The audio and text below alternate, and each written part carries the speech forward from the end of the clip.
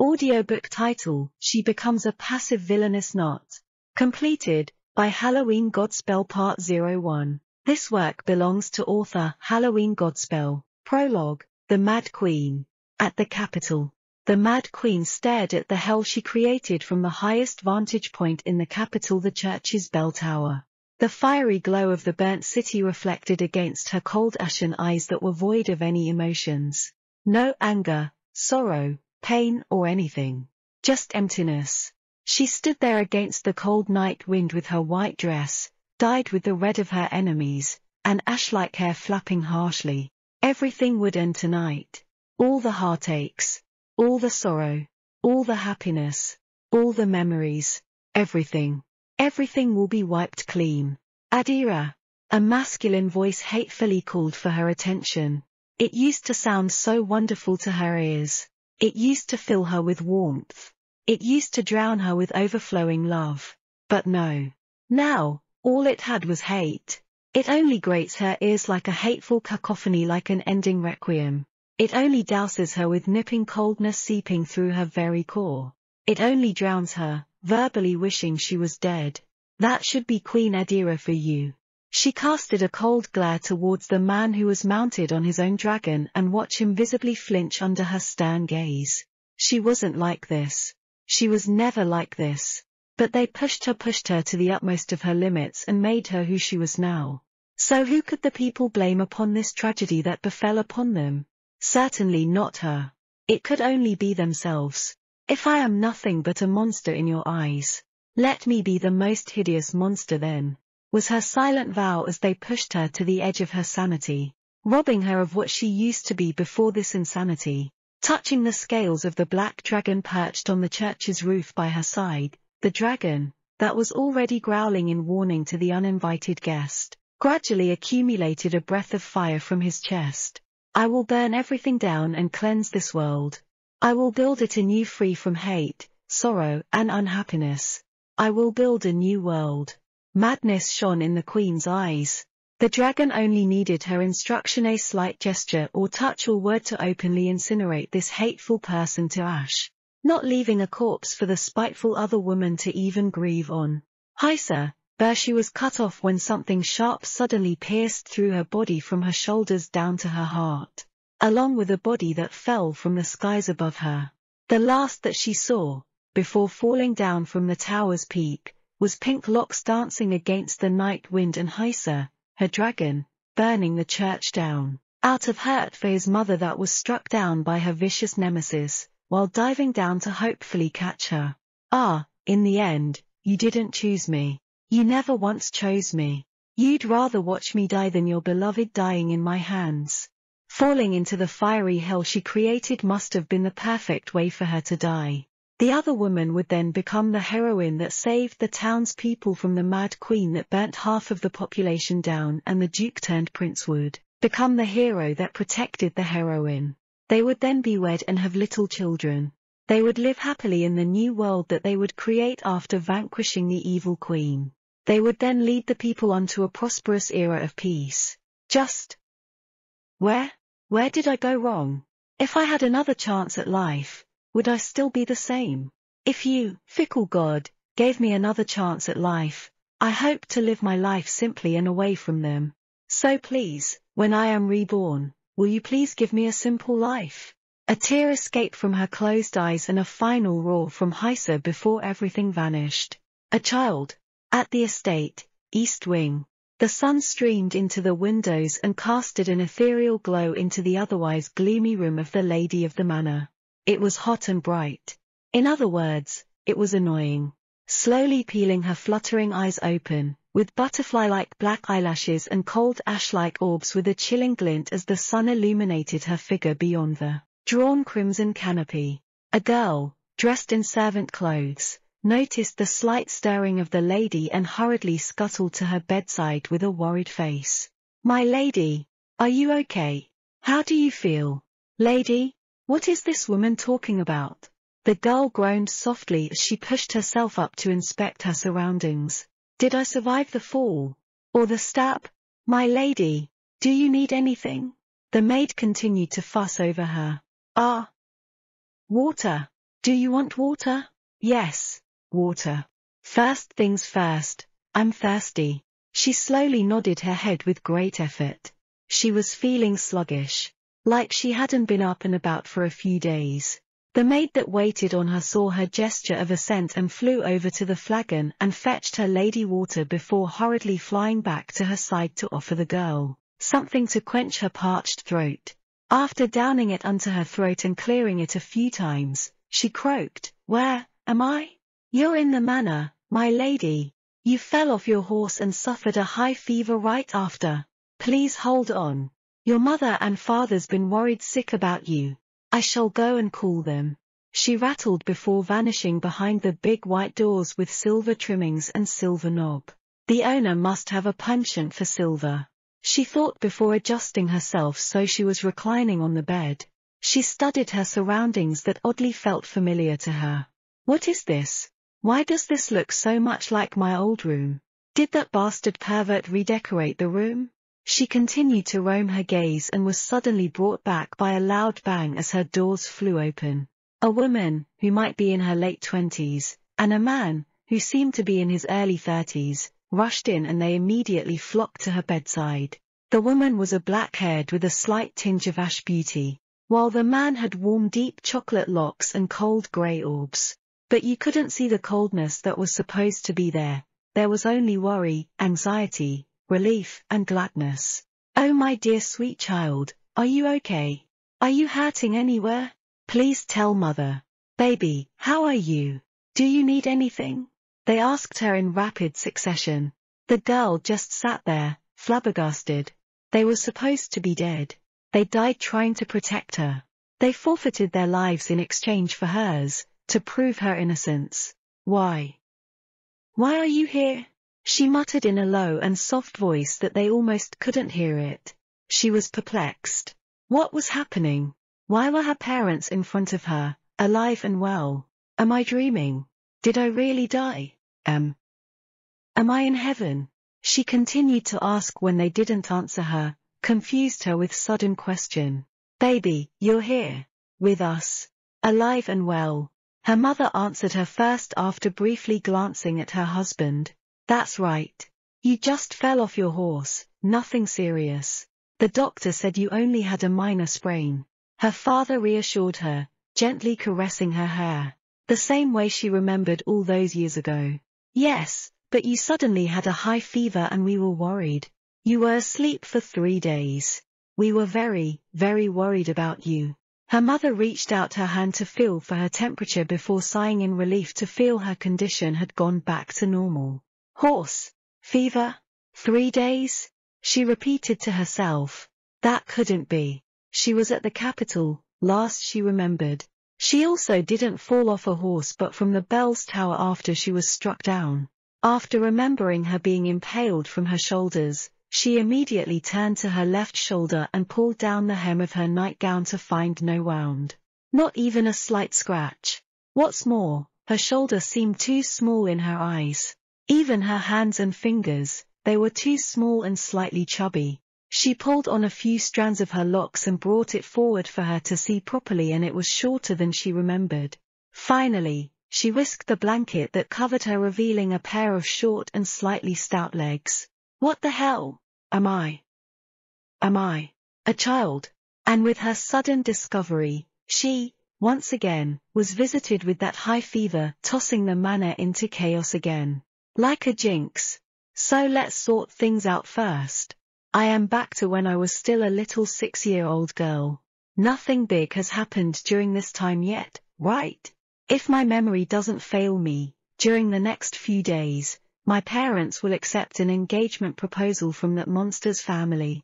Adira thought to herself while she sipped on her favorite chamomile tea with a twist a special blend made by her favorite maid, Lifer. Because of being disoriented, after dying from such a tragic death, it took her a bit of time to adjust and recognize Lifer especially when it should have been easy since she was always a worrywart and easily flustered. My lady, do you like the chamomile? She asked sweetly while placing another batch of sweets in front of Adira.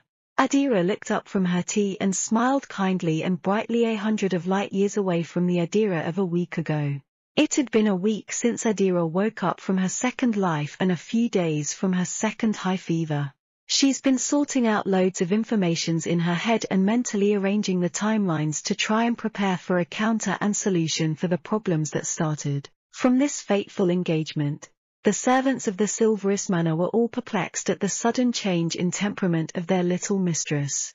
She just suddenly changed, as if the person inside her was swapped entirely for someone else someone who was more merciful and angelic than their demonic little mistress.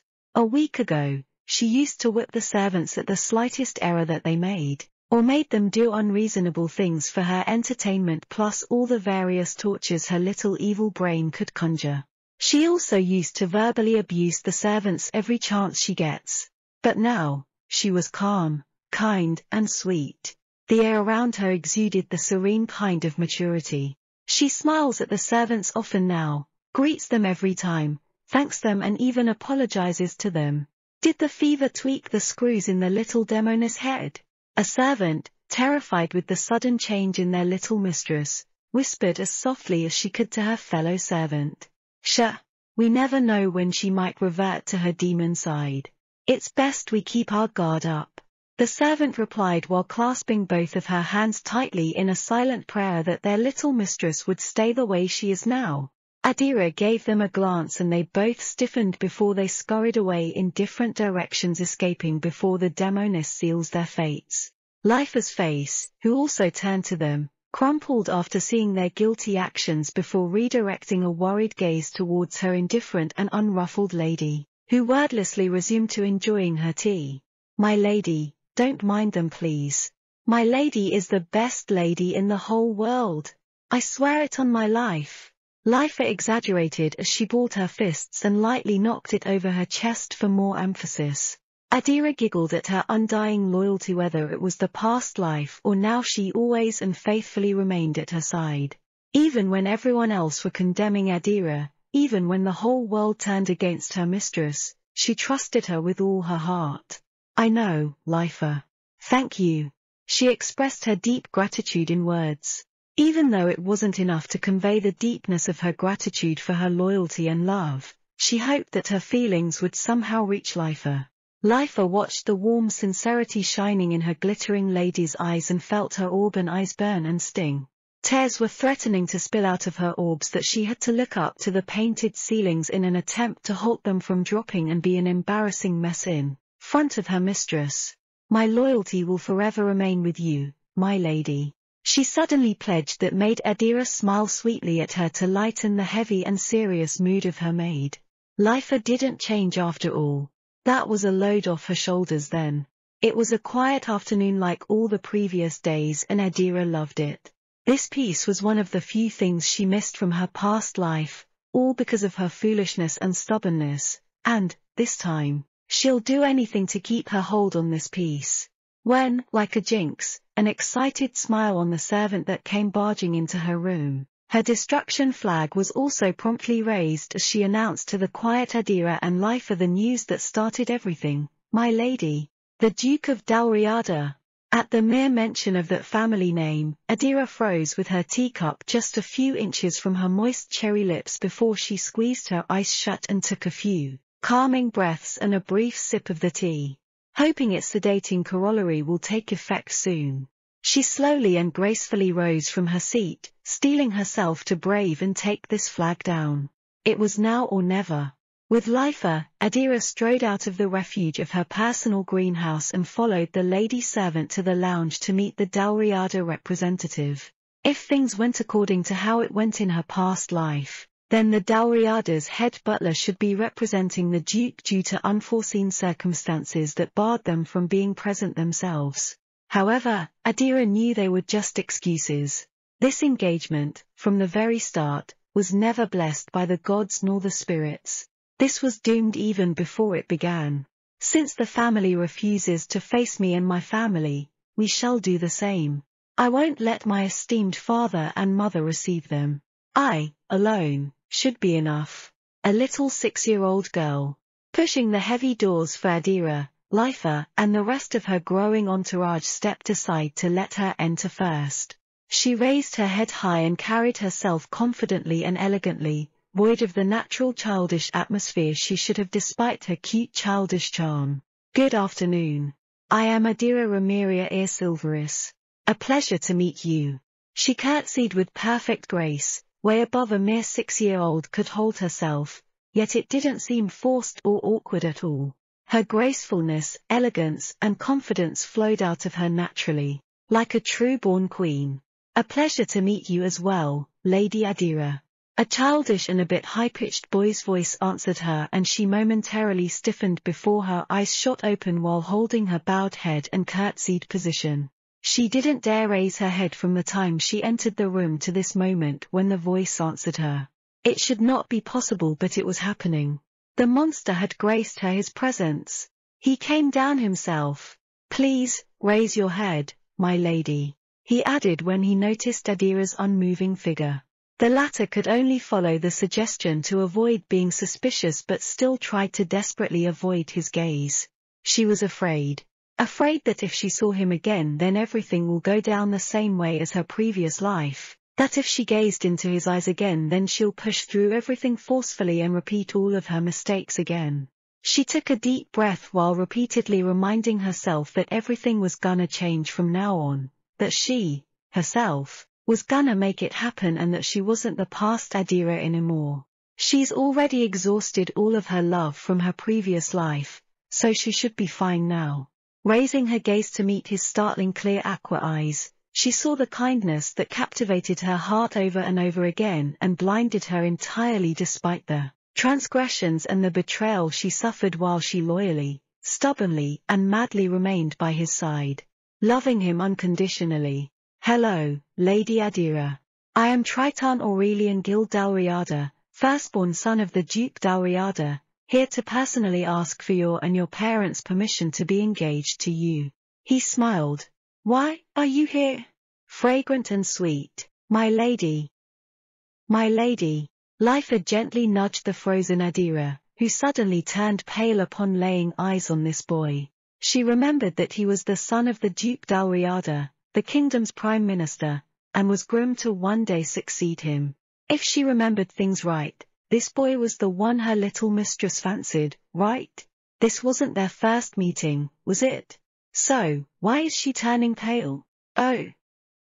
Forgive us, Lord Dalriada, you travelled so far but unfortunately my parents are away as of the moment and won't be able to accommodate you. She fluidly lied through her teeth, that if the servants did not see their master and mistress at their respective workplaces they would believe their little lady, while curtsying once again to express an apology. Her entourage, as well as Lifer, all stared at her confounded with her blatant lie. The castle was big, sure, but wouldn't it cause trouble if this boy finds out she lied? Wouldn't that drive a wedge between the families? What is the little mistress doing? Is she reverting to her evil side? Please, so long as you follow after me, everything will be fine. Just keep your mouth shut. Adira silently pleaded in her heart. Is that so? That is a pity, indeed. I was told that the Duke Silveris would probably be home since we caught wind of your accident. He smiled dejectedly. Ah, you cannot fool me like that again. A thought suddenly came to him, after being prompted with the word accident, and his expression suddenly turned worried as he asked, By the way, are you okay? Lady Adira. I heard it was quite the fall. Yes, please don't concern yourself. It was only a minor sprain and I'm perfectly healthy. She answered, distant and civil. A well-trained lady in their social circle where the strong praise on the weak and the gullible gets stabbed on the back. That is the most wonderful news. He breathed a sigh of relief before he regained his perfect smile, seeming delighted with the news. Well, since the Duke Silveris isn't around, I shall withdraw for today. I would greatly appreciate it if the Lady Adira spends time thinking about this proposal and that I might hear good news the next time I come. He immediately gestured for his butler to come forward and took the box from his hands before offering it to Adira. I don't know what would be an appropriate gift to present to a fiancé, but I heard the lady loves her tea. This is a little something from me. Please, take it. Adira turned to Lifer, who was waiting for her instructions, and nodded softly. The latter took a step forward and took the box to present it to her little mistress. Adira checked the so-called gift and saw different varieties of tea except her favorite chamomile. She let out a silent and hidden scoff before quickly wiping it off her face and smiled at Triton. Thank you very much for these, my lord. I appreciate it. Please take care in your journey. Lifer, please escort them out. Triton, pleased with Adira's smile, bowed before following Lifer out the manor. While Adira, who was left at the lounge, turned to one of the lady servants part of her entourage. She gestured for her to come closer which made the poor servant tremble in fear. Yes, my lady, she answered. All she wanted then was to prostrate and beg for forgiveness for whatever than receive one of the little miss violent fits. As softly and gently as she could, Adira asked her, Kyrina, right? Can I call you Rena? Out of surprise from her little mistress remembering her name, the little servant jolted, Yes. Of course, my lady. Take these and share them with the other servants. Adira adjured her as she passed the box of teas to the maid. But, my lady, didn't the young lord give these to you? She inquired carefully. It is not appropriate to give away something you received from someone else. Even giving it away the moment he left.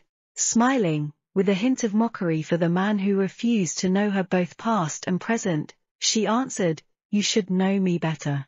I don't like these kinds. Chamomile suits me best. The servant, still confused, decided to just shut up and took the box gratefully. All the tea were exquisite and hard to acquire, truly something that displayed their family's power and influence. But her mistress would rather choose the common chamomile than these. Do you like Lifer's original blend that much, my lady? Curious why her mistress would rather choose the chamomile than these rechurch teas, she dared to ask. Adira suddenly giggled, akin to little bells tinkling in the servant's ears, while looking like a little angel before nodding her head. I love each of your original blends best. An, an angel. The little mistress is an angel. All the servants stared at her slack-jawed and with glittering, adoring eyes as they felt love-struck, now with a renewed image of their little miss in their hearts. Then we shall refine it more so the mistress can enjoy it more. Rena beamed.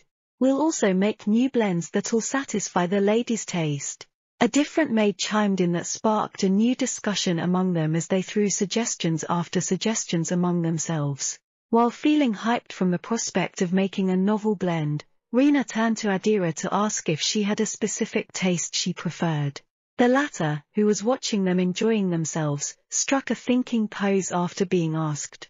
Truthfully, in her previous life, she stopped caring for tea when Triton said he loved coffee. So, despite not liking bitter things or the strong smell of coffee, she had to grin and bear it for the sake of impressing him and adjusting to his likes.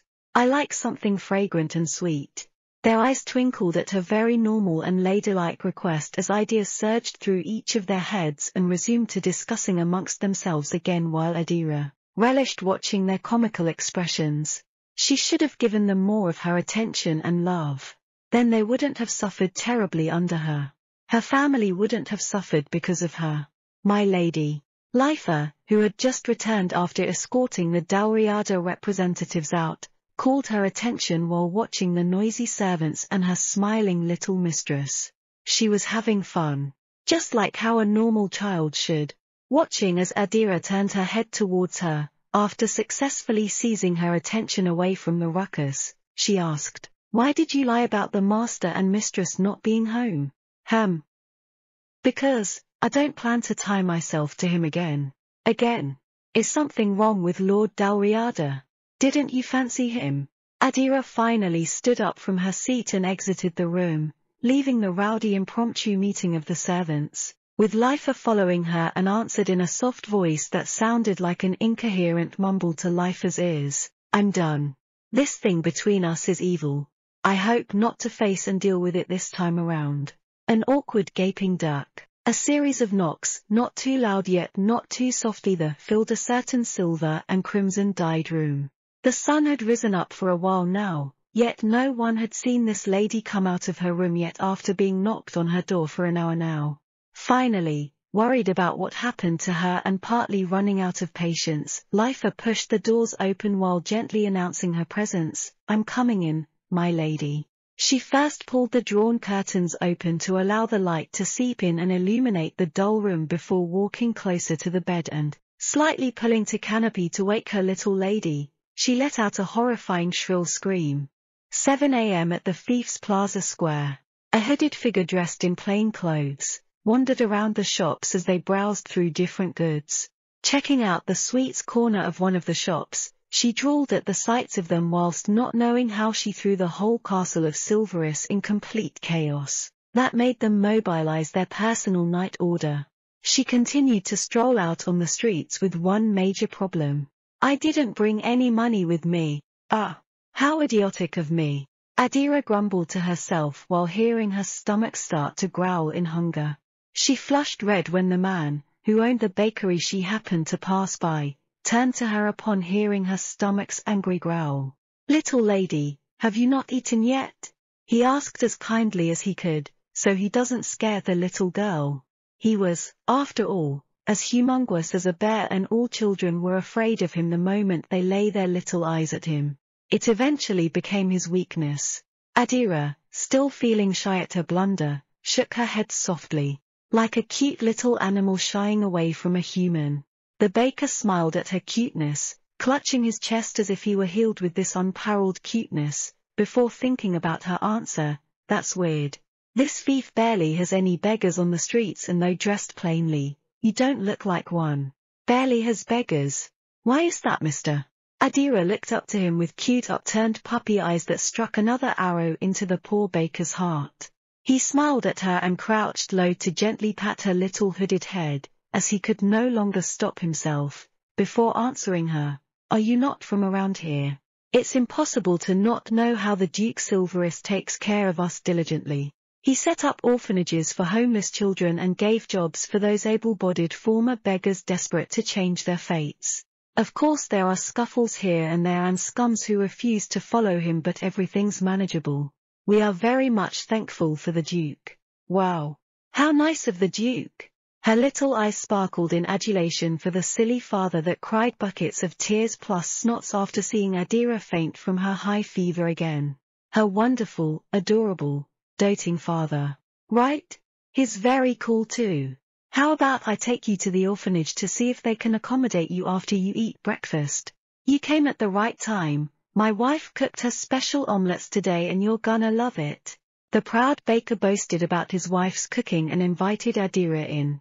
Although she found them too trusting to strangers that it was too alien for her, she was thankful nonetheless. Cause if he hadn't invited her, she'd be crawling back to the manor with an empty stomach. The little wife, a woman with jet black shiny hair, small delicate face and pinkish lips, looked towards them and was really shocked with the little visitor before her visage warmed up and she smiled. Hello little one. Were you lost? Did this big scary man frighten you? Don't be scared to tell this sister. I'm stronger. She winked at Adira which earned her a sweet and amused smile from the latter. Hello, sister. The big brother did not frighten me at all. In fact, he offered to help me solve my starvation. Please, do pardon my intrusion. Adira, with the force of habit, slipped and used a formal and noble tone before she twitched from forcing herself to not curtsy right after she said the words. The baker and his wife were briefly floored at her refined mannerisms and turned to each other before warmly looking down at her like proud parents. My, do you like the way those nobles present themselves? You got their manners hands down. It almost made me think that maybe you're one of them. The wife beamed happily, gently coaxing the child, and patted Adira's hooded head, elated with the latter's small show. Well, I really am one of them though. What made the couple think otherwise was because no noble child would purposely don on a plain commoner's clothes and roam around their Fiefs Plaza Square, right? Which noble in their right mind would do that? Partly, also, they heard their little Lady Silveris was the little demoness. Surely this cute little angel cannot be that demoness, right? This is a far cry from that demonic little beast. Do you wanna eat with us before going with this big scary man to find your parents? Hey higher. Stop saying big scary man this, big scary man that. She really will be scared of me at this rate. The baker, her husband, protested and pouted. My, dotes on the wife too much and now can't fight back, eh? Ha ha. My bad, darling. Well, shall we eat before the food turns cold? Hyacinth asked and turned to both Adira and her husband, Peter, before leading them to the dining table. During the meal, Adira got to know them a little bit better. Apparently, Hyacinth and Peter were newlyweds and weren't blessed with a child yet. And well, Peter, if possible, wanted a child like Adira, cute, beautiful and angelic. Heck, he even wanted to just go ahead and adopt the girl herself. However, that needs to wait before they confirm if Adira's an orphan. If she is, they would love to have her be part of their simple little family. Just a few little minutes after their meal, after saying their thanks and cleaning the table, a ruckus could be heard outside. Adira, now with her hood off and showcasing her dark ash-like wavy locks and silverish orbs, turned her gaze outside. What's happening? Why is it noisy outside? Along the line of Adira's thoughts, Hyacinth voiced hers. I wonder what's wrong.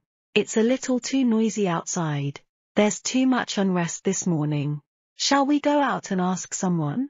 Peter asked and walked first while Hyacinth wiped her hands with her apron and Adira wore her hood again, for safety purposes. A large group of knights, bearing the crest of the silver crescent moon, which was clearly just a fraction of a much larger group of knights roamed around. Some were atop their horses for faster mobility and better vantage point and some were marching heavily as if marching towards a war. The anxiety and unrest were flowing out them in waves that the townspeople couldn't help but be infected with it. What's wrong? Why are the Silver Knights here? I don't know. They seem to be looking for someone. Could it be a spy? Good lord, are we in danger then? The antsy townspeople started to discuss among themselves while Adira could only pull her hood down to cover her more and retreated a few steps to make her presence as less as possible and slipped out of the crowd when she saw an opportunity. Little one, looks like we'll have to postpone going to her. Where is she? Peter turned to his wife, who could only shrug and shake her head before each of their expressions morphed into one of worry. Adira ran and ran, back to the place she snuck out of, back to her home. She sped and turned past various alleys trying to find the shortest possible route. Oh God! I didn't know it would cause this huge mess. Why did they mobilize the family's knights? Oh. It's really my fault. I shouldn't have snuck out. I'm dead. I'm dead. I'm dead. Turning into another alley, back to the open streets but with visibly lesser people, since a lot of them were gathered at the square, she mistakenly bumped into someone. Seeing as she was much smaller, and a girl for goodness sake, she fell down on her but with her hood flying off her head. Adira groaned and endured the brief pain. She opened her eyes to the sight of a silvery white-haired boy with fine, porcelain-like skin and a beautiful face almost beating a girl at her own field crumpled with worry with his hands offered to her before asking, Are you fine? I'm sorry. I wasn't looking where I was going. Adira, sitting there like an awkward gaping duck in front of this beautiful, white swan, opened and closed her mouth a few times. She didn't know what to say. His beauty robbed her of her tirade of complaints. His beautiful glistening platinum eyes were like the cream of the crop amongst the finest jewels in the kingdom. And oh, his plump cherry red childish lips. Adira.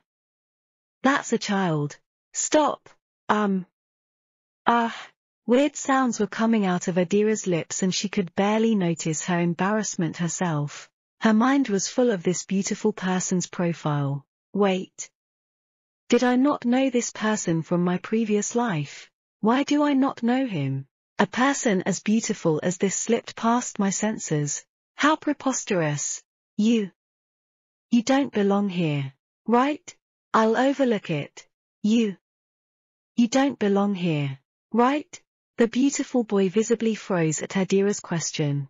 Knew it. I would remember him if he was from around here. Yes. I was just um, planning to visit a friend. He answered and almost whispered the last word, barely audible. Adira continued to stare at his appearance.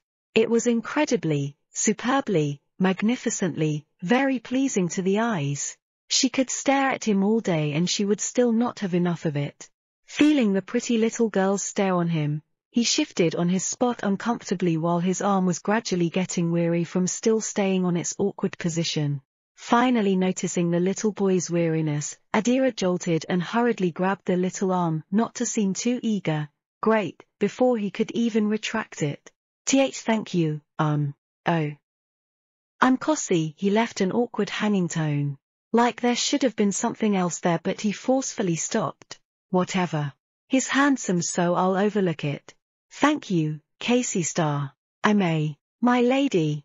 Oh my god. My lady. The lady's over here. My lady. What sort of clothes are you wearing?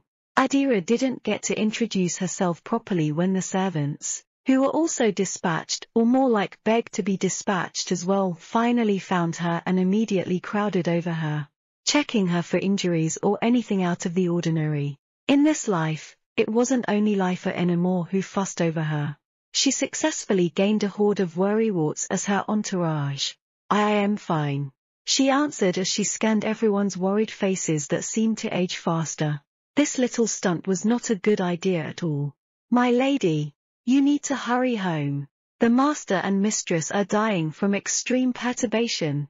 Please hurry home. They all pleaded her in behalf of their master and mistress, who had to remain back at the castle. If the Duke's state of mind could only be trusted then they would not dare stop him from searching for the lady, himself. He is her father, after all, and they were aware of how much the Duke doted on and loved his only daughter. But they feared that the Duke, himself, would also be in danger instead of only the lady and then the Duchess wouldn't be able to take it. Then they'd worry to death for this troublesome family of three. What will become of the Silverus territories? Oh okay. I am very sorry. Adira quickly apologized before remembering the forgotten beautiful boy and turned to him, planning to thank him again and apologize, when he was not in his spot anymore. He's gone. The large crowd must have scared him. Ah. This day is too unfortunate. She sighed before following the servants back to the carriage and to the manor. She was trembling so bad with every step she took towards the lounge where her parents were waiting for her return. What do I do? Should I fall down to my knees and beg for forgiveness immediately before they can even scold me? Will that work? Maybe father. But I doubt it'd work on mother. Then should I wait and weather the storm? It'll only last a couple of hours at most, right? Ha. Ha ha. Ha. Arg. Goddammit Adira. Oh gods and goddesses, whoever can hear me, please save me. Adira ranted inside her head while pursing her lips awfully tight she was turning pale. She felt like she was being escorted to the guillotine to serve her sentence. As soon as the double doors opened and she stepped in, the Duke and Duchess immediately flew to her side and caught her in a tight bear hug. My daughter! My sweet, sweet baby! Where were you? Her mother's shivering voice managed to speak first. And as if being urged on by his wife's voice, the Duke followed with, Baby angel, dear, are you hurt? What happened? Where were you? Did someone take you? Tell Daddy, okay. Daddy won't get mad. Daddy will punish the bad person for you. I, shocked with the complete opposite of what she expected, Adira's words trailed off.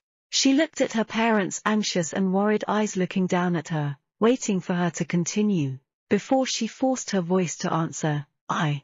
I went out on my own. Surprised, the Duke and Duchess stiffened for a while before asking, why, baby? She looked down to her fingers twisting each other as she fidgeted with guilt. I. I simply wanted to go out. I'm sorry for not telling you before doing it. I didn't know it would cause such a huge mess. I am very sorry. I will accept whatever punishment. Oh, sweetie. Her mother once again took her into her arms. Did you get bored inside the castle? We're sorry, sweet angel. We just don't want you to get hurt. The outside world is dangerous. We do not know the dark elements hiding in every corner waiting to pounce at us the moment we let our guard down. I hope you'll understand father and mother. We do not mean to trap you within the castle walls. The Duke tried to patiently let his words sink in his baby daughter's mind while also gently coaxing her. It must have frightened her when she saw the knights and servants dispatched to look for her. It may seem too much but I cannot be lax about it. Adira's still young so I understand that she's just curious about the world, but once she is introduced to society, she'll likely be targeted at every turn. The Duke thought and shivered at the dark and gruesome thoughts that gnawed at him. He was willing to do anything to protect his family, no matter what it took. Even if it meant caging his own daughter in so she doesn't fly too far to a place where they cannot reach. Still wallowing in her guilt, Adira softly nodded her head. She didn't really mean to worry them that much. She only wanted to take a good look at their domain. To know the people she ignored and pushed to their deaths while blindly pursuing love. She wanted to see how they went about their everyday life. She wanted her own eyes to see the people she should have protected with all her might. On an inconspicuous carriage traveling across provinces back to the capital, a certain silvery almost white-haired boy leaned against the window, his mind returning back to a few hours ago when he met a certain young lady. If his guess was right and it always was, that little girl was the Lady Silverus. Adira Silverus. What was she doing outside? In commoner's clothes even. He thought to himself and tried to think a plausible reason from various viewpoints but none suited the lady's character at all. He was, after all, a good judge of character. One look was all it took him to know a person's character and categorize him as a person that harbored ill will or a trusted aid. However, this particular lady seems too unique for her own good. She was interesting. A small smile quietly made way into his cold and indifferent face. A genuine one. If only his guard aide would dare turn to him, he'd have witnessed a rare miracle. They probably didn't know she went out judging from their extreme reaction. How cute. She doesn't know how to be discreet at all. All throughout the ride back to the capital, all he thought about was Adira. It may have been an accident, but at least he fulfilled his purpose of visiting the Silverus territory. He was sent there to see the little lady herself. Since the Duke Silverus hurriedly went home a week ago, when they received word that there was an emergency back at their castle, that something happened to the little lady. His father, a good friend of the Duke, sent him to greet them and wish the Silverus family good health while also investigating about this emergency and why the Duke was neglecting his job for so long. However, when he arrived, the place was swarming with the Silver Crescent Moon Knight Order as the place was turned upside down all because the Lady Silverus was missing from early morning. He proceeded to the Duke's castle yet decided against it at the last minute due to the current state of the fief. Surely, even the Duke, himself, would not be able to properly receive him with the current state of affairs. He turned and was about to retreat for a while and return a few days later, when things calmed down, when a figure suddenly popped out of an alley and crashed into him. The person was smaller than him and considerably weaker as she fell down hard with a cute little yelp and the hood flew off revealing a dark ash-like hair with slight waves. The little girl's groans snapped him out of being astounded with her stunning appearance and immediately offered his hand for assistance. She then opened her cute and lovely eyes, with her butterfly-like eyelashes adorably batting at him, and stared at him for a long time. He didn't know if it was on purpose or was she just naturally adorable. Are you okay? I'm sorry. I wasn't looking where I was going. No, it should have been her who wasn't looking properly, right? And running around so haphazardly. Of course, she'll bump into someone. Lucky, it's only me. What? Lucky? Your Highness, Prince Casimir, we have arrived. He was snapped out of his reverie before nodding his head and quickly changed his aura. He was now the Prince Casimir the cold and black-hearted first prince of the Versailles Empire. Hem. I would love to see her again someday. Notes. Asterisk the case here is because Adira only heard the first two syllables of Casimir's name. I. He's a jerk. My lady, you look absolutely beautiful. Our lady is the most beautiful in the empire. Indeed. No one can match up to her gorgeousness. You've grown beautifully and splendidly, my lady. Lifa and the other maids gushed as they stood a few feet away from their little lady, who was not so little anymore, feeling like proud mother hens. It had been ten years since that time the Silverus territory was turned upside down because of the missing lady. Ten years since Triton tried to get engaged to Adira and was shot down by the lady herself. Also, ten years since her father engaged her to someone else. She didn't really care at that point since it was normal for noble children to be engaged early and for her. As long as it wasn't Triton then she was fine with whomever. What she didn't expect was for her to actually be engaged to the first prince of the empire. She hasn't even seen him. Not once. What a mysterious fiancé this man is. The Duke Silverus was surprised as well. He also didn't expect the royalty themselves to propose such arrangement. He didn't want to force Adira into anything but his daughter didn't seem as unwilling as when the Dalriada family presented a similar proposal. Your Highness, pish posh, don't sound so distant and just address me how you usually do, Silpha. The king waved his hands to dismiss the others and turned to his good friend, M. Anastasius, are you really sure about this arrangement? I mean, my very cute and lovely daughter is indeed a good choice and you won't lose out in choosing her. Heck! My daughter's the best that you can find and, okay, okay. I don't need your constant reminder about how much you love your daughter. How dare you rub salt on my wound just cause you got yourself a cute daughter. The audacity. So what's your problem? Well, I don't want Adira to be caught up in you royals' struggle for power. She doesn't need to belong in your crazy and bloody world. The father inside the Duke spoke and protectively kept his precious daughter away from the chaotic life in a royal's vie for the throne. However, your daughter's the best choice, right? The king asked with a hidden evil smirk as he laid the trap in front of this idiotic parent who's usually very intelligent for his own good yet forgets everything when it concerned his lovely daughter. Being the proud parent that he is, the Duke immediately exclaimed, of course. No one's better than my precious Adira. She's the best of the best. And there you have it. The king's grin broadened, feeling jubilant at this idiotic man for willingly falling into his trap. You've no choice but to accept the arrangement. I personally also like Adira as a daughter. Isn't it better? Hitting two birds with one stone.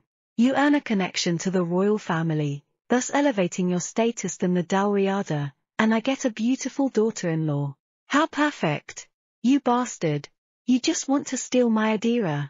Silpha, feeling wronged, accused the cachinnating king, reverting to how they were when they were but teenagers. And so, that was how Adira got engaged to this prince she haven't met. Although she's heard stories about him from Casey, the boy she unexpectedly befriended. Casey said that the prince was magnanimous and a genius at various fields. Though, Triton also said that the prince was a jerk. Hem, why was Triton visiting so often anyway? I rejected the proposal, didn't I?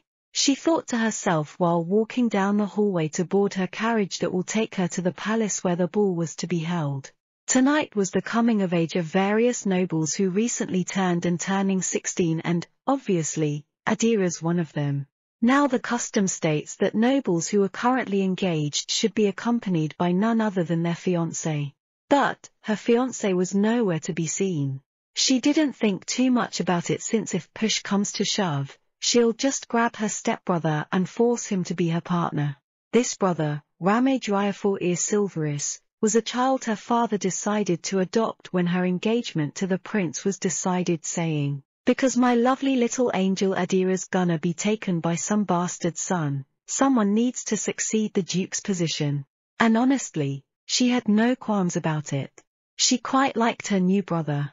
He was calm, collected, sweet, and kind. He was the perfect older brother. Save for the times he relentlessly scolded her for harming herself when she fell off her horse a lot of times, or those times she fell off their boat when they went to the lake. Oh. Or even those times she hurt her stomach from overeating and she wailed miserably. In other words, he was just like her father. Overprotective. Stop spacing out Adira. You'll fall off the stairs. Came his stern voice from behind her and her back straightened like a bow's tense string. Be our brother, good evening. She stuttered a bit as she turned to him nervously. She really couldn't handle his strict expression. She always want to cry when she sees it. He sighed when he saw the panic in her face and felt bad for her. He didn't want to make her wear that kind of expression when she's with him. He just can't help it that he feels extremely worried for her. He brought his hand up to her head and gently patted her while softly coaxing her, I'm sorry. Brother doesn't want you to fall to your death so why don't I help you down? And offered his arm. She visibly brightened at the gentleness of her brother and immediately clung to his arm like a spoiled little princess before smiling widely up to him. The latter could only sigh and smile at this precious little gem that was given to him. Ah, why does she have to be engaged to that jerk? He anguishedly thought to himself while helping Adira down the stairs and into the carriage. By the way, where's that J.E. I mean, the first prince? Shouldn't he be escorting you? Millimeter. I don't know.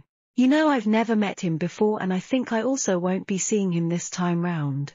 So with that said, Will Big Brother please escort me instead? She acted cute to rope her brother into helping her. She knew very well how weak he was to her when she does this. Rame answered, without the slightest bit of hesitation and very automatically as if on reflex, of course. It'd even be his pleasure. But, never met him. Who was that whitehead she spoke regularly with then? Wasn't that the jerk? Rame's confusion slipped past Adira as she cheered. Now, she won't have to embarrass herself by attending the ball without her fiancé. Her brother was plenty enough. Despite him not growing up within the nobility, he didn't lose to those so-called higher nobles at all. His soft and silky straight ebony bob-cut hair framed his delicate and handsome face so well he blew up in popularity the moment he was introduced to high society in his coming of age last year. It was known that he was an adopted child of the Silverus family yet this didn't dampen the fangirls' heated adoration for this bachelor that the Silverus household. Servants had trouble organizing the proposals sent to the castle every day. He was even placed on the same pedestal as the princes and other nobles as one of the most sought-after bachelors in the empire.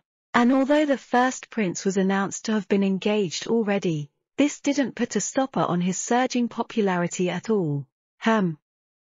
Weren't you and the first prince the same age? Adira suddenly asked. Yeah. Why?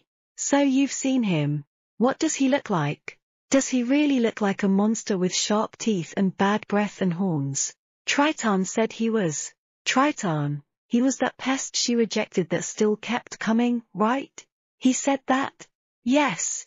But Casey told me he was a handsome prince, the most handsome even, and that I was darn lucky to be the one chosen for him amongst the horde of girls that was gunning. For him. Casey? Who's this new jerk? Is he that old asterisk boy? However, I refuse to believe either of them. I will only believe what my dear brother says. She exclaimed and successfully inflated Ramir's pride. He felt he just trampled all over them and was still the closest to her. I, He's a jerk, was all he said, wearing a victorious smirk. He won't allow them to steal his precious Adira. But enough about that jerk. We're here so conduct yourself well. I will be by your side as well to pick up your lapses. He reassured her which earned him a sweet smile. My dear brother really is the best. Alighting off her carriage, she was about halfway up the stairs when the wind blew unexpectedly hard and caused her hair to obstruct her vision that she had to turn her head slightly to get it away. A neighing of the horse and a carriage, which was a little too inconspicuous, halted below them and felt her heart suddenly jump upon laying eyes on the crest. She forgot she was about the same age as her and was taken in by a baron's house three years ago. She unconsciously gripped her brother's arm too hard that caused the latter to turn to what she was staring at so intently and noticed a lady walk out of the carriage, accompanied by her adoptive father. Her light pink hair fluttering in the wind and her looking up at them before smiling kindly. She's here. Notes. Asterisk old because Casimir's hair resembled an old person's white grayish hair. So Ramir calls him old in spite. Athanasius, oh. She's that Baron's adoptive daughter, right? Ramir, noticing the conspicuous and very rare pink hair of the lady, asked before turning to his sister that seemed to grow roots on her spot. Adira? However, his little sister did not move nor respond. She just trained her eyes on the newcomer with uncanny wintry gaze. He lightly pressed his free hand on her and flinched slightly at the coldness of her skin under his touch. He wasn't sure if it was because of the cold weather outside and the fact that she wore such little clothing since her shoulders were too bare. And yes, that's already too little to me for my dear Adira, or something else. He, very gently, squeezed her to snap her back into focus and fortunately succeeded when he saw color slowly returning to her pale cheeks before she smiled at him, attempting to reassure him that she was fine. Are you cold? You look very pale. Rames's voice was coated with concern for his lovely sister's health. She was healthy, yes, but you can never be too sure. Don't call me overprotective. A whole of you can't even compare to half of my beautiful Adira.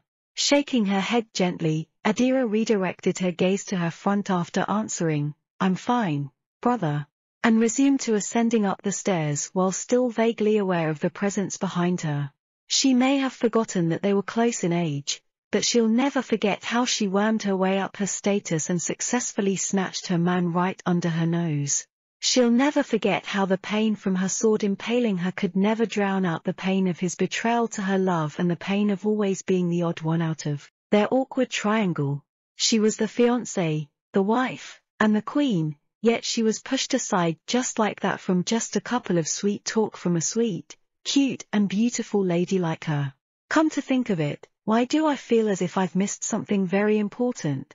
Adira thought to herself while she let Rame guide her to the hall where the event was held. She didn't notice the worried stare of her brother nor anything till their name was announced loudly to the participants of the ball. She finally snapped out of it, deciding to temporarily push it at the back of her mind, and quickly fixed her posture. With the help of Ramir, her brother, he led her down the stairs under everyone's fixed gazes. They kept their stare on her, like wild dogs eyeing a premium bone, waiting for her to make a miss anytime. But, she wouldn't be a Adira if they let them have the gossip that they want. Instead, she floated down the stairs, to the center where the guests were gathered, so smoothly and elegantly, it was as if they were watching a deity descend to grace them mere mortals. After reaching them, she promptly curtsied and introduced herself with that cold yet beautiful small smile, good evening. It is a pleasure to be of your acquaintance. I am Adira Ramiria Eir Silveris, firstborn daughter of the Duke Silveris. The ladies and the men, as well as the parents of the nobles who were also a participant of the unified ceremony for their coming of age, stared at the mesmerizing figure of this elegant child. While the Duke Silveris, Silfa, who stood by the king's side along with Duke Dalriada, Osiris, looked incredibly smug his ego inflating like a hot air balloon. My, the Lady Silveris is such a wonderful child. Osiris spoke first while watching Adira interact with the nobles that quickly flocked around her. She was dealing with them so perfectly it was almost unbelievable for a child to be perfectly cultured and mannered. Especially when it's Silfa's child a rowdy and loud person. HMMP. Of course my daughter is wonderful. In fact, She's the most wonderful. She's just the greatest. The cream of the crop. The beautiful cherry on top. My baby angel Adira's the best. Igniting the blazing adoration of this father to his daughter, Osiris sighed. Seriously, the man was perfect save for when he turns idiotic for his daughter. At first he never understood what was so special about having a daughter, but now that he was looking at Adira, even he would want her as a daughter. Too bad you didn't accept a proposal to join our houses. He sighed and looked away, sulking and dejected. Well, of course. Adira's bound to be my daughter. So it's only right that they rejected your proposal. The king, who was still keeping his eyes at the lovely and beautiful child that robbed all the other ladies of the people's attention, laughed and smacked the back of Osiris as if attempting to comfort him while also flaunting how Adira was going to be his daughter-in-law. Your Majesty, that's mean. Feeling wronged, Osiris complained and rubbed his throbbing back. Then, Your Majesty, you are aware your son is the lucky jerk who's engaged to my beautiful daughter. Yes. Of course. Then may I ask, if it's not too rude, where the heck is that jerk? Dark shadows covered Silver's supposed to be blinding smile as he inched closer to the king. If it was a normal setting, he'd have been sent to prison already for less majest. But they were childhood friends and everyone knew that. They would sometimes slip and act like that in front of everyone, like tonight. Oh, he's there. He was busy with something so he couldn't escort Adira from your house. I believe he's done. And as if on cue, the dance was finally starting.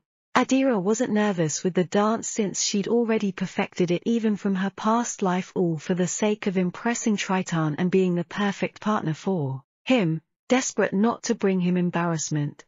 What she was worried about was, her damn fiancé's still not around. As she was worrying about that, while restlessly shifting on her place although it wasn't noticeable, a hand suddenly held hers and raised it to her chest level as if guiding her forward. Jolting, she retracted her hand immediately and knocked the other away during the process. How dare this person randomly hold my hand like that? Before turning to the owner of the hand she slapped away, only to find the surprised gaze of Casey. Eh? Casey? He's here. She knew Casey was a noble but she didn't know which house. But Casey was a year older than her so if he was to come of age, shouldn't that be last year? Casey? She called his name and a smile found its way back to his face. Hello, Adira. How are you? I'm... I'm fine. Oh my gosh. I'm so sorry. I didn't know it was you. Adira quickly apologized and did a slight curtsy. No matter what Case's nobility rank was, which was undoubtedly lower than hers, she had to have the decency to apologize for being rude despite being unaware. It's fine. I also didn't announce myself so it's my fault. He chuckled softly at the cute panicking yet polite Adira. Yeah, why'd you suddenly pop out like that? Now she was complaining and this immediate change in reaction oddly lit Casimir's mood. He was busy concocting new blends of tea out of chamomile that he made too many without noticing it. Hence, he was not able to escort Adira from her house and had to meet her at the hall itself. Oh no, I don't have time to play with you, Casey. I need to find my bastard fiancé. How dare he stand me up like this? On my coming of age even. This must be revenge. I swear I'm already dying to tear his hair out from the roots and curse him with baldness if I ever find him. Feeling every one of her complaints pierce through him mercilessly, Casey once again took her hand tightly this time so she can't swat him away again, and led her to the center of the hall. The first and opening dance was meant to be performed by the prince and his fiancée. However, when the first prince came of age, Adira, as his fiancée, committed a huge gaffe and came down with a high fever. She wanted to attend no matter what since it was extremely inappropriate and she didn't want to embarrass the prince but her overprotective family decided against it. Around noon that day, a messenger from the palace came and said, The prince prays for your fast recovery, my lady. He also wanted to let you know not to worry about him and just rest well. How can I not worry when I am placing him in a difficult spot? Adira grumbled on the bed while pulling the sheets up to her face and curled in a pitiful fetal position. Rame also didn't want to attend his own event that day and wanted to stay beside her to nurse her but she pushed him to go with teary eyes. And how was he supposed to go against her when she's like that? No one can do that. Two days after that hot and exhausting night, Adira received a visitor, Casey. He said that he heard from his father, who was a good friend of her father, how she was down with a fever. She reassured him that she was healthy and fine but really regretted how she wasn't able to attend the coming of age of her own fiancé. Ah, this sucks. I'm sure he hates me now.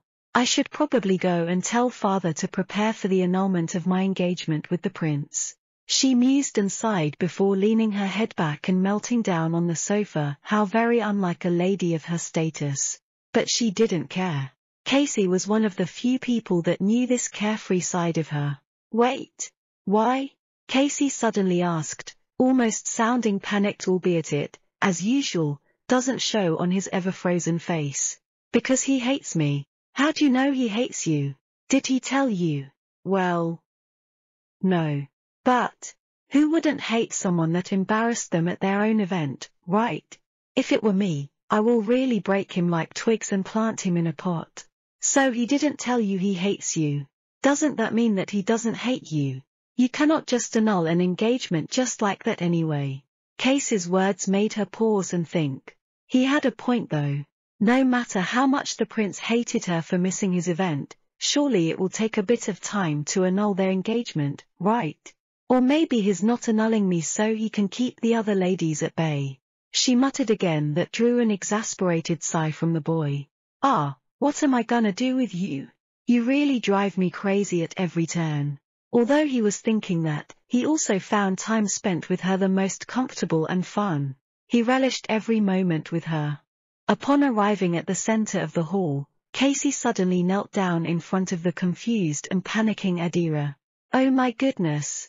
How could you pull me here, Casey? Casey, what are you doing? I'm the first prince's fiancé. You're putting yourself in unnecessary trouble. She whispered to him, all the while trying to pull her hand away from Casey's tight hold.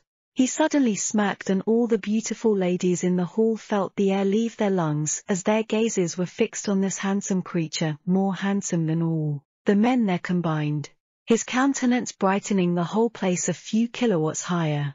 Bringing down his lips to her hand, Casey spoke. I, Casimir Athanasius Rosenvasilis, would like to request my dearest fiancée, Lady Adira Ramiria Ir Silverus, for a dance. Would you do me the honor, my lady? Athanasius.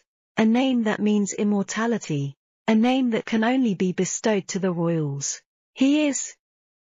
Case is the first prince, the crown prince, still frozen on her spot, after hearing such a bomb explode right in front of her. Adira felt her world spin as information she had forgotten rushed back to her after learning Case's full name. Casimir Athanasius Rosenvasilis, first prince of the Vasilis Empire, heir to the throne.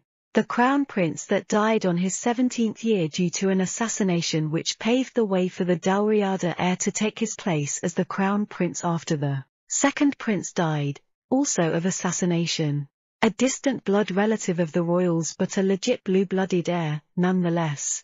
Rumors circulated after the incident about how the assassinations of the princes were orchestrated by the Dalriada household to usurp the throne.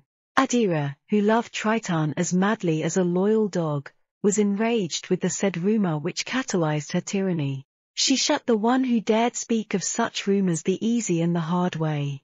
It was the catalyst to her ruined reputation which earned her the name of the Ash Demonis, a monster spawn from the king of the devils that crawled up to make their Lives Miserable, which eventually became the Mad Queen. She didn't mind what names they called her as. What was important to her was Triton's reputation. All that mattered to her was to clear Triton's name of the malicious rumors they spread. No matter if hers was dragged to the mud and stepped on. She felt light-headed and swayed back before feeling strong and reassuring arms snake around her waist, keeping her stable. However, what was more dangerous than falling was how this absolutely, divinely, immaculate attractive face was suddenly too close to her that she unconsciously placed a hand on his chest a poor attempt at keeping him at bay. Are you okay? I'm sorry for surprising you like this. Ah, just like how we met. He's apologizing again after helping me out of my own mistake. I'm... I'm fine, your highness. She whispered and turned away. She couldn't believe that Casey was one of the few people who was above her in status. And yet, she dared act slovenly in front of him. How shameful, Adira! Upon remembering her unladylike gestures, a blush crept up to her face, dusting her cheeks prettily that it made her more exquisitely alluring and perfect. Stirring a man's desire unnecessarily. Maybe that's the reason why I hesitated to tell you. Casimir whispered before gently taking Adira's hand while still keeping his eyes on her visage that secretly visited his dreams at night. Hearing his cool voice so close to her ears, she shivered slightly and slowly turned to look at him after listening to his words. Hesitated. Seeing the confusion on her face, he continued, I didn't want you to feel distant with me. I wanted you to see Casimir and not the prince.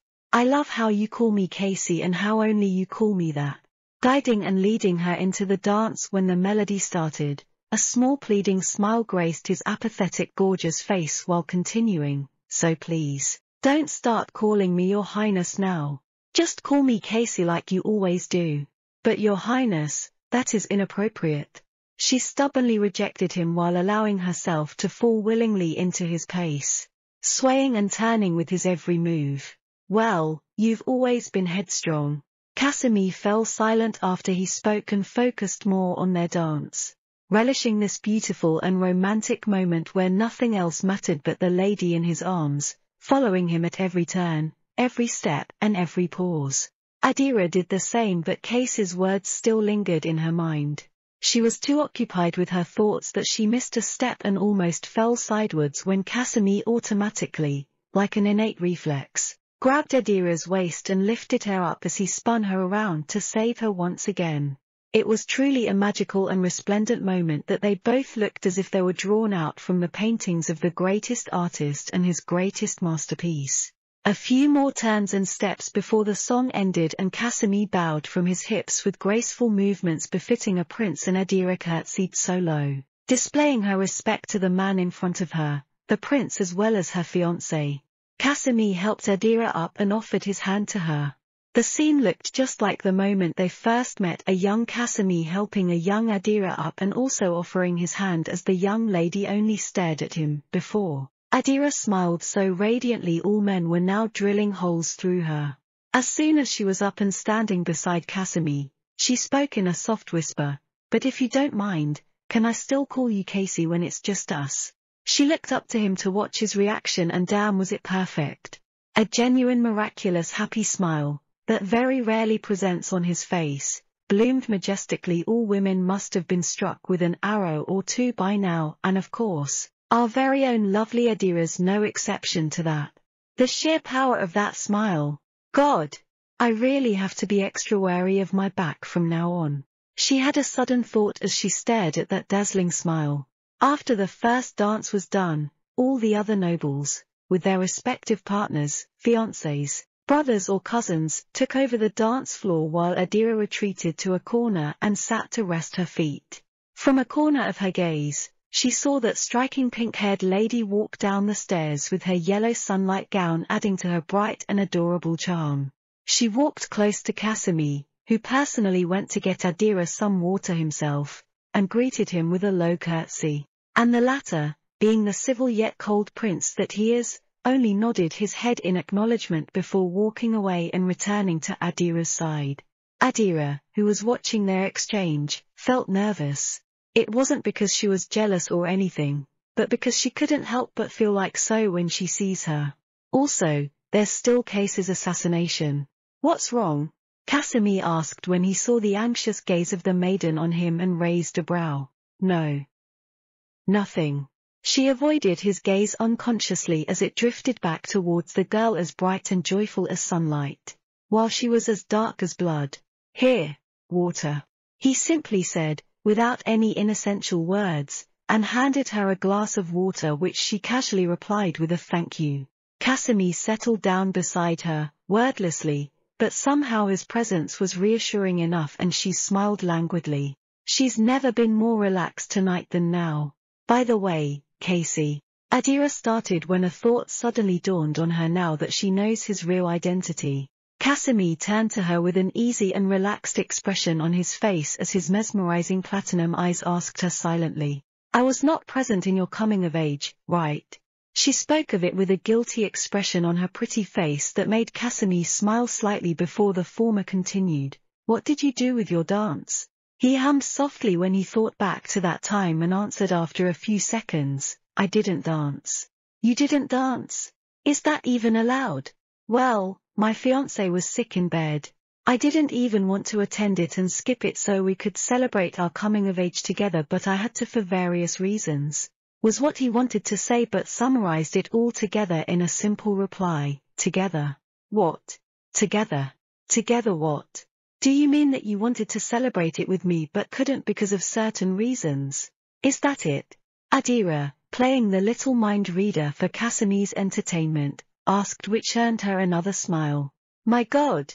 If I have to play as a mind reader just to see that smile, I'd gladly play it a million times more. So that's why you knew that I was sick when you came to visit two days later when I got better.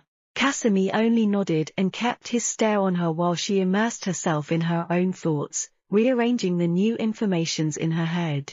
Well, it was fun talking with her but lately, he noticed that it was even fun just simply watching her facial expressions change every now and then. Overwrite his touch. Good evening Lady Adira. If it's not too much trouble, may I have this dance? I should have rejected it. I shouldn't have hesitated and cared how he would look at other nobles' eyes if I rejected him. Adira grumbled to herself while feeling one particular piercing glacial stare amidst the warm and dreamy gazes of everyone else. Who wouldn't be mad at this setup? Her fiancé just stepped away to speak with an ambassador from the neighboring kingdom and a few minutes after, a bachelor suddenly came and swooped his fiancé away. To others, it may seem harmless. But that is not the case with Casimir. He was very well aware of the hungry wolves that was eyeing his fiancée. The temperature dropped a few degrees while Adira did everything she could not to look at Casey's way, else she'll see the Lord Devil rise from hell. Please, just end this song. Hurry up. Before Casey explodes. You idiot Adira. Even if he had already pulled you up before you could answer, you still should have said no. That's what you get for hesitating and dazing off. Idiot. Adira. She was snapped out of her inner turmoil of worries about Casey. She was so out of it she did not notice the face of this dreamy lord look at her with worry. Are you okay? Why, yes, Lord Dalriada. Forgive me if I have offended you in any way. She answered with a civil smile. Please don't look like that, Casey. I'm only being civil.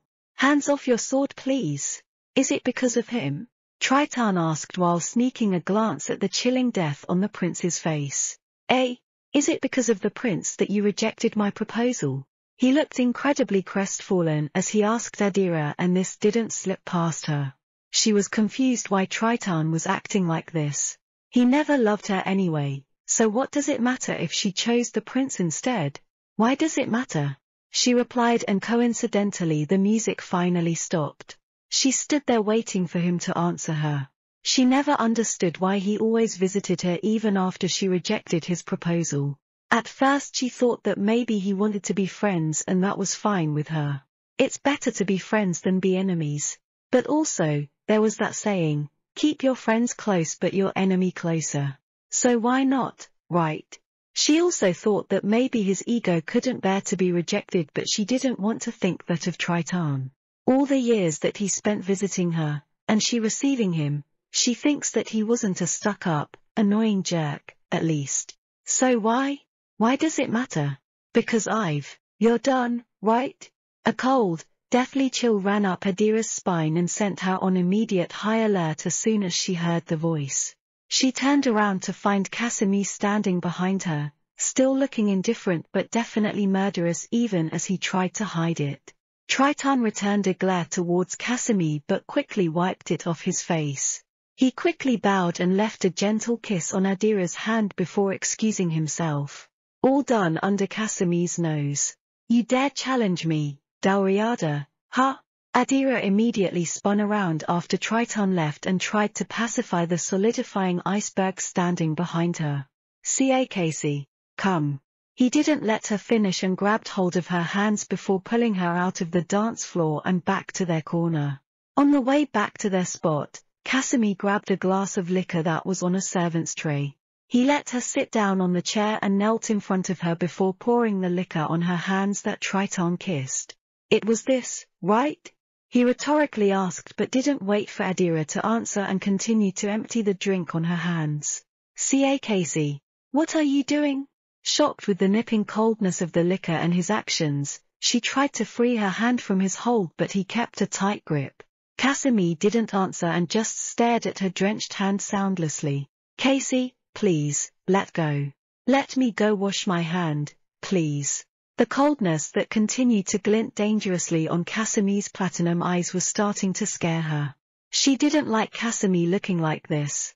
She knew how he was cold to others, but it's an entirely different matter when it's directed at her. Casey.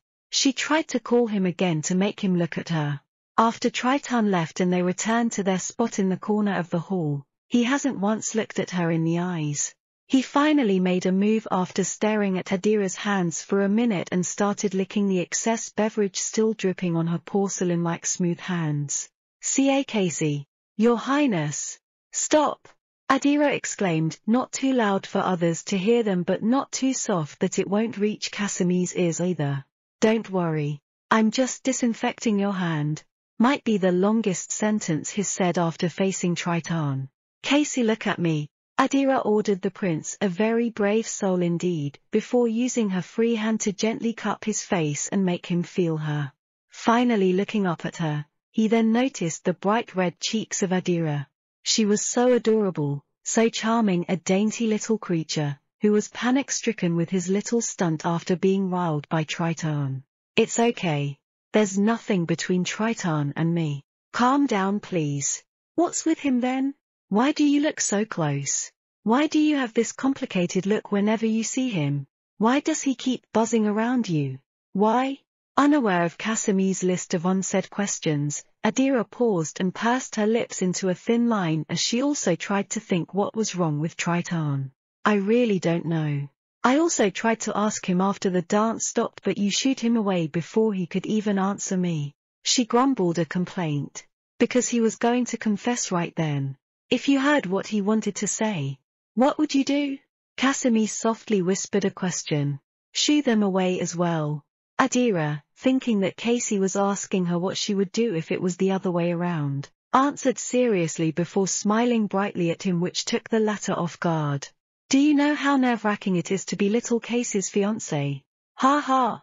You do know how many girls are gunning for my spot, right? She giggled like soft silver bells and watching her like that was enough to slowly melt the frost that covered him. A lot are also pining for my spot, my dear. Casimir thought and pulled out a handkerchief, wiping her hands, as he chuckled in reply to Adira's words. He placed a lasting kiss on her hands, still desperate to overwrite Triton's touch on her. Adira, inexperienced from being pampered and loved openly, could feel her face burn at Casimir's actions then she hid her face with her hand and turned away. While the few nobles, that were not at all interested with the current dance, were more engrossed with their display instead. Reveling in their crown prince and crown princess's public display of affections, eating the served dog food asterisk willingly. But, of course, not everyone was happy with it. Notes Asterisk dog food here is how Chinese authors describe PDAs of couples. Lately, I've been obsessed with Chinese romance novels so I kinda picked random stuffs up. I'll be sure to explain it in the notes if I do this again. Thanks. The latest chapter's been full of Casimir and Adira's affairs, right? Ho ho tilde I especially like how Casimir's the jealous and possessive type. It's cute but don't go too far, okay Casey. Casimir, do not call me Casey, only Adira gets to call me that, you vermin. Author, sorry. Pain, pain fly away. A few weeks after Adira's heart-throbbing coming-of-age ceremony, she was sent to the capital to attend a few years of school as well as her bride and queen training. Although, she could breeze by the training and school since it was the second time already, she still went diligently. She assimilated with the crowd well and forged stable connections as well, something that Casimir was very proud of as he watched over her. He was the head of the Students' Council, a training ground for him if you look at it the other way, and gathered a few trusted aides as well, ones that were loyal to him and him only. But wouldn't that include Adira when I marry her? Maybe I should brief them about it later. He was sitting at the council's room with all his aides Roman, Leon, Alexander, and William sitting on the couch, minding each of their own businesses, when a knock briefly interrupted them. In a cold and domineering voice, Casimir spoke, come in. And the door slowly creaked open. Good afternoon. Um.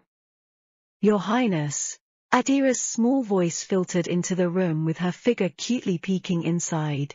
Yes. Casimir asked that although his face was uncaring, his gentle and warm voice betrayed his countenance. The aides except Roman, who'd been by Casimir's side since they were young, was shocked with this sudden change in season. From winter to spring real quick. Their gazes looked back and forth between Adira, who stood by the open door, and Casimir, who still sat regally on his chair. Is this the infamous Lady Adira Silverus? Um, I just dropped by to speak to you about something. May I? She spoke carefully, as they were in the presence of other nobles. Though they were lower in rank but it wasn't far off. Most of them were either from a Marquis family or an Earl's.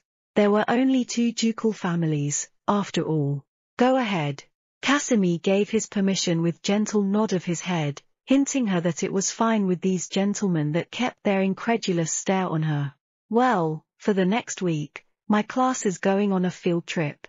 Do you know this? Yes. So it's okay? Yes. Even with Lord Dalriada around? Yep, you heard that right. Triton was, unfortunately, assigned on the same class as me. Disastrous, right? Not only that, what made it more hapless was it wasn't only him. Even Iris was there. Asterisk Iris Amaryllis Kalmia latifolia, the adoptive daughter of the Baron Latifolia. This time, Casimir wasn't as fast at answering Adira as he was previously and paused. She could see him thinking about it and finally let out another yes. To say it surprised her might be an understatement. After all, she knew how much Casimir was bothered with Triton. Although she could never guess where it was stemming from. Did he finally come into terms with it? Really? asked Adira suspiciously. The Casimir that she knew wasn't as easy as this. There must be something else. And like all the answers he gave her, there was only another firm yes from him. Thinking that she cannot get any other more words from him aside from yes, she excused herself and went away. While the gentlemen that silently watched them were left confused by their very dry exchange of words, mostly from the prince though. Didn't the rumors say they were as sweet as honey and chocolates combined? What happened? Your Highness, was that okay? Roman asked carefully. After that Dalriada's name was mentioned, the place suddenly just got a lot chillier. It doesn't matter. He dismissed Roman's queries and hinted at the others, who also wanted to ask, not to proceed with theirs. My lady, preparations are already done. Would you be fine alone at your field trip? Lifa, who accompanied her to the capital and all the way to her dorm, asked worriedly. She was not used to not be by her mistress' side. And now, she was going away on a field trip all alone without her. Lifa, I'll be fine. Besides, I already told you that we are not allowed to bring servants, right? Yes, but, trust me, Lifa. I can take care of myself. I'm stronger than I actually look. Adira assured her as she clasped Lifa's hands on hers. The latter could only sigh in submission and nodded her head. Although her mistress says that, she still cannot take away the worry deeply rooted in her system. She's always attracted trouble wherever she went and that was enough to make Lifa be constantly on her toes. Her class was about to set out in different carriages arranged according to nobility rank. When she was about to board the carriage assigned to her, she noticed another person was already in there. Weren't we separated by gender? Seeing as it was only me and Triton who were from ducal families, I should have been able to monopolize this carriage. Did the arrangement change? The curtains were down so she couldn't make out the face of the person. Sensing that she hesitated to board the post chaise, a hand reached out to her, probably wanting to assist her up. When she still didn't move, a cool voice suddenly spoke from inside. Don't worry. It's me. Raising a brow at this familiar voice, she tried calling the name of the person that first popped in her head, Casey. Yes. Feeling delighted, Adira quickly grabbed his offered hand and finally climbed up. She sat beside Casimir before feeling annoyed at not seeing his face clearly because of the curtains and reached out to open it. Casimir, shocked at her sudden approach, leaned away too abruptly that he knocked the side of his head on the wood so hard it produced a loud pop.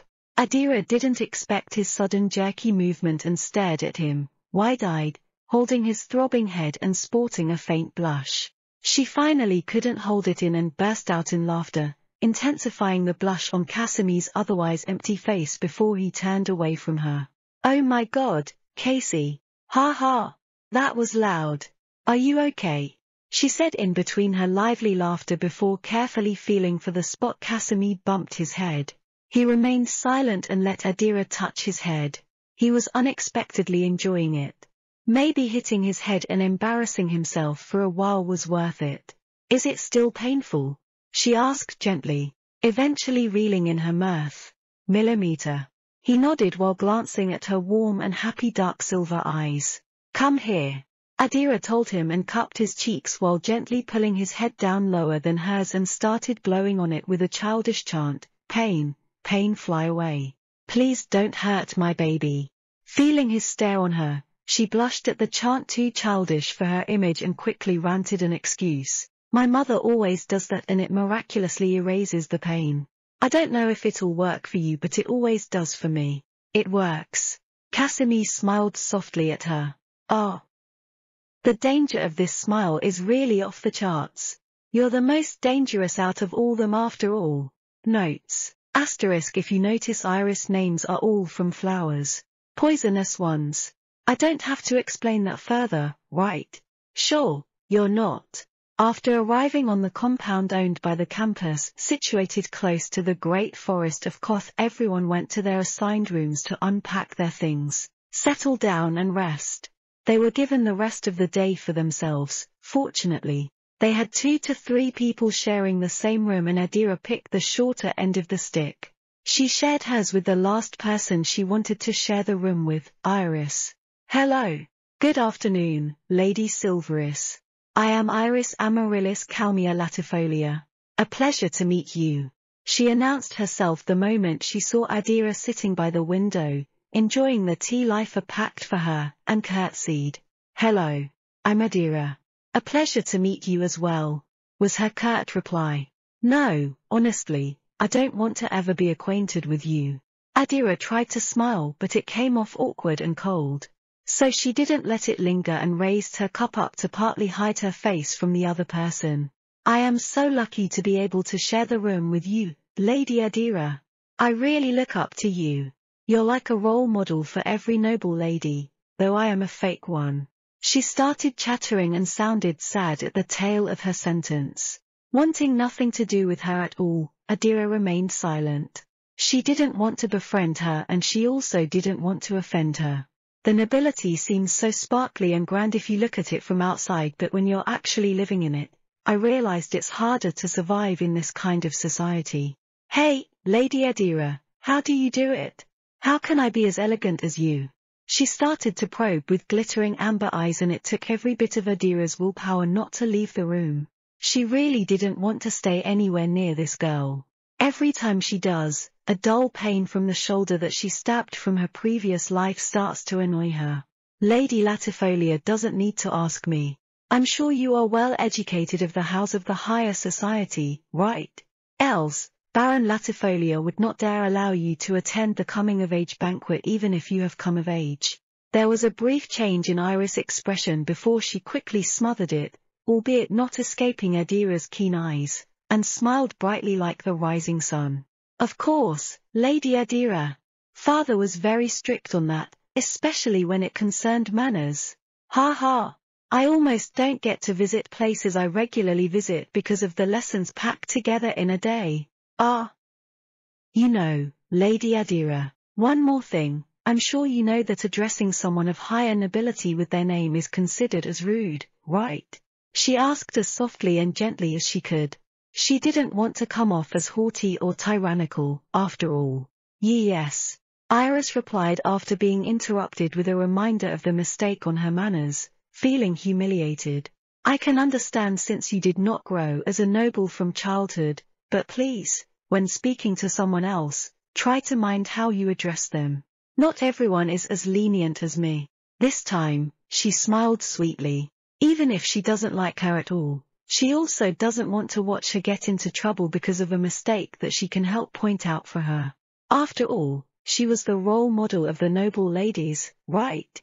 Also, wouldn't that damage her own reputation when it is known that they are sharing a room yet the great Lady Adira couldn't even correct her roommate's mistakes?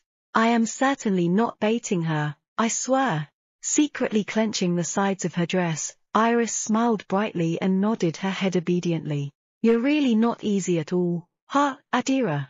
After seeing her nod at her words, Adira glanced outside her window when a white head entered her peripheral vision as he discussed something with the teacher in charge. She smiled to herself when she remembered their conversation just minutes before they arrived. So Casey, why are you with us? Don't the student council have jobs back at school? You're even a year ahead of us. I'm done. Came his short replies again. So you did your jobs ahead of time so you could accompany me? Millimeter. I didn't know Casey's really threatened with Triton. And here I thought you finally came into terms with it and you were really okay. Turns out you really had something else in mind, huh? Adira teased him and studied his reaction. She wanted to see him blush when he's shy again. Unluckily for her, Casimir remained stoic and answered, I'm not. Yes, you're not. That's why you didn't arrange my carriage ahead of time, finished your job earlier, and even went as far as going with me to the field trip. Sure, you're not. She laughed once again when she noticed the subtle changes in his expression, telling her all that she needed to know. She hit the bullseye. Then, I shall excuse myself, Lady Latifolia. I've got, matters to attend. Adira spoke mysteriously and nodded slightly before walking past her. Iris, who was left in the room alone, gritted her teeth while she kept her fiery gaze on the closed door like Adira's figure still remained there. Just because you're the prince's fiancé. However, it won't be for long, she whispered. While on Adira's end, she walked out of the building her room was at and found Casimir still talking with the teacher, seeming to exchange pleasantries, with how the teacher was laughing and smiling at his every word. Adira sighed with a smile as she observed him, at least you should show a smile when complimenting someone, you know. She thought and was about to go a different route after seeing him busy when their eyes met. His gaze lingered on her for a moment and she waved her hand with a smile as a gesture of hello. Casimir then promptly said a few words to the professor, bowed respectfully and walked towards her. Did I disturb you? Sorry about that. Poor Professor Hawkins, I robbed you from him, didn't I? No. What were you talking about anyway? He seemed very happy talking with a nice block like you. Sometimes, I really wonder how you convey your words to others without ever changing your expressions. At least, you should show a smile when discussing happy things, you know. Especially when you're happy. I guess I really am lucky to see a lot of his expressions, huh? She ranted at him while the latter only stared her contentedly. It didn't matter if she was scolding him a prince or complaining about random things about him. Listening to her voice calms and relaxes him. Her presence, alone, makes him happy. But I'm only happy when I'm with you. Oh my god. Can you please not speak long sentences only when you're trying to flirt? It makes you more dangerous. Adira, flabbergasted at his shameless flirting unconsciously or consciously done, she doesn't know, before she cleared her throat and looked the other way. A anyway. Tomorrow we're going to the forest Anne. He wasn't listening to her random raving anymore as he noticed the blush creeping all the way up to her ears and tittered quietly to himself. Cute. Notes. I updated two chapters cause I'm happy class has ended. Final exams were hell but I respawned now. Ho ho Tilda. Thank you Tuna Jiju for the kind words and all readers for loving this story. You don't know how much it motivates me to write. Thank you. The apple of their eyes. Understand. These communication crystals that will be given to you are directly connected to our crystals. So if you find yourselves in danger, connect it to us. The professor ended his long speech about safety before students ventured into the forest. They formed groups of five among themselves and Adira, with her unlucky stars, got mixed with Triton as well as Iris and a girl classmate she remembered was Melissa Niveria, daughter of Baron Niveria. Also, needless to say, Casimir, after pulling some strings behind everyone's back, belonged to Adira's group as well. Wherever she goes, he's there. Don't do anything reckless. Does everybody understand? After the professor's final reminder, Casimir turned to Adira which caught her attention. What are you looking at me for? She asked with an aggrieved expression. Casimir smirked at this and just shrugged his shoulders. Surely, even if he says it, she won't believe how much she attracts trouble it's almost unbelievable. I'm here anyway. He mused. Triton, who stood beside Adira just a few feet away, watched their interaction and felt annoyed with this whitehead that just pops wherever Adira is. I mean, why do you follow her wherever? Even to her field trip? Shouldn't you be doing your responsibilities as the student council's president back at the campus? Isn't this an abuse of your power? He thought to himself while keeping a glare to the back of that annoying pile of white hair. At first, he was incredibly surprised to see him alight from Adira's carriage and promptly held his hand to help her down. But now, he's just thoroughly annoyed at the thought that the chance to monopolize Adira during this field trip was suddenly dashed just like that by this irritating prince. Each group entered the forest at different established entrances and officially started their activity. Casimir, who was not originally part of their class, tagged along and helped Adira's group. They were, by far, the most efficient and fastest group. Ah! There was cry from behind Adira that made everyone turn their heads and the moment she turned around, she saw Iris clinging to Casimir. I'm... I'm sorry. Please forgive me, your highness. I didn't notice the rock and tripped on it. She apologized bashfully, her cheeks dusted with red tint. Wow, how obvious can you be girl? Adira watched with an unbelieving and mocking gaze before she turned around again. Adira. Triton called her name before he quickly corrected himself and said, I mean, Lady Silveris. Please watch your step. I can help you, if you don't mind.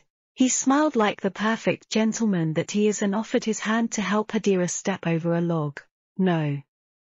It's quite all right, Lord Dalriada. I can help myself. Adira politely rejected his offer, but he took it upon himself to take the initiative and held Adira's hands. It's fine to depend on others, me, sometimes. But I don't want to. Please stop doing things like this before you lose your hands. She groused in her head while feeling that undeniable chill from her back. Oh dear God! Please save our souls. Melissa, the only odd one out of their group, had been watching the two men, both of high status in looks and in reputation, each assisting a lady. She kind of pretty much figured out their setup after spending a few hours observing them.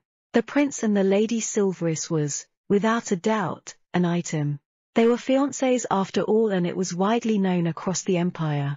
Lord Dalriada, most probably, has a thing for Lady Silveris and this Lady Latifolia obviously has a thing for the prince. You could pretty much guess that with how she acts around the prince always desperate to get his attention. She understood her though. No one in the entire empire can resist this prince's charms, you know. Now, the apple in the eyes of the empire's two top bachelors, Lady Silveris, is a little bit hard to figure out. Sure she's a lot closer to the crown prince but she's also friendly with Lord Dalriada, all thanks to the latter's constant advances. Is it just me? Or is it a little bit too chilly all of a sudden? They used their remaining time exploring the forest a bit, while not going too deep inside, after they finished their tasks. Adira, guarded by Casimir all the time, literally, like a shadow that followed her wherever she went, was waving vines out of the way when she felt something under her hand. Curious, she pulled the vines off, totally not caring about the small thorns on it, but the other cared. His visage distorted disapprovingly at the recklessness of this girl. What if that plant is poisonous? But, of course, he checked all the plants that surrounded them first while they roamed. Since he recognizes a lot of them, he made sure Adira didn't stray too close to anything dangerous or poisonous. So if she was near this vine, it meant it's relatively safe. He just didn't like seeing the small scratches on her skin and her not caring one bit. This girl, Wordlessly, he reached out and stopped her from ripping out more of the vines and held her hands. Casey, distracted from mercilessly riving out the vines, Adira looked up to his cold platinum eyes and immediately wondered why he was upset. Wow. Should I be happy how easily I can tell there's something wrong with him at a glance? Or should I be creeped out? Still not speaking anything to her, he removed his gloves off his hands and wore it on hers. The difference in the sizes of their hands was so adorable Adira couldn't help but smile. Are you upset with the scratches on my skin? Finally figuring out the reason for the change in his mood, she asked with a happy smile. There was a complicated look on his face as he watched her happy smile. He didn't know whether he should let her off because she's too adorable. Or should he be more upset since she didn't seem to regret anything at all? Thanks, Casey. I'm fine though but still, thank you. In the end, I'm very glad you came with me. Because if not for his efficiency, would we even be able to finish early and enjoy this much free time? He looked surprised with Adira's words and unconsciously patted her on the head. Seriously, please don't smile like that in front of other men. He silently pleaded in his heart and let her do whatever she wanted, while he watched over her contentedly. Well, this trick was something Adira learned from the years they spent together. Pacify him, act cute and voila, you get to do whatever you want. She learned that Casey was a lot like her brother and father in this sense. They were too weak with her cute antics. After she wore Casimir's gloves, she resumed to venting out her pent-up frustrations from having to deal with both Triton and Iris every day. Luckily, Casimir proposed that they explore individually but everyone must be within earshot so everyone will be able to act appropriately if something happens. This was like a silent warning to everyone else though, unbeknownst to the only oblivious Adira, not to interfere with their alone time. So they separated from the other three. After she successfully cleared the vines, she found this small tunnel-like hole, small enough to fit her, stretching deeper. This. Isn't this too familiar? She thought to herself and whipped her head around to study her surroundings. It looks just like it. The path she mistakenly stumbled into and found Heisa. But. I am not yet supposed to find Heisa at this point in time. If I remember it correctly, it should be a few months more. She pondered on it for a bit. Casimir noticed the rustling has stopped and he checked what she was doing. She was there, a lady from a ducal family, down on all fours as she stared at something. His brows creased when he got curious as to what was so interesting in there that made her pause. It was a small hole that formed something like a tunnel. It was too small for anyone. But maybe, before he could even finish his thought, imagine his horror when she suddenly crawled in. Adira, he raised his voice but it was as if the lady couldn't hear him and she continued to crawl in. He rushed towards her but was too late. She's already deep into the hole, still crawling forwards. Adira. Godamnit. He cursed and tried to fit himself into the hole, but it was as if the hole was made solely for her and refused to accept anyone else. He jumped up to his feet and went back to get the other two girls. Maybe they can fit inside. But when he returned, with the perplexed girls in tow, the hole had mysteriously vanished. Casimir was sure that it was the right place. He was never wrong especially when it's important, but the hole was not there anymore. As if it wasn't there in the first place. Damn it. Something specifically intended to lure Adira in. Rubia of the East. She continued to crawl forward, unaware of what was happening behind her, and finally came out into a clearing. It was absolutely breathtaking. The serenity, abundance of flowers and fruit-bearing trees and the glittering waterfalls all harmonized together into one perfect picture of a paradise. She glanced around. There were a few creatures that roamed around and, oddly, they were not afraid of her. More like, they were curious about how she was able to get in. It was the first human they ever laid their eyes on after so many years. Did I perhaps make a mistake?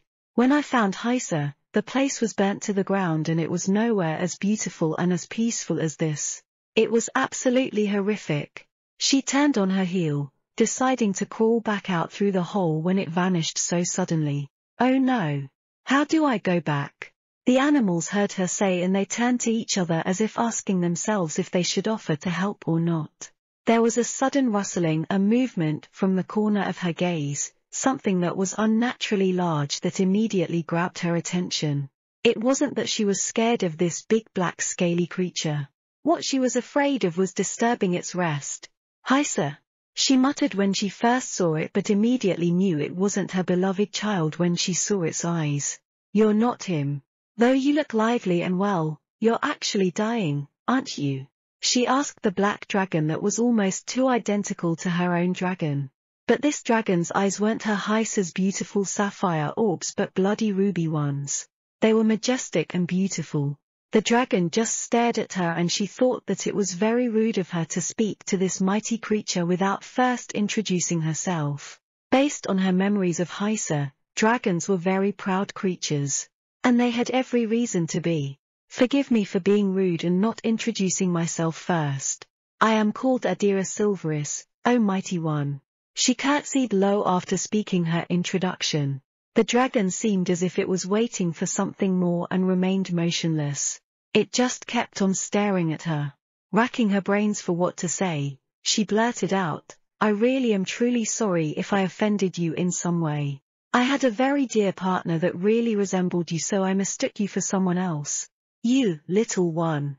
How were you able to enter here? It finally spoke, though it was only through a telepathic link. The delight was very visible on her face as she smiled very brightly at finally hearing the dragon's voice. So smooth, mighty and powerful. I do not know as well. I only remembered that it looked familiar to me and I saw a hole that led me here but now it's gone and I don't know how to go back. Anyway, you're very beautiful, do you know that? Wow, these scales. They are as beautiful as Heisa's. And I thought Heisa was the most beautiful dragon. Completely straying off the matter at hand, Adira admired the beautiful dragon in front of her. It was so wonderful she almost wanted to take it back home with her. Without caring for formalities anymore, she looked up to her ruby eyes and asked as politely as she could, will you allow me to touch your scales? There was an incandescent light shining in her dollish dark grey eyes that the dragon couldn't refuse her and brought down her head in a relaxed manner to allow this little human to pet her in any way she liked. Adira, aware she was given permission, cheered in absolutely and proceeded to her very important mission. She lightly ran her hands through her scales and reveled on its coolness. It wasn't the type that nipped at her skin but the type that cools her down after being under the summer heat. It was a different kind of comfort. Suddenly, she felt a contour different from the usual body of a healthy dragon. She could also feel a slight palpating beat from the mound. She gasped, Are you? Are you pregnant? Yes. Oh my god. What about you? You're weak and dying, right? Won't you die if you give birth? How will you safely deliver your child? Who will protect it? My child has chosen, little one. Chosen? How can it choose? It hasn't come out yet. Oh dear. What do I do? You don't need to worry about me. I will surely die after giving birth to this child. I just want to ask you a favor, little one. Anything. If it is within my power, I will do anything. Adira exclaimed without hesitation and looked at the dragon's eyes sincerely. The dragon could feel the heartfelt words of Adira's promise and could finally breathe in relief. Her child will be safe in her little hands. I, Rubia of the East, humbly ask you, Adira the human, to please take care of my child. You won't have any problems with the contract as this child has chosen you himself. Chosen. Me? Please, take care of him for me.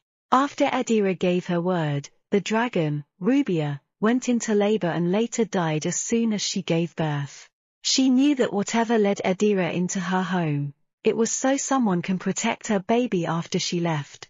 The animals, who witnessed everything that transpired, all bowed their heads to their new ruler. Adira the human, won't you please grant our new king a name? She heard a voice in her head and didn't know which animal spoke to her. She just looked at the newborn dragon she cuddled in her arms. But, won't I be entering a contract if I give him a name? Is it really fine to rob this guy the right to choose his master? I, I won't give him a name yet.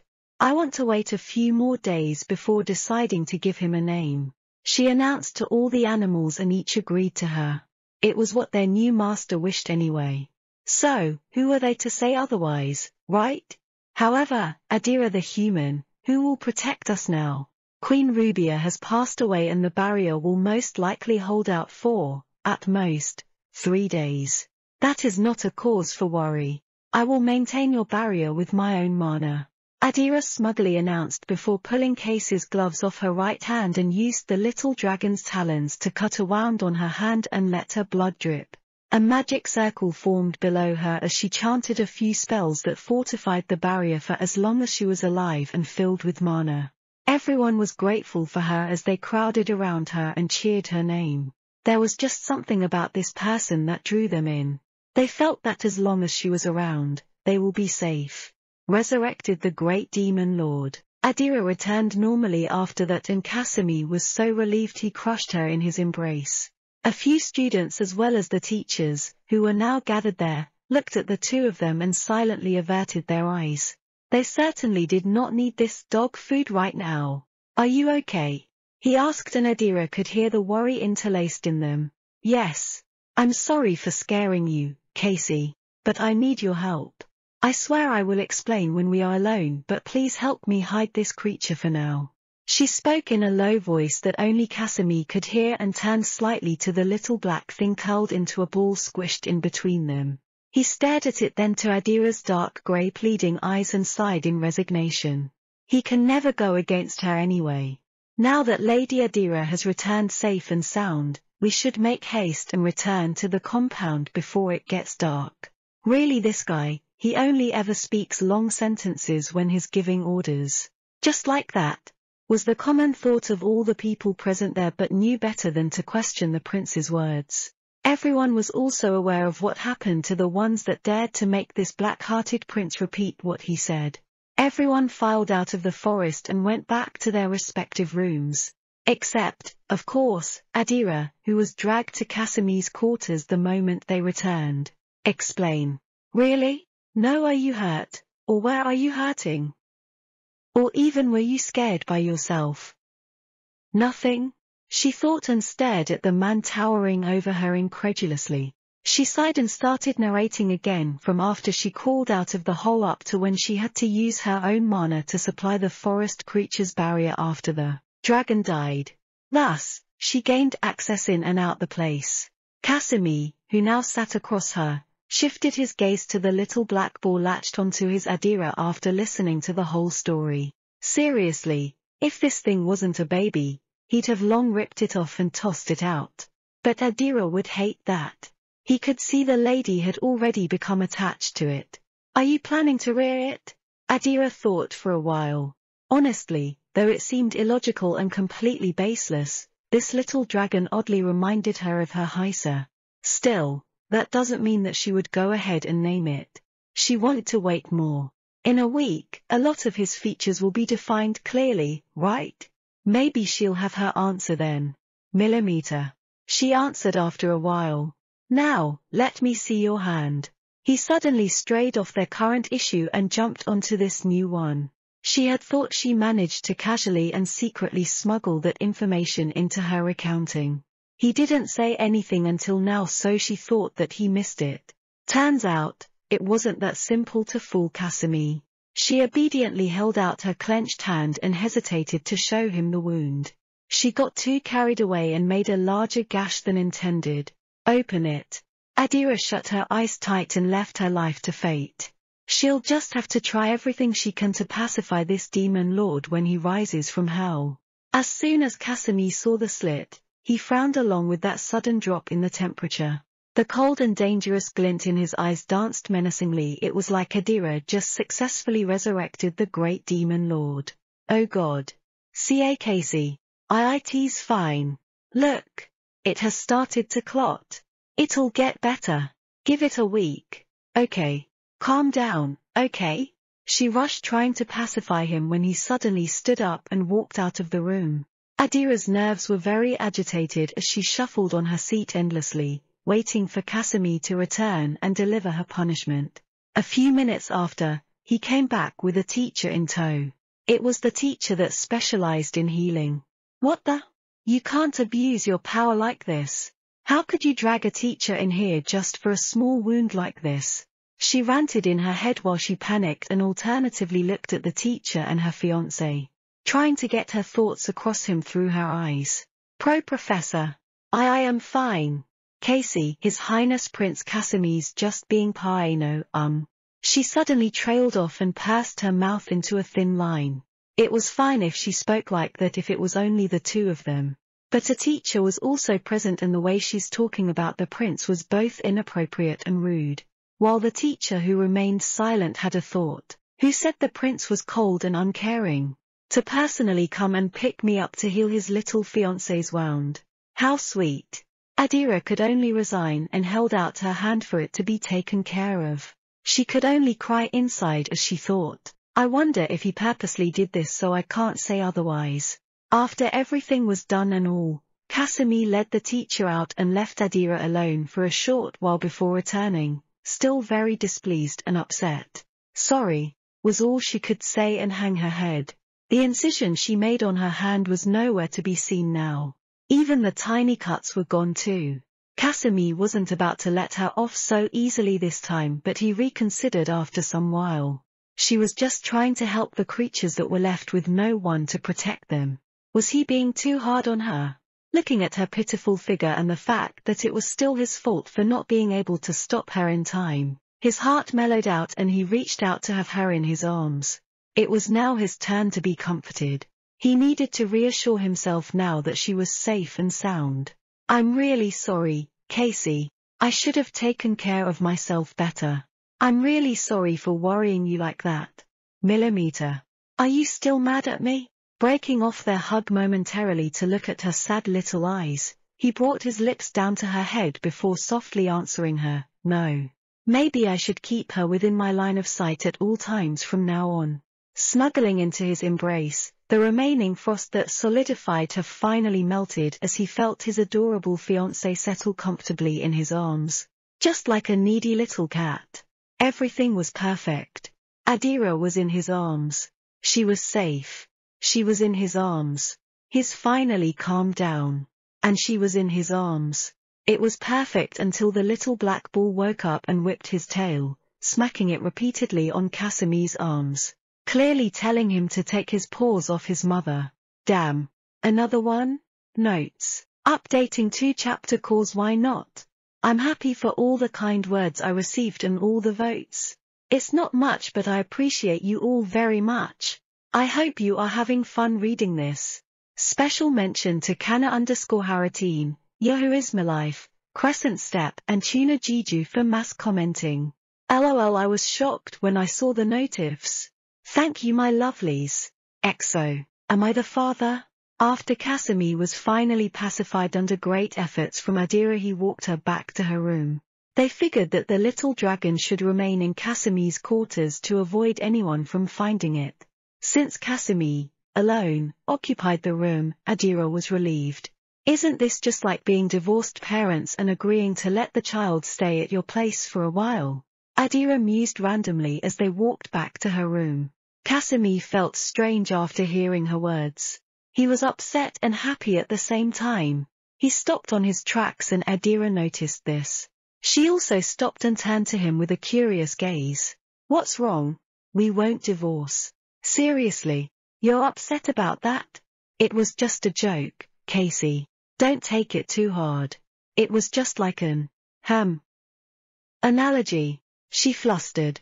She just pacified him by desperately acting cute and harmless for how many hours.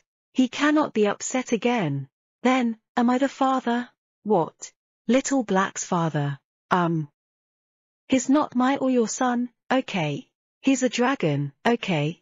Please stop scaring me, Casimir Athanasius Rosenvasilis. So sure. Adira answered, unsure what Casimir's on now. Afraid of upsetting him again, she agreed although a bit irresolute. Casimir, fortunately, didn't argue with her tone and instead smiled happily. It was different from the kind of smiles she's been seeing so far. This one looked just like the happiness of a father thankful for his wife for giving him a child. Is he serious? Well, I'm here. Thank you for sending me back, Casey, she said after remaining silent and not daring to look at Casimir's smile. He only nodded his head but wasn't walking away. He seemed to wait for her to go in.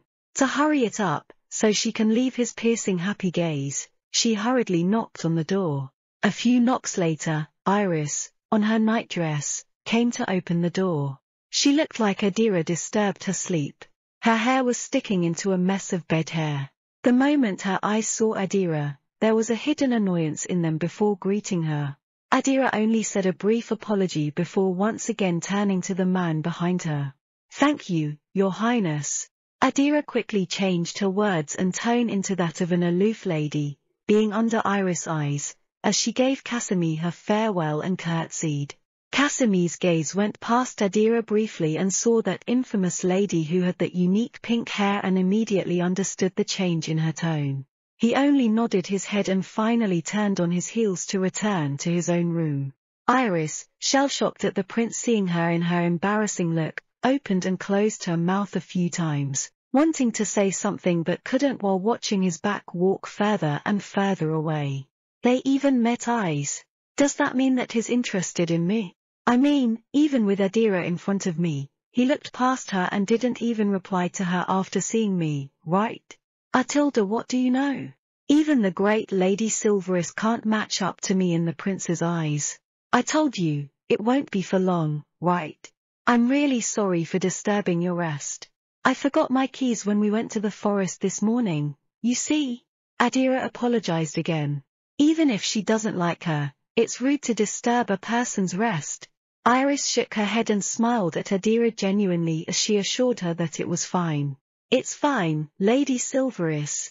I don't mind it at all. But wouldn't it trouble you if the head madam discovers you're still out this late at night? She asked, seemingly very concerned and worried for Adira's matters. Of course, Adira knew that aside from her uncanny genuine smile, nothing that followed after that was authentic. While she didn't know what made her smile like that to her, she kind of had this feeling that it wasn't anything good. She couldn't be thinking of making trouble for me through the head madam, could she? To avoid her from thinking of going that way, Adira answered, of course no. I was with the prince for official business and his highness could vouch for that. I'm sure the head madam would understand. If you're thinking of using Casey against me, then I'll just use him against you as well. Adira thought and walked past her to retire in her bed. Pacifying the great demon lord was exhausting and they have an early activity tomorrow, so she can't waste another drop of energy just to deal with this woman. Morning activity went fast all thanks to Casimir and Triton competing with each other blatantly while the girls did what they could do and they were given the rest of the day again.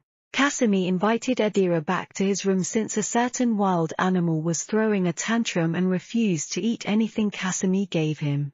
Upon smelling the familiar scent of his mother, the little dragon flew to his mother's arms the moment Adira opened the door. Hello, little one. Casey told me you didn't eat anything at all today. That's no good, you know. Little children should eat well so they'll grow strong. Adira cooed the little dragon like it really was her son and giggled when it snuggled in her arms. She fed it with the meat Casimir offered him a while ago and, different to his reaction with Casimir, he happily ate the food. That's my boy. Eat well and then grow well, okay. Casimir, who sat across them, eyed the dragon displeasingly. A little one just snatched his fiancée from him and he can't do a thing about it. But it's all well and good since this way. He had every reason to invite Adira to his room. He gets to spend an extended period of time with Adira and that was enough to let this little black get away with snatching his fiancée's attention. What's his name? Adira briefly peeled her eyes away from the little creature in her hands and turned towards Casimir. She turned back to the little black dragon and raised it up high. She studied his features and noticed a few changes. His once grey orbs were finally showing a startling sapphire shade and faded golden lines crawled on the sides of his body. Her eyes glittered and smiled with undeniable radiant happiness at finally figuring out the dragon's identity. It was indeed her son, Ha Haisa, Haisa. Your name will be Haisa, my baby. She announced and hugged the little dragon in her arms, who was also happy with his name. It didn't matter what his name was as long as it was his mother who named him. Haisa, huh?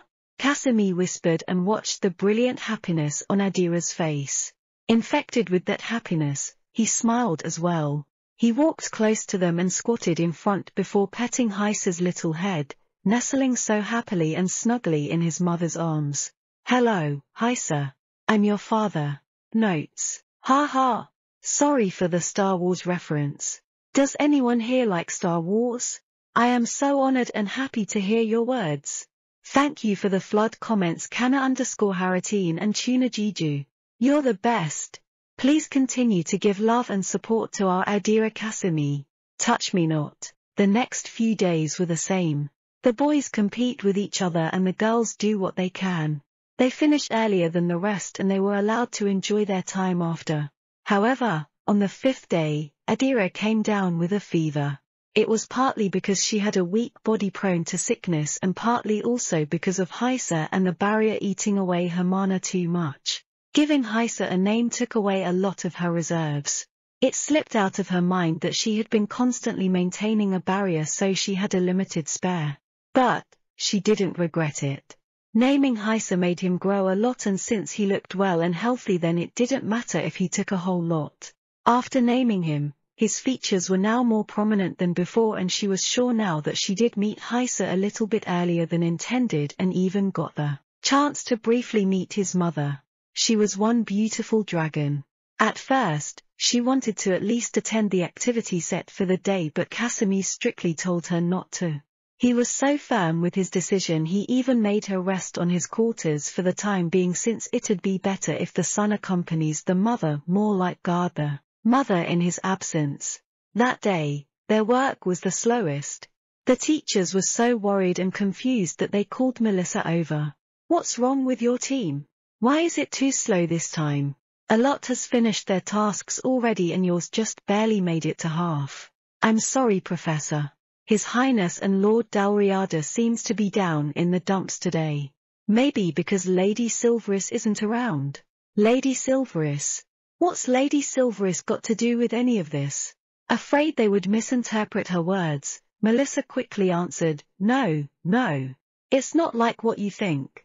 Lady Silverus is not forcing them or anything. They've been competing for her attention lately since every time His Highness finishes early, she makes something for him. Like a cookie or something. Maybe Lord Dalriada also wanted some. It can't be. His Highness, Prince Casimir, cannot be simply doing these things just for a cookie. Maybe he's onto something. The professor mused. But he's really doing it just for Lady Adira's cookies. Other than that, then it's for him to see her smile. Melissa thought and looked over to the sluggish boys. Casimir's been doing Adira's share of the work and today's not any different. It's just that, he's worried about her and cannot focus on what he was doing.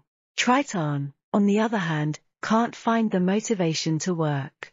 Adira wasn't around and so he cannot hear her laugh, her giggle or just simply hear her voice and watch her smile. There were even rare occasions where they'd even converse like simple friends. And that simply makes him happy beyond words. While Iris was being herself, wasting time sending signals to Casimir who didn't even know what she was doing.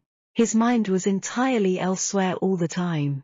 After who knows how long, they finally finished and Casimir, who was about to return to his quarters, passed by a meadow and suddenly heard a high-pitched giggle. He didn't want to turn but it was so creepy he feared it might disturb Adira if it came a bit closer or should it increase its volume.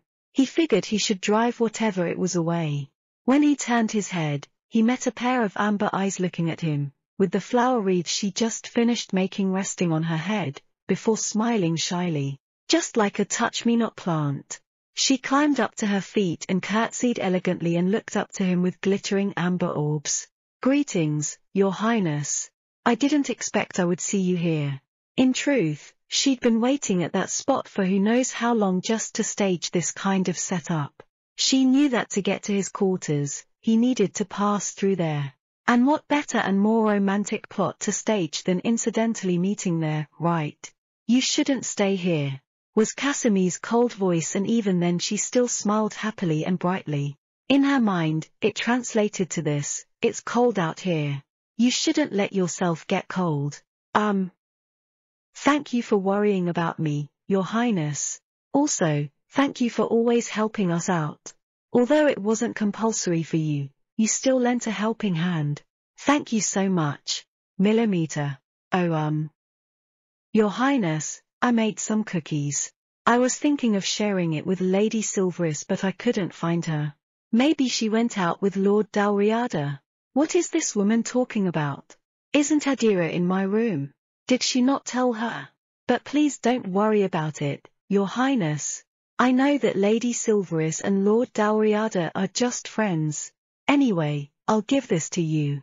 I hope you'll like it, your highness. She cried and then handed out the cookies she baked all night, trying again and again till she perfected it and picked the best out of the batch. Casimir looked at the little pink pouch that contained the cookies and took it off her hands. Iris' face brightened up as soon as she felt the pouch floating off her hands and saw Casimir checking them. She noticed him enjoying the cookies Adira made so tried to bake ones that looked like it but made a slight twist. Instead of it being just chocolates on the surface, she placed nuts on it with the chocolates. Thank you. Casimir briefly said and turned around but not before saying, You should return now. She visibly blushed after hearing Casimir and smiled bedazzlingly. She knew the prince cared for her. Adira's only feeling herself thinking the prince was into her. What the I thought it would be a challenge to pull the prince away from her. But it turns out she does not have a tight hold on him. Huh. Well, it's not my fault if he suddenly flies out of your grasps, okay. Iris thought as she watched the retreating back of Casimir and turned to head back to her own room. She was very happy with the turn of events and she skipped all the way back. While on Casimir's end, he opened the door to his room and found Adira still sleeping with Heisa in her arms, curled in his sleeping position. The moment the door creaked open, Haisa opened his eyes and looked at the newcomer before closing his eyes again. Not caring at all. So it's just him. I can tell you're thinking that, little Haisa. Casimir smiled gently before walking closer and tried to feel Adira's temperature. She looked a lot better than this morning so she should be fine. Did she drink and eat properly, Haisa? He asked. Little Haisa looked up to him and nonchalantly nodded his head before sleeping back again. Did she drink her medicine? Again, little Haisa only nodded his head perfunctorily. Since my son guarded his mother properly, I have something for you. It's not as good as your mother's but it should be fine. Here. Casimir happily played as Haisa's father. The latter could care less since all that mattered to him was his mother but when he heard Casimir saying that he properly guarded his mother, he perked up and looked at Casimir happily. He chuckled lightly before handing the sweets to Haisa and the latter gobbled it in less than ten seconds. Was it good? he asked. Haisa only turned his head and curled back into his sleeping position as if not hearing anything. I guess only your mother's cookies can make you happy as well, huh? Notes. Thank you for the flood voting and, as usual, for the flood comments. It made me very happy first thing in the morning. You guys are the best. When she's my wife. Adira woke up in the middle of the night and saw Casimir uncomfortably sleeping on the sofa and Haisa snuggling in her arms. She looked at the prince guiltily and adjusted the covers on him so that he was at least warm. She was feeling better after sleeping most of the day and recovered her drained mana. She was fine to go back to helping tomorrow. Adira woke up earlier than Casimir and already prepared everything for him so as soon as he woke up, it was Adira's lively beaming sunshine smile that greeted him. Good morning Casey. Rise and shine, your highness. She teased and pulled him up. The latter just allowed her to do whatever she wanted. He missed this lively side of hers even if it was only a day. She pushed him inside the bathroom and she got busy preparing all sorts of stuff, like breakfast or his suit, just anything. She wanted to somehow repay him for helping and taking care of her when she got sick.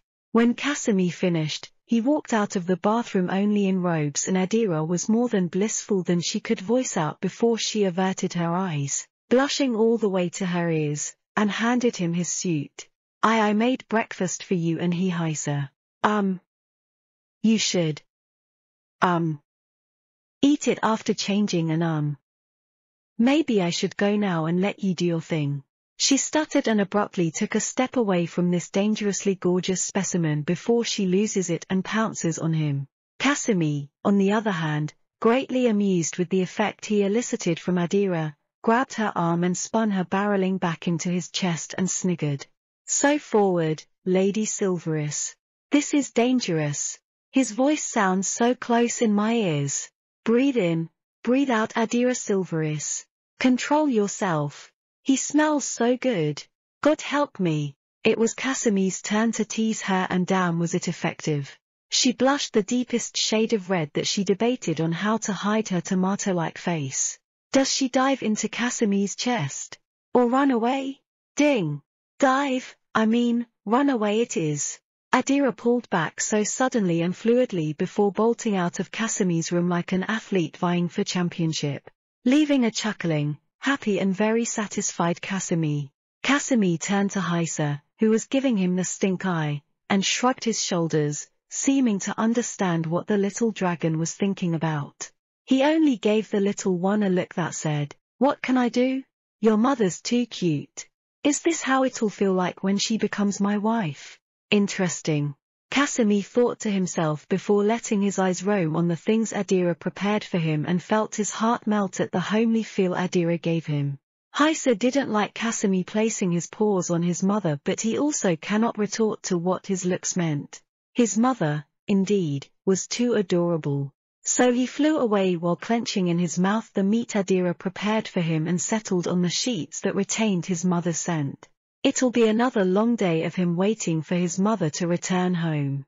Today, their team was back into their full vigor and everyone was very efficient. Save for Adira, who had the lightest workload out of everyone. Even lighter than the prince himself. And Iris, who was still being herself. Why was Adira's load light? Well, Triton and Casimir took all of her workload and she was left with nothing to do.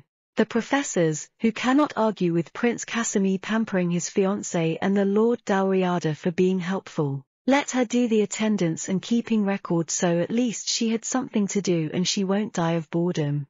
I mean, who would even dare offend and go against the wishes of the two heirs that sat at the top of the hierarchy, right? Triton, who was taking a short break, casually strode to Adira and squatted on the grass beside her.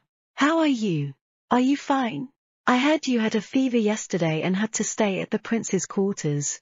Did he do anything to you? My, Lord Dalriada. His Highness is a highly respectable man so he won't do things that are against the moral and political laws. As for my health, yes I have made a full recovery. I thank you for your concern. Adira politely answered him and defended Casimir while she was at it. Can you at least call me Triton when it's just the two of us? He suddenly asked that surprised Adira so much she forgot her prepared speech to retort to him. He was looking at her with undeniable sincerity she never once saw in his eyes during her past life. She was in a daze when a high-pitched voice snapped her out successfully and grabbed her attention. She turned to it and found Iris skipping towards Casimir and giggling like an addict hitting helium as well. She was saying random words and although it wasn't visible on the latter's face, he looked incredibly annoyed and cold. Say. Triton.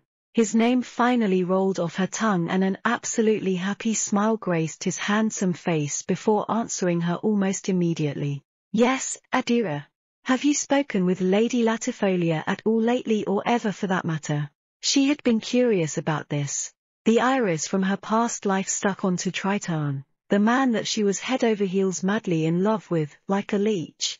Very much like how she was now sticking onto Casimir, who she was currently involved with. No, I don't think so. I don't know her all that well and aside from casual greetings, I've never spoken to her at all. Why? Triton, who was happy to hear Adira taking interest in his relationships with the ladies from other households, answered with all honesty, Hem. Even during this field trip, she hasn't spoken to you. Yes, that's weird. She murmured and it didn't slip Triton's magically enhanced hearing. He was incredibly joyful that they were finally holding a conversation without those stuffy formality and he got to spend a bit of time with her without that old boy sticking his nose in. It also seemed as though Adira was very concerned with his and Lady Latifolia's relationship that his head was already running at unimaginable speeds faster than when he was taking exams into analyzing what her words meant. Could she be interested in me but was just concerned with Lady Latifolia's relationship with me? She doesn't have anything to worry though. She's the only woman I have ever pursued like this. There really is nothing going on between Lady Latifolia and me, Adira. I swear. Adira looked at him and was wondering what was running through his head that made him suddenly pledge like that and decided to only brush it off with a smile. It seems as if, in both past and present lives, Iris just really had a personal answer with her that it didn't matter who she was linked to. If it was Triton, then she'll seduce Triton. If it's Casimir, then she'll seduce him. Ah, seriously. What is wrong with this woman's head? She continued to think to herself while watching Iris wriggle like a worm and coyly brushing against Casimir's arms. She really knows her ways, huh? Notes. Thanks to Anzu Anri for the comment and for the others who voted. Love you. Happy 1.3k readers. Love love love. Please continue giving lots of love to our Adira Casimir, a damsel in distress. While Iris was busy coquettishly advancing with the iceberg, aka Casimir, she saw in her peripheral view the warm atmosphere between Adira and Triton, who were sharing a conversation. To make Adira lose favor more, she immediately pulled a bothered look and turned to Casimir. Um, your highness, I was just wondering how your relationship with Lady Silverus is nowadays. I mean, I do not mean to pry or anything but lately, she seems to be a lot closer to Lord Dalriada. Of course, it could only be me but is there something between them? Are your relationships still smooth sailing? After hearing the lady's worries and seeing that vexed look on her face, he shifted his attention to Adira and Triton engaging in a light-hearted conversation and ugliness immediately bubbling up inside him. Annoyed with the man, who was using his break as an excuse to approach his wife Ehem, soon to be he stalked close to them. Adira, noticing that dark aura from the corner of her eyes, had a vague idea regarding what was being instilled inside this possessive and paranoid prince's brain again. Really, she will take advantage of literally anything huh? Hello, Casey. Are you tired? Want me to take over? Adira beamed happily like she couldn't see the dark aura around the great demon lord. Casimir's mood just plummeted more and turned the atmosphere as chilly as winter when the other didn't even care nor try to pacify him or what. She just sat there like nothing was wrong. No. I don't want to interrupt. Glad you know you're interrupting something, your highness. Triton spoke with contempt and sarcasm. He glared at the prince that towered over him while he remained in his sitting position. He refused to back down despite their difference in status. Casimir was already upset and being annoyed by this blonde bastard, who always tactlessly makes a move on his fiancée even under his nose, was making it worse. He swore he really wanted to slug him right then and there. If only he wasn't a prince and he wasn't in front of Adira. The latter could palpate the brewing storm and electrifying friction between these two powerhouses and aptly intervened before they blew up. She was afraid of them making a scene especially since they both were at the top of the hierarchy. C.A. Casey. Calm down. I was just asking Triton a few things regarding my absence yesterday. Triton. Casimir repeated and Adira immediately regretted it. Now, Casimir was looking even more murderous without bothering to hide it anymore. How many barrels of vinegar asterisk did this man gobble? C.A. Casey. Instead of entertaining some insignificant person, why don't you go back to my room and take care of our son? Everyone present immediately stopped what they were doing and whipped their heads towards their awkward triangle. There were three things that made them completely freeze. First was the brewing fight and the drastic drop in temperature that chilled everyone to the deepest of their core and the Lady Silverus was bravely standing amidst of that. Hail Lady Silverus! Second was the prince that seldomly spoke sentences and kept his words at the barest minimum spoke a total of 20 words in one breath. Hail Lady Silverus! Third, and might be the thing that really made them freeze solid, was His Highness' words. The content in that sentence was basically just too stupefying, everyone was practically floored with just one simple sentence. Bow down to the greatest Lady Silverus. What? Triton, who was obviously one of the most stunned, was the first to slightly collect himself barely able to utter a simple word. CA, Your Highness. What kind of joke are you spouting? Ha ha! You really have a great sense of humor ha! I never expected that from you, your highness. Adira spoke louder than needed to clear everyone's probably insane ideas after hearing Casimir's loud and clear announcement. She was desperately sending him some signals that hopefully he won't make things more difficult than it needs to be. Oh oh. It was. It was a joke. Everyone spoke in hushed whispers, still doubtful. It wasn't the prince's character to joke about something like that. In fact, it wasn't in his system to crack a joke at all. C.A. Casey, please take back what you said. Please think about what will happen to Haisa if they start investigating. I beg you. Adira pleaded, not for her reputation to be saved but for Haisa's existence to be kept a secret. She knew what kind of danger it will bring to Haisa should people know of his presence. She experienced it from her past life and she was willing to do anything just to prevent that from happening again even kneeling down on all fours right then and there. Her pride was nowhere as important as Haisa's safety. Please, if you really regard him as your son. Casimir looked at Adira's pleading eyes and although he was still upset with how friendly she was with the Dalriada's heir, he cannot help but feel bad when he saw her panic-stricken mien. He was also slightly aware that he had gone too far with his enmity with the Dalriada heir and almost jeopardized his own son's safety. Reaching out to take her in his arms, he whispered an apology and patted her head. I'm sorry for taking a joke that far. He said in a louder and monotonous voice and everyone immediately had a look of understanding. Seriously, they can never guess whether their prince was joking or not with that emotionless face of him. However, there were a few who still had doubts in their hearts. They could clearly see Adira's panic when she heard what Casimir said. Could it be? They did have a child. Triton, who sat close to them, thought and felt as though his heart constricted so much he could hardly breathe. While Adira, who was being comforted and pampered by Casimir, saw how Iris' expression gradually turned ugly the more Casimir coddled her. In a hunger for immediate vengeance, she hid a smirk before quickly replacing it with an inconsolable look and said in a loud voice, loud enough that it would reach the hateful woman's ears, your Highness, I don't know what agitated you like that and even went as far as that, but should you really listen to such unreliable sources? As your fiancé, I am very hurt to know that you are doubting me, when I am clearly loyal to you, just because of some insignificant person's whispers.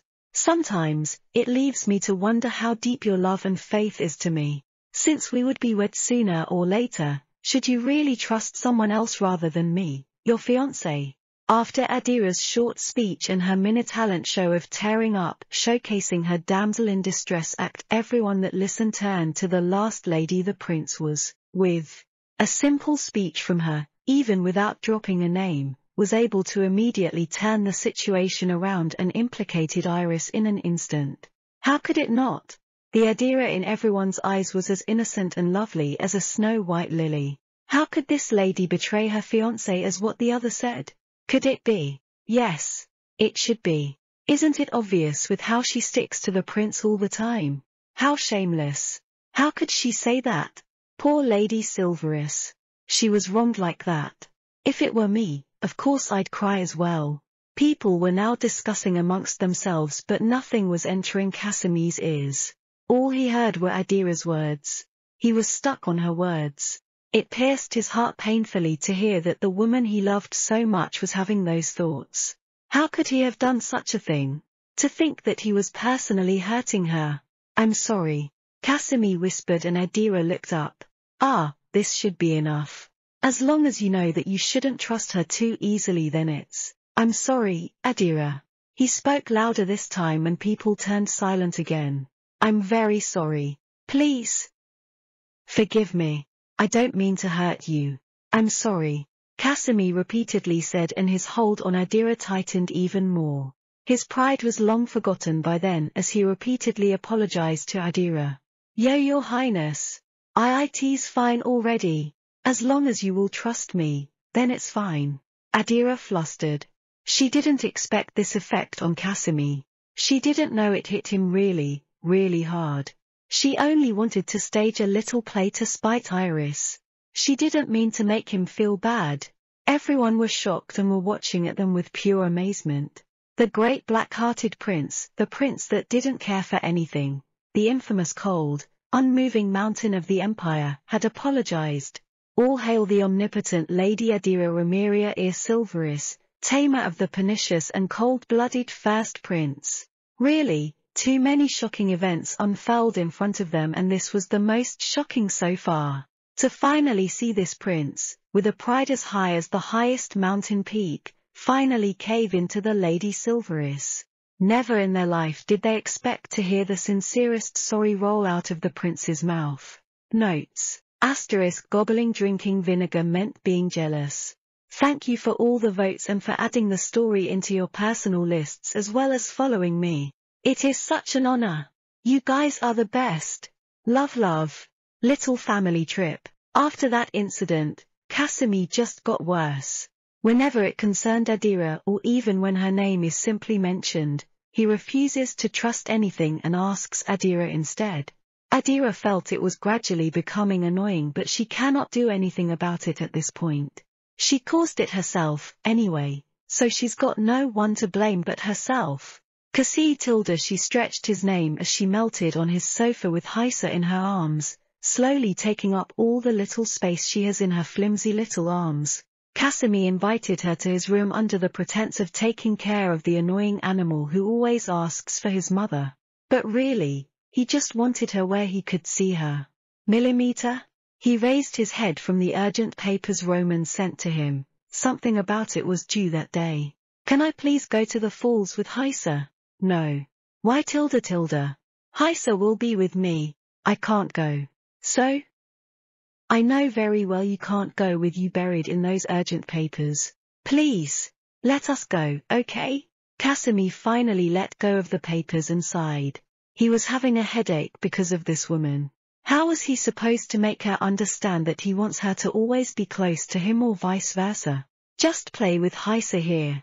But Cassie Tilda I wanna go out. It's stuffy here and humid. Heisa's scales won't be pretty under these conditions. He needs to cool down by the falls. And it's boring. I bet that's the real reason. Fine.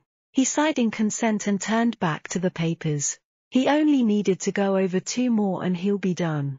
Adira, after hearing Casimir's green light to her request, beamed and shot up from the sofa like a spring suddenly brimming with life and energy again. Really? Did you hear that Heisa? Casey's agreed. We can go play outside. Adira excitedly raised Heisa up and reiterated their agenda, already ignoring Casimir. After I finish these two documents, Casimir finally added, after briefly looking up and admiring her excited face, and doused cold water on their happy parade. Adira grumbled but didn't argue anymore. She was afraid that the more she argued then chances of them taking their own little field trip to the falls would plummet. So she had no choice but to play with Heisa while they waited for Casimir to finish. Heisa! Look! Isn't it beautiful? Adira exclaimed and let Heisa fly to let his wings get some exercise out in the wild. It wasn't healthy to keep him cooped up in a room when he's supposed to be ruling the skies with his mightiness. Casey, hurry up. Casimir, who insisted on going with them, followed behind and checked the place. He also placed necessary barriers while they were there. To avoid Heisa from being spotted, avoid potential threats from getting near and also to avoid intruders on ruining their little family trip. Seriously, we're going back tomorrow to that stuffy capital and I haven't had my fill of the nature because you kept restricting me from going near the forest again. She grumbled. Casimir just patted her head and placed a chocolate on her mouth, a bribe to sway her mood when she was about to start another string of complaints again. Millimeter. This is sweet. Where'd you get this? Adira asked and savored the irresistible sweetness melting in her tongue. I made it. Was Casimir's simple reply and fed her more. Heisa, who just got back from a short round of flight practice, duff for the sweet Casimir was feeding Adira and gave his father the displeased look. Almost as if saying, how dare you take an inch when I just went and flew one round? Oh baby, you also want chocolates?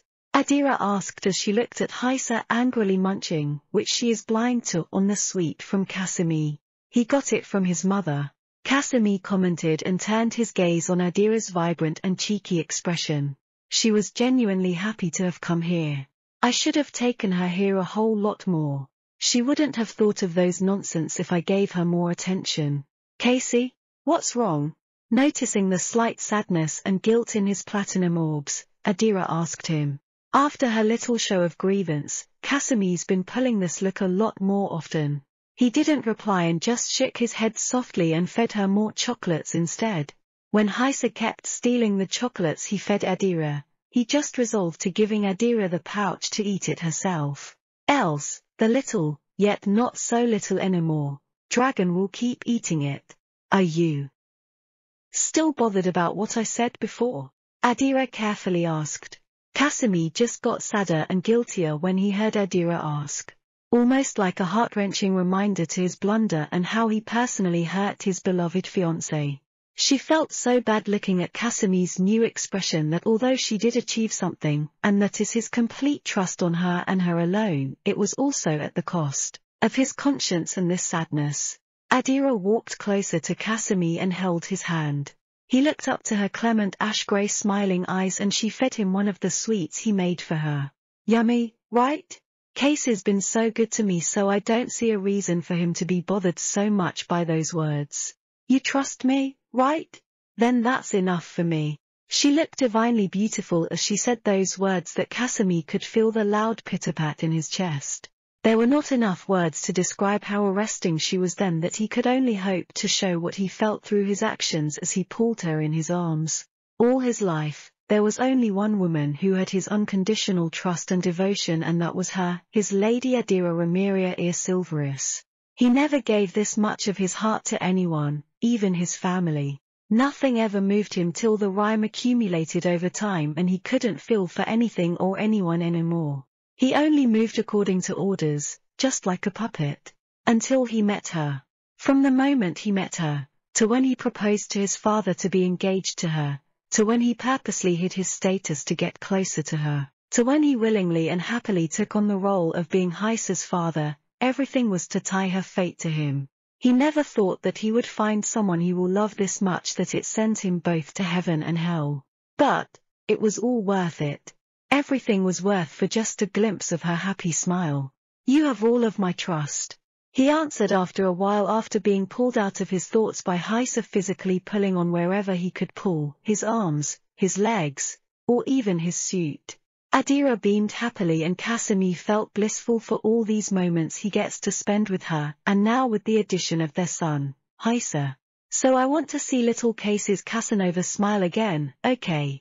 Adira said and Casimir obliged without further ado and smiled his happiest, softest and warmest smile. A smile that simply showed his deep adoration for the lady in front of him.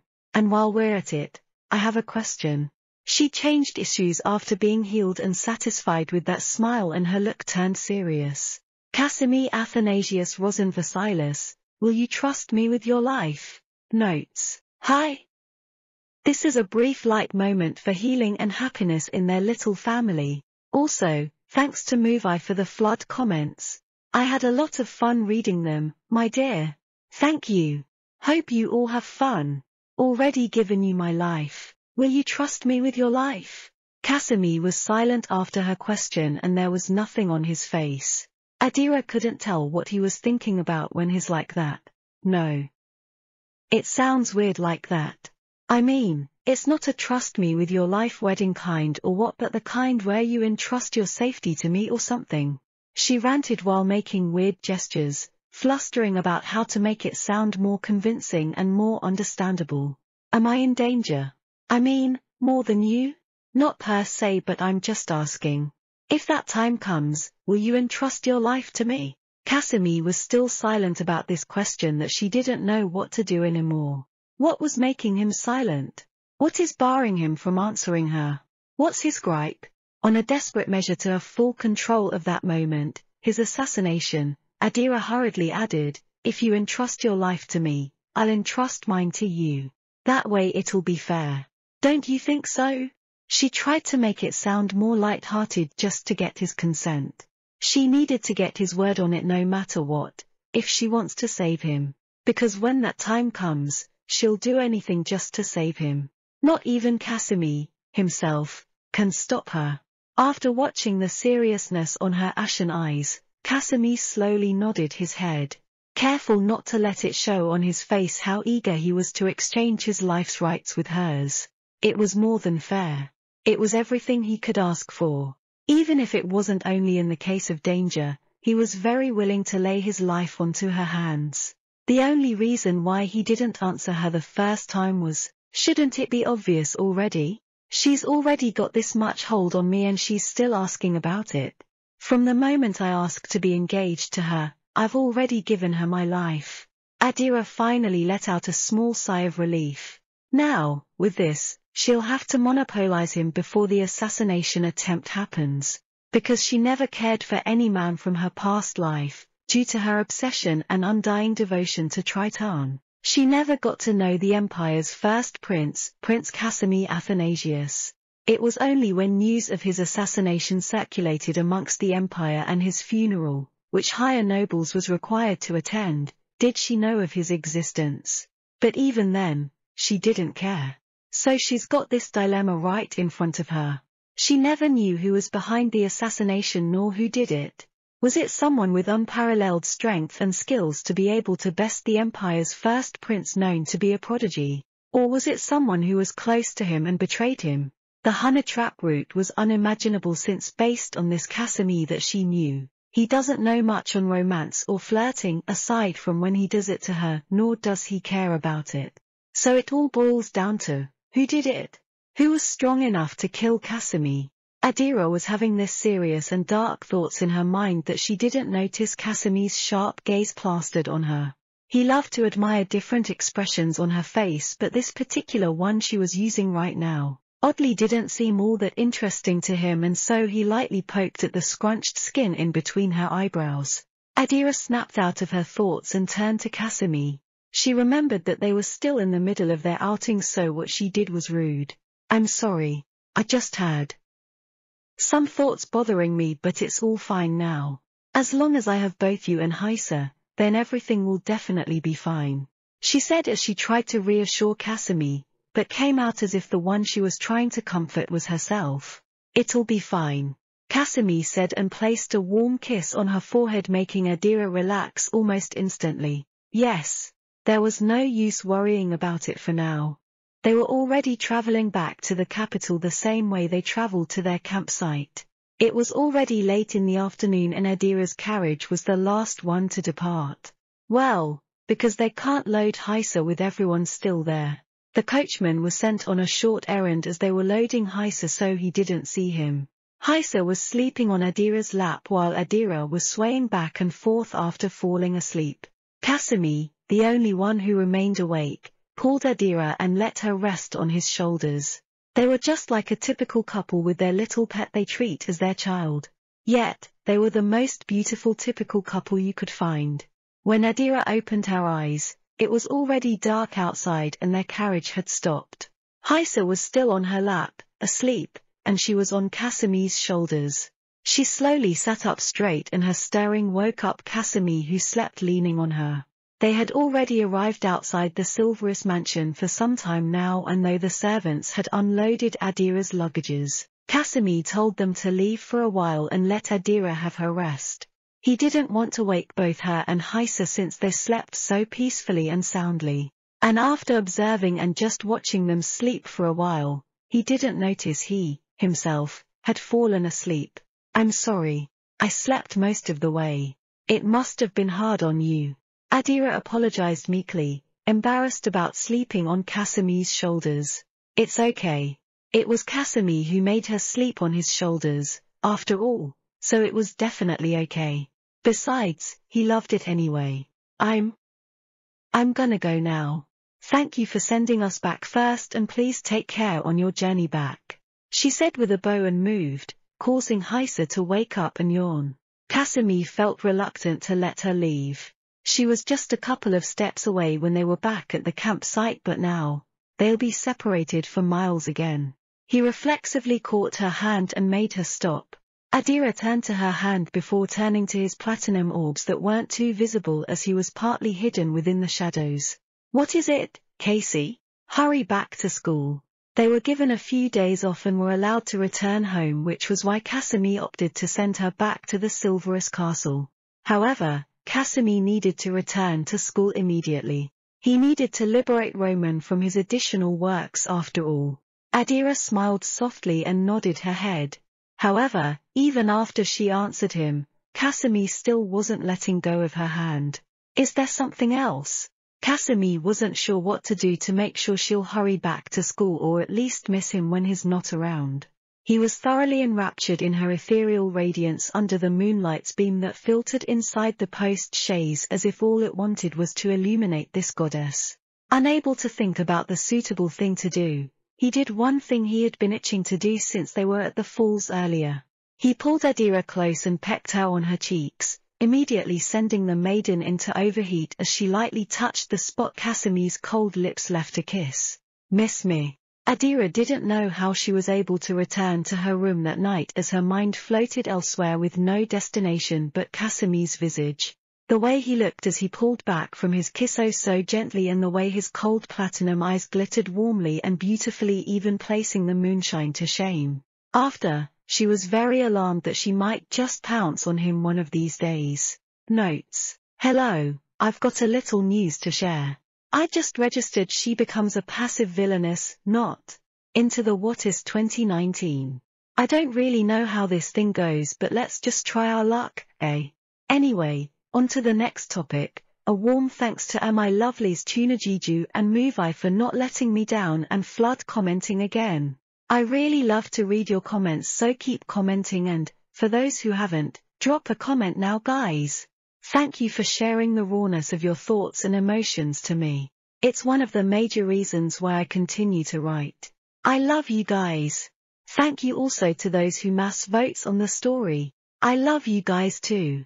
Happy 2.2k readers and 107 votes to us. May we continue to rise more. Please continue to support. Our Adira Casimir. Love love. This prince. The next day, although still floating and constantly thinking about Casimir's alluring and devilishly handsome face that night, Adira properly asked for permission to visit their thief's central plaza. Silver, who just saw his daughter again from the night he accompanied her to the campus, was crying buckets of tears as he complained to Andrea Adira's mother. Look at her. She just came back and she doesn't even miss her daddy anymore. Andrea, I can't live like this anymore. My, my. Silver, darling, Adira's just going for a walk and she'll be back in a jiffy. Isn't that right, dearest? Adira's smile twitched uncontrollably as she watched her father wail and complain like a miserable brat and immediately answered, Of course, father, mother.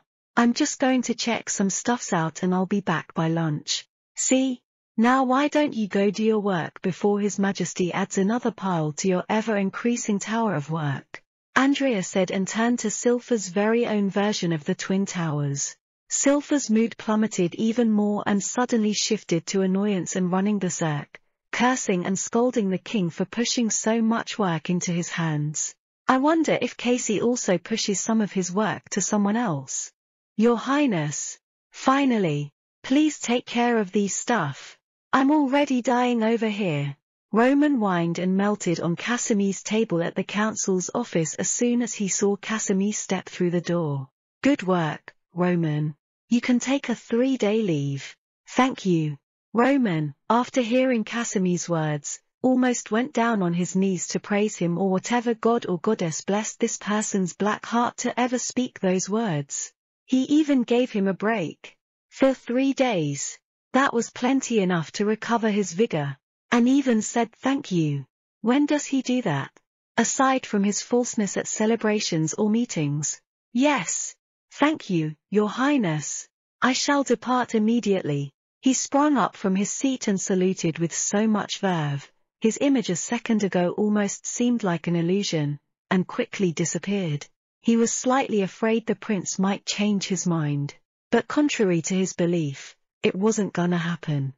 Casimir, after all, was very happy and satisfied with the week he got to monopolize so much of Adira's time.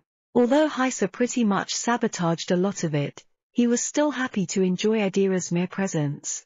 Casimir sat on his chair and thought back to the night he gave Adira a kiss on her cheek and remembered how red she was after he did it.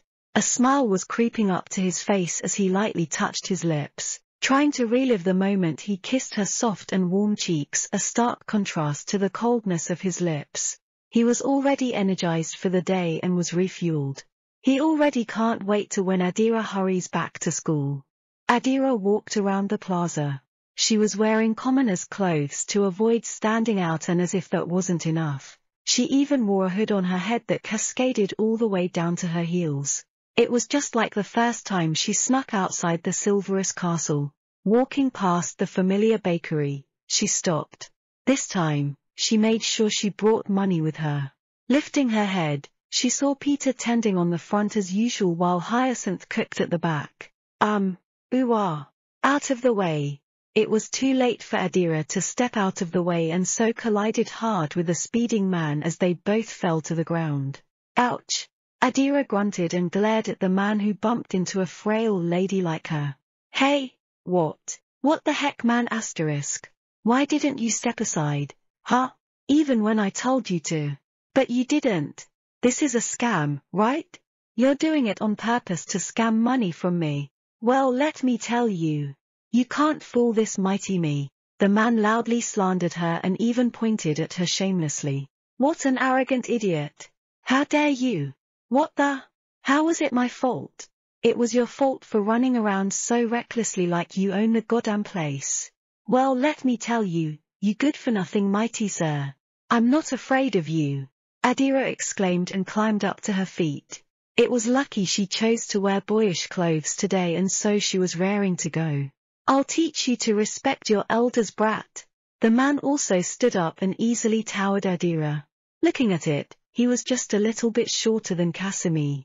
So Adira, naturally, wasn't afraid.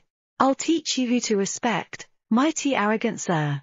After exchanging insults and banters, the man lunged forward and swung his fist towards Adira's face. The latter, seeing all his movements clearly, as if watching it in slow motion, easily dodged to her side and delivered a counter-attack, a kick to his abdomen. The man stumbled a few steps backward. The kick packed a lot of strength for someone as small and whimper-looking as this little hooded boy. He realized right then that he wasn't a simple frail-looking boy. He's got to be an expert at fighting. Launching a few more attacks only to be counter-attacked almost immediately, the man fell on the ground, beaten black and blue. So, I hope you learn to respect people despite them looking weak and frail, no. Especially if they are weak and frail. Strength doesn't give you the right to bully them. This prince doesn't bully people. You're the one who was bullying me. He exclaimed and pointed an accusing finger at Adira. What the? He really is looking for trouble, huh? How the heck is someone like you a prince? A prince doesn't accuse people indiscriminately, have a shrewd arrogant personality like yours and most importantly, they don't wear clothes like this. Adira stalked closer to him with every word and every part of it was placing pressure on the man who remained on the ground backing up with every step Adira took closer. The way Adira spoke about what a prince was sounded like she knows one that made the man confused. How could a commoner like him know a prince, right? I IITs because I just returned from studying abroad from the neighboring kingdom and I wanted to explore a bit before returning to the capital. I'm warning you. Touch me and I'll have them but he, he wasn't able to finish his threat when a growling sound came from him and he flushed red. A prince. When does a prince go hungry? Oh, your highness, almighty one, are you hungry? Did your servants not give you food? Adira sarcastically said and tried to pick on this arrogant jerk's nerves more. She wasn't about to let him off the hook yet. Sh shut up. I I just forgot to bring money with me, he exclaimed, his voice rising a few volumes higher due to the embarrassment. Oh, is that so, your highness? Adira was still baiting the arrogant jerk when Peter, who noticed that their brawl had finally ceased, stepped out and tried to pacify the both of them. Good sirs, why don't you talk it over some coffee and cakes? Peter sweat dropped as he watched the lanky and frail boy beat up a lean and obviously stronger-looking man. Adira, still hidden under the hood, turned to Peter and visibly relaxed her stance before looking back to the man still on the ground. She thrust out her hand to help him up in respect for Peter and to avoid causing unnecessary trouble in front of his shop. She was, after all, here to talk with them. WH what's that for? I'll treat you to a meal. As peace offering an apology to this good sir for causing ruckus in front of his store. Come on. Adira replied and still kept her hand out. The man refused her though and stood up by himself. However, he didn't refuse the free meal. He really did forget to bring in his person some money which was why he was currently in this predicament hungry and humiliated. They both walked inside and the crowd of onlookers finally dissipated and went about their own businesses. Back inside, Adira and the man settled in one of the numerous tables inside as Peter tended to them. There weren't that much people yet since it was already after lunch so Peter had time to sit in with them and help negotiate their peace talk. Peter, how is Hire lately? The asterisk asterisk boy suddenly asked him. He looked taken aback before he had a curious and guarded look. Adira chuckled lightly and slowly changed her voice back to her original light and sweet voice. Hello, Peter. It has been a while. She said and took her hood off, letting her hair tied in a ponytail cascade down to her back. Little one, where have you been all these years? Do you know how worried we were when you suddenly vanished that day? Higher! Higher! Come here! Hurry! Hyacinth, who was called over hurriedly, ran after hearing her husband's distressed voice. What is oh my god? Little dear, where were you? Where have you been all these years? Do you know how worried we were when you suddenly vanished that day? Was Hyacinth's similar question. Really, they think too alike. Adira's sweat dropped as her smile twitched at watching the couple's intense worry. She always felt bad at leaving them so suddenly that day, but she never got the chance to visit them again after that.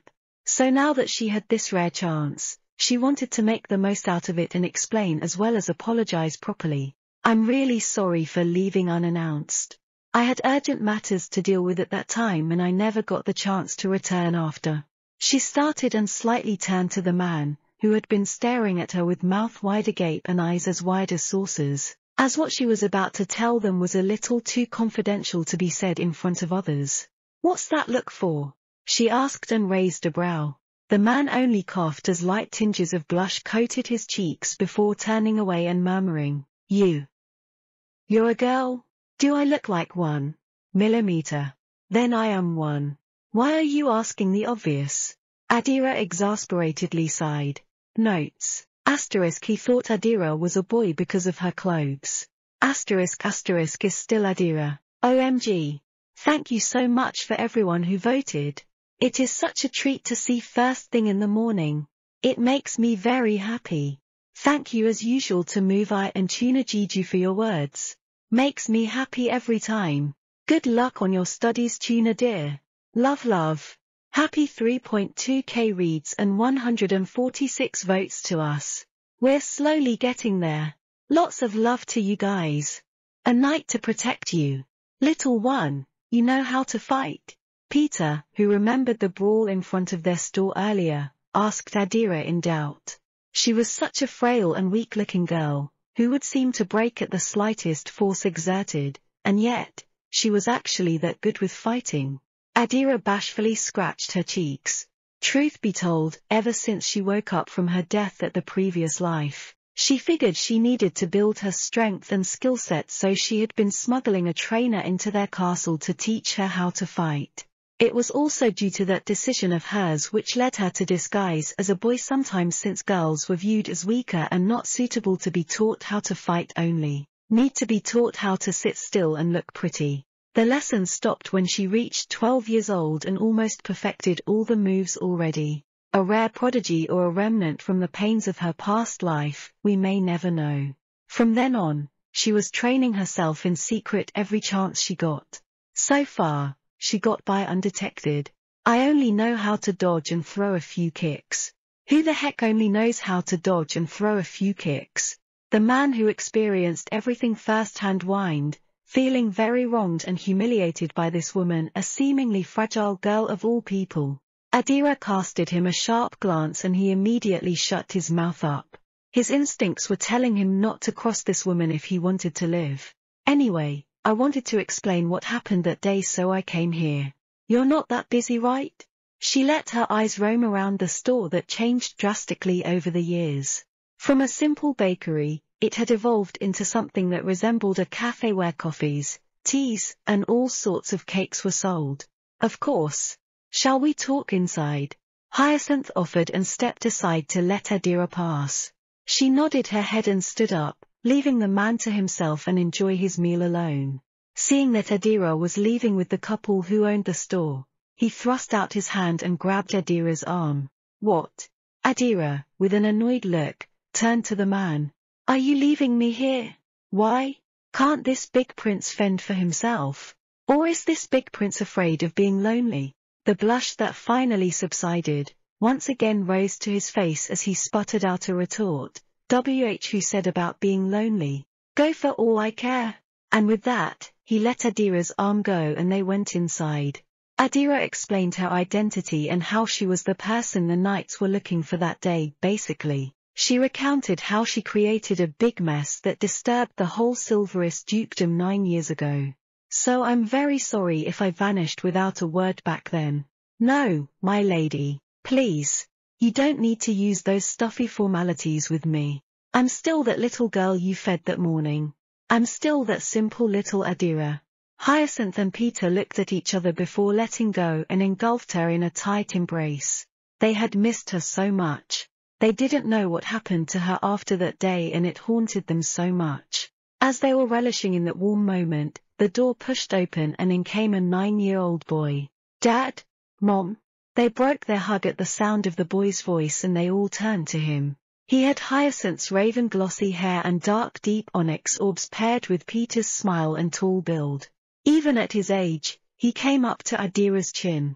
In other words, he was a tall and beautiful boy. He will surely be a lady's charmer when he grows up. This is? He asked after they didn't answer him and just stared. Oh, this is Adira. Adira, this is our son, Owen. We had him a year after that incident so he's nine this year. Hyacinth kindly introduced them. Hello, Owen. My name's Adira. A pleasure to meet you. Adira smiled sweetly at the child and offered a hand to shake. Owen was taken off guard with this big sister's beauty that he hesitated to hand out his hand but grabbed the opportunity anyway. There was rarely anyone as beautiful as this big sister in their city. H.I. I am Owen son of Peter and Hyacinth, owner of the Argento Cafe. He stiffly introduced himself and shook Adira's soft and warm hands. Adira giggled at Owen's cuteness and briefly wondered if she ever had a little brother, would it be as cute as Owen? Can I stay for dinner? Adira asked Peter and Hyacinth. Before they could even answer though, Owen was already exclaiming, of course. You're very welcome to stay for dinner. Even forever. Big sister. The parents both looked at their son before turning to each other, already knowing what was going on without even saying the words. Their son was infatuated with the Lady Adira. Man, that's one tough wall to climb, my son. Peter lamented and shook his head with a sigh. But, he couldn't blame his son entirely though. Adira was indeed charming, lovable and very beautiful. Everything about her was dazzling, both inside and out. Any man that lays their eyes on her would definitely fall prey to her beauty. No one can escape it. Thank you, Owen. That makes me very happy. Adira smiled and patted the little boy's head to which he dodged after a few seconds of blanking out from her pretty smile. Do don't he treat me like a kid, big sister? I'm only a few years behind but I'm not a kid. And I will definitely marry you someday, big sister. He complained which made him even more cute to Adira's eyes. The way he stood and puffed his chest proudly and very manly was just too cute for her to take his words seriously. Then Owen has to grow strong to protect Big Sister, right? Although aware that Adira wasn't taking him seriously and still treating him like a child, he still promised and pledged to her, of course. I will grow up fast and become a knight that will protect you. I look forward to that then. Hyacinth and Peter listened to the two converse and it felt like they were a pair of very close siblings. A dependable big sister that pampers her little brother and a little brother that adores his big sister too much. If Adira became my child, our family will always be like this. After speaking with them, Adira walked out to help tend the store before dinner and found the man still seating on the table where she left him. Hey, you're still here. You're done? Oh, well yeah. What are you still doing here? I needed to make sure you'll pay for my meal.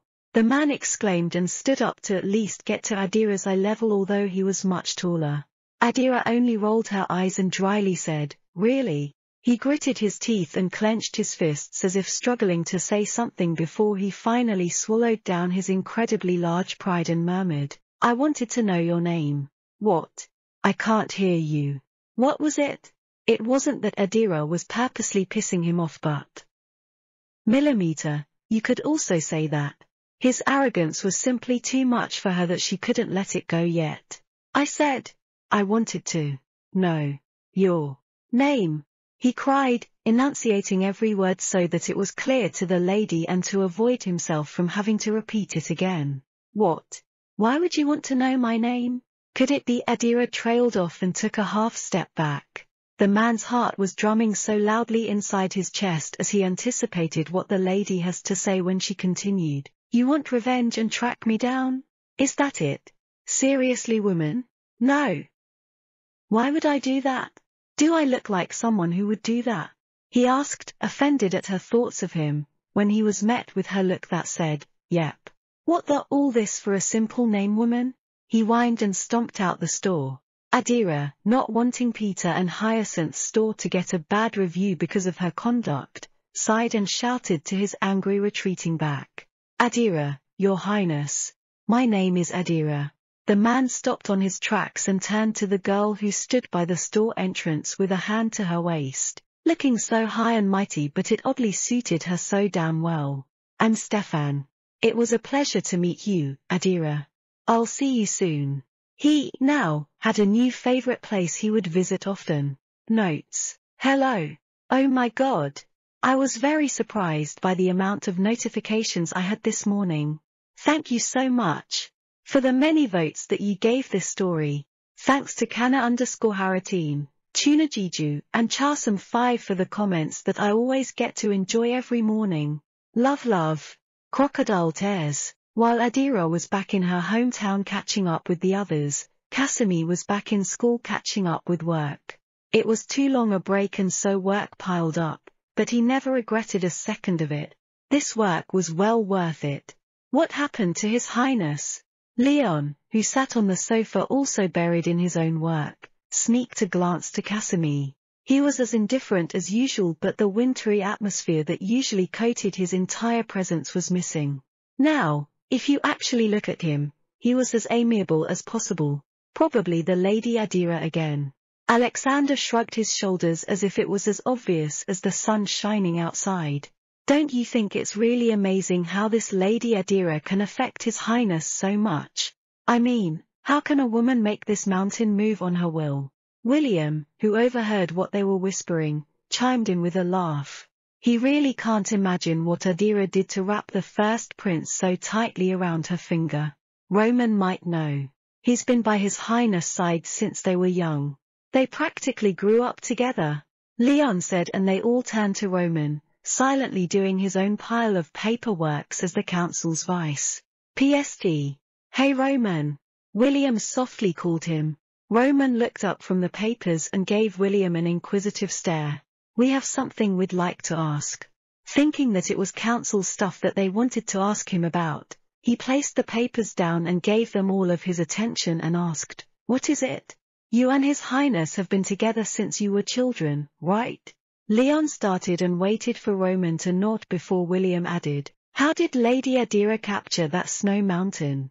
Roman paused, unprepared for that question and unsure what to say. True, he was there when they visited the Silverus fief and accidentally discovered the lady hurrying back to the castle after she caused such a huge mess that made the Duke mobilize the Silver Knights. But if he had to say what the lady did to capture the black-hearted prince, all he could tell them is, nothing. The lady did nothing. Leon, William and apparently Alexander, who was slightly interested and had been waiting for Roman's answer, all looked at him addled. That was such a vague answer. Leon, what do you mean nothing? William, how can it be nothing? Surely, she did something. While Alexander was just speechless. No, really. She didn't do anything. If I remember it correctly, when we first saw her, she was just staring at His Highness. Roman told them as he recounted what happened that day and narrated it to them. It was puzzling them more. The more they heard what happened, the more they were confused. How can it be? William muttered under his breath and struck a thinking pose. How can it be what? They all heard a deep and cold voice behind them and they all sat straight like straight pins. Your Highness! William panicked and turned to Casimir, who was standing behind them with papers in his hands. What what's wrong? What is it?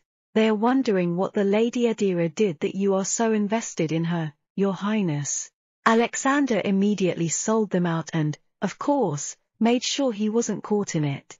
You have a lot of time, Will. Casimir simply said and passed him the papers with a sticky note on top of it with written instruction. In short, it was more work. William had black lines over his head and turned to Alex with a cheated and aggrieved look. He was about to just silently return to his work when Casimir added, but if you must know, she did nothing. As simple as that. And he left them more confused than when Roman told them. They were still deep in their own thoughts about it when a knock reverberated in their silent room. Everyone looked up, already expecting the person to pop in that door, when what graced them wasn't ash grey locks but salmon pink ones. Um. Excuse me. Iris timidly and cutely spoke. Everyone had a question mark above them and wondered why this student was here. Maybe a grievance complaint. Or an emergency. After all, it wasn't that easy to just drop by the council's room without prior arrangement or agenda. Yes. Leon, who was closest to the door, politely and affably answered her with a smile. Um, I have something to say to His Highness. Is it a good time? She asked in her sweetest voice. The others thought of her as nice and cute as well as pretty and they all turned to the person asked to see what he would do. Casimir only nodded his head and she stepped in while closing the door behind her. After, she proceeded into a low curtsy and finally spoke. Your Highness, I came here to ask for forgiveness. I really didn't mean anything with my words, much more cause a fight between you and the young lord.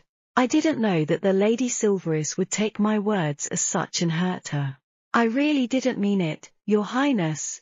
I am very much hurt with all the gossip surrounding me because of Lady Silverus' words. But I do not blame her, Your Highness. The Lady Silverus was hurt as well so I cannot blame her. I only hope your highness will forgive this humble me for causing trouble for the three of you. She spoke in rapid succession and kept her head low. There were tears streaming down her dollish face now and all of them pitied the girl. Except Casimir. No one can ever move his heart the way Adira does. No matter who cries in front of him, he cannot feel anything but emptiness. But it's a different story when it's Adira's tears. He doesn't know what he'll do if that happens. Millimeter. Was his curt reply and he returned to the pile of papers in his desk. He couldn't be bothered by some unknown woman's tears. If she didn't mention that time he, himself, made his beloved cry, he wouldn't have remembered her at all. Even now, he doesn't even know her name. Roman, who saw his cold insouciance, hurriedly tried to pick after Casimir's lack of words to say to anyone that isn't Adira and said, It's fine, my lady. I'm sure it was just a misunderstanding on everyone's part. Lady Adira clearly didn't mean to cause trouble for you. And about the rumors, we will do something about it so rest assured.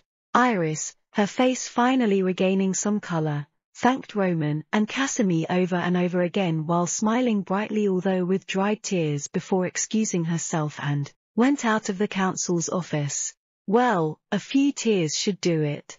She whispered, wiping the stains from her crocodile tears, before walking away and whistling a happy tune to herself. What did the Lady Adira say that triggered so much hatred to be directed towards that lady? Leon looked away from the closed door and turned to the only person who could answer them. But as usual, Casimir turned a deaf ear to their questions. Surely, that infamous Lady Adira couldn't be as careless as incriminating someone because of her words, right? William mused. Who was she anyway? Alexander also chimed in. Although the other lady's words didn't really implicate Adira's name as the culprit that started the rumors but the way she said it, she was practically saying she incited it. She's Lady Latifolia, Baron Latifolia's adopted daughter. She's Lady Adira's classmate. It can't be that Lady Adira did it on purpose, right? She knows the weight of her words after all. William expressed his thoughts and even as he said it, he, himself, can't even believe what he was saying. So they all set it aside and just formulated a plan to take care of the rumors. While the man involved in all the skirmish and rumors, paused in his work briefly while he tapped his pen in a stable rhythm. His thoughts were on the woman who still hasn't returned to school after three days and wondered what she was doing. Notes. Thank you very much for the votes guys. Oh. You make me very happy. And what makes me happier is to read your comments. So thank you to Muvai, Tuna Jiju, Kana underscore Harateen, Charsum5, Sky underscore Lin and Sushi. Thank you so much for providing me comments to read. I really love reading your reactions. Happy 4.3k reads to us. Going back to see father. For the next two days, while unaware of the brewing trouble Iris been sewing back at the campus, Adira spends her time helping out in Peter and Hyacinth's store much to Owen's happiness and delight as well as Stefan's. After all, visiting the store was the easiest way to find her. Your Highness, what are you doing here again? Adira asked as she delivered to him what he ordered and placed them properly in front of him. Even when this man constantly annoys her, she knows and was raised with proper etiquette. So it will greatly shame her name should she flare on this annoying guy. She had gradually gotten used to calling him with her sarcastic insult which later on became her nickname to him. What? I'm here to eat. What the heck are you asking me that for? He shrugged and grabbed the cutlery before slowly digging in. Adira could only sigh and asked, Do you not have school? I told you I just came back from the neighboring kingdom as an exchange student. I've been studying there for a year. I, at least, deserve a break, don't I? He whined like a spoiled brat. Yeah, yeah. Adira shrugged his complaints off and only listened to the important points. So he's an exchange student. Either he's really smart or he's someone high up in rank. He couldn't really possibly be a prince, right? I haven't seen the second prince but I heard he was my age. I also heard he was a sophisticated sunny prince who was a stark contrast to the cold and black-hearted first prince. Adira thought as she kept eyeing the man with raven hair but with silvery tint at the edges like a mix and bluish-green eyes. If he conducted himself better, then she might just believe his lies about being a prince. Sigh, I wonder how Case is faring at school right now. Well, tomorrow's the last day for this short-lived break so I really need to return by then. Sighing after staring at him, Stefan felt he was just judged by Adira and whined to her, no matter what you're thinking, I am a hundred times better than that. My, defensive aren't we, your highness? Well anyway, I won't have to see you from tomorrow onwards so I guess I should say goodbye even if you annoy me the most. What? Why? Are you going away? He asked, almost sounding sad as he nibbled on his fork looking like an abandoned dog that oddly made him quite cute. What the heck? Well, contrary to some people who lounge around and forcing his so-called break, I have to return to school. I've got final exams coming up. Adira thought and glanced at the happy-go-lucky man and sighed again as he indirectly reminded her of that grueling thing. Yes, the school year's about to end, huh? Time flies by so fast. School. Where do you go to school? At the capital. There's only one campus there. I'm sure you know which one right? You. Are you a noble? The man looked shocked when he heard Adira proclaim that she goes to that noble's only school at the capital. If she was, then he could ask his father to arrange an engagement with her. Of course, I am. You really must have spent a time at some neighboring kingdom if you haven't heard of me, huh? Adira muttered before finally leaving him and attending to the costumers that just came in, oblivious to the growing smile on Stefan's face. How perfect is this? He thought unhappily, but slowly, ate his cake. He decided right then and there that he will return home tomorrow and ask his father to send a proposal to her family. No noble family will reject a royal's proposal. Adira finally returned to the campus after dealing with her father's whines and tears and snots. She brought Heisa with her and Lifa back to the campus. At first Lifa was so shocked with Heisa's presence, when she went to wake Adira up and ended up discovering the reptile sleeping on Adira's arms, that she fainted. Literally. After that brief fainting and some explanation plus reassurance, Lifa finally calmed down and quite quickly accepted Heisa. Now, she dotes on Heisa so much. Oh. I can be his aunt or his godmother, can't I? She joyfully asked Adira while she fed the dragon who was resting his head on her mistress' lap. Sure, sure. Whatever you guys want. Fill up all the spaces left in Heisa's family tree. Adira replied, not caring to argue or say otherwise anymore. She really cannot stop them anyway. So sure, become part of Heisa's family tree all you want. You guys? Oh, I suppose the father's position is already taken up. Lifa teased with a smirk she tried hiding behind her hand and snickered when Adira blushed with a slightly annoyed look. Well, Lifa need not any more confirmation after seeing her mistress' face. His Highness really did take up the spot. Does his grandparents know? Lifa, completely into this family play, asked. Probably asking about the Duke and Duchess. No. The only ones who know of his existence are me, you and his highness. Adira informed Lifa and caressed Heisa's head happily nibbling on the snacks Lifa was giving him and snuggled in his mother's hold. He had grown considerably bigger than a few days ago at the cost of much of Adira's mana but it was fine. Now, she can't carry him as easily anymore so he walks if she doesn't allow him to fly beside her. If the mistress dotes on Heisa this much, how much more the father, right? Adira turned to the grinning Lifa and then turned to Heisa before asking, Do you miss your father? We're going back to see him. Are you happy? At Adira's words, the little animal opened its clear sapphire eyes and seemed to scoff at the idea before nuzzling his head against her in a needy way. My, I think this father and son combi are competing for the mother's attention. Lifa muttered under her breath as the smile on her face twitched at the spoiled act of the little dragon obviously trying to sway his mother's thoughts back to him. Millimeter? Did you say something Lifa? Adira asked as she thought she heard her say something about Heisa. Nothing, my lady. I just thought that little Heisa really loves his mother a lot. She smiled at Lifa's words before hugging Heisa's neck and answered, Of course. I love my baby a lot too. Well, aren't you lucky Heisa? Lifa said and eyed the triumphant and happy expression on this seemingly docile dragon's face. After how many hours of sitting on the carriage, Adira stepped down her carriage and made sure there wasn't anyone within the vicinity of her dorm house before letting Heisa down and walked inside the dorm house designated for her.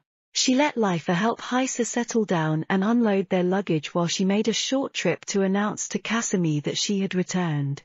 It wasn't that she wanted to see him. Really? She happily walked down the halls vaguely aware of the stares on her, since she was used to it and she learned to just roll with it and knock lightly on the door. Cassie Tilda. I'm she stopped prematurely and her beaming happy voice died down when she noticed that out-of-place pink hair in the arms of that particular silver-haired handsome man, Adira? He called her name and she didn't miss the happiness overflowing in them. But what was this scene she was seeing? Why is Iris in his arms? Um. Am I interrupting something? Notes. OMG. Thank you guys. Thanks a lot for the horde of votes you gave. As well as, of course, for your comments. There's Kana underscore Haratine, Tuna Jiju, and Sushi who doesn't forget to leave me something to look forward to reading every day. Thank you for the encouraging words. Thank you to save underscore me underscore save underscore you for the love. And everyone who loved the story. I love you all. I am very happy. My swords, you're back? As if oblivious to the woman's existence in his arms, Casimir's face brightened up in a happy smile. He very casually set the lady aside before strolling closer to the woman, who stood by the door, still shocked at seeing him with another woman. Um, yeah. Just now. By the way, you haven't answered me. Am I disturbing you too? If so, I can always come back later. Adira, thinking that they might have been discussing something and then Iris accidentally trips towards Casimir hence their awkward position, tries to make way and give them time to finish their talk. No. We're done. Casimir told her before turning to Iris and nodded his head. Iris curtsied before walking out but not before stealing a look towards Casimir and blushing with hidden meaning and looking towards Adira guiltily. This woman. You really test me. You're back. Casimir then took Adira in his arms, very tightly, and inhaled her calming sweet scent. Like strawberries and milk. It was Adira's scent. He really missed her. He couldn't even recount how many times his mind wandered off to her and how many times he wanted to just stop his work and fetch her himself. She was taking too long. I took Heisa with me. Do you want to see him? Adira asked. She also wanted to let Casimir know that his favorite dragon was with her. Millimeter, later. You first. He simply said and kept Adira locked in his arms, his work long forgotten on the table. He needed to recharge his Adira reserves. Oh yeah, what was Lady Latifolia doing in here? Something about gossips and rumors. Gossips? About? You and her. Adira stopped to think about possible rumors that would involve the both of them when she tried so damn hard to avoid the particular woman, and thought back to the day Casimir and Triton riled each other so well they were inches away from blowing up. I see. I must have ruined our reputation. Huh? I'm sorry, Casey. Your name will be dragged with mine as well. I don't mind. I trust you. Casimir, genuinely not caring what happens to his reputation as long as he's together with Adira, placed a kiss on the girl's head. While on Iris' end, she walked out after making sure Adira saw the way she subtly looked at Casimir. The prince was a hard stone to crack so the only way to hit him was to use his one and only weakness. By sowing seeds of doubt in Adira's heart little by little, those seeds will soon grow and create a wedge in between the couple. But of course, it doesn't just end there. Lady Latifolia, please wait up. She heard a voice call from behind her and she stopped to turn. It was the prince's aide, Leon Riona. Lord Riona. She greeted and curtsied before hanging her head and wearing a defeated expression on her face. What's wrong? Did his highness not saying anything again? You shouldn't let that get to you. Although he's not saying anything, he's definitely doing something about those gossips. You don't have to worry, okay? Leon ranted, trying to console the depressed lady on the verge of tears again. This is not about that, my lord. It's really nothing. You don't have to worry about it. It's just that the lady oh, um. Nothing, please forget about it. Iris slipped and immediately pursed her lips into a thin line to prevent herself from blurting out more unnecessary things. Did the Lady Adira tell you something again? No, my lord. The Lady Silverus didn't say anything. It's just that, it's okay to speak to me, Lady Latifolia. I know it's hard to go up against someone like Lady Adira but I swear, it's fine to tell me. Leon tried to assure Iris that whatever was bothering her, it was okay to tell him all about it. And that was all the cue that she needed. It's just that the Lady Silverus saw His Highness and me in an awkward situation, but I swear, there was nothing going on. But the lady sent me out through his highness and even looked at me strangely. I didn't even get to talk properly with his highness. Oh how her words were thread so perfectly to craftily lay blame on Adira and tear her reputation slowly till she is discredited to the nobles. What? Even if she is the prince's fiancée, she doesn't have any right to do that to you at all. Just because she's higher up in rank than the prince's fiancée, she thinks she can bully another student like that. Ah yes, Raise your voice more. Please, my lord. Control your voice. It'll bring trouble to the lady if people hear you say that. Justice will not come to those who keep their silence, Lady Latifolia. Let everyone know how the Lady Silverus is bullying you.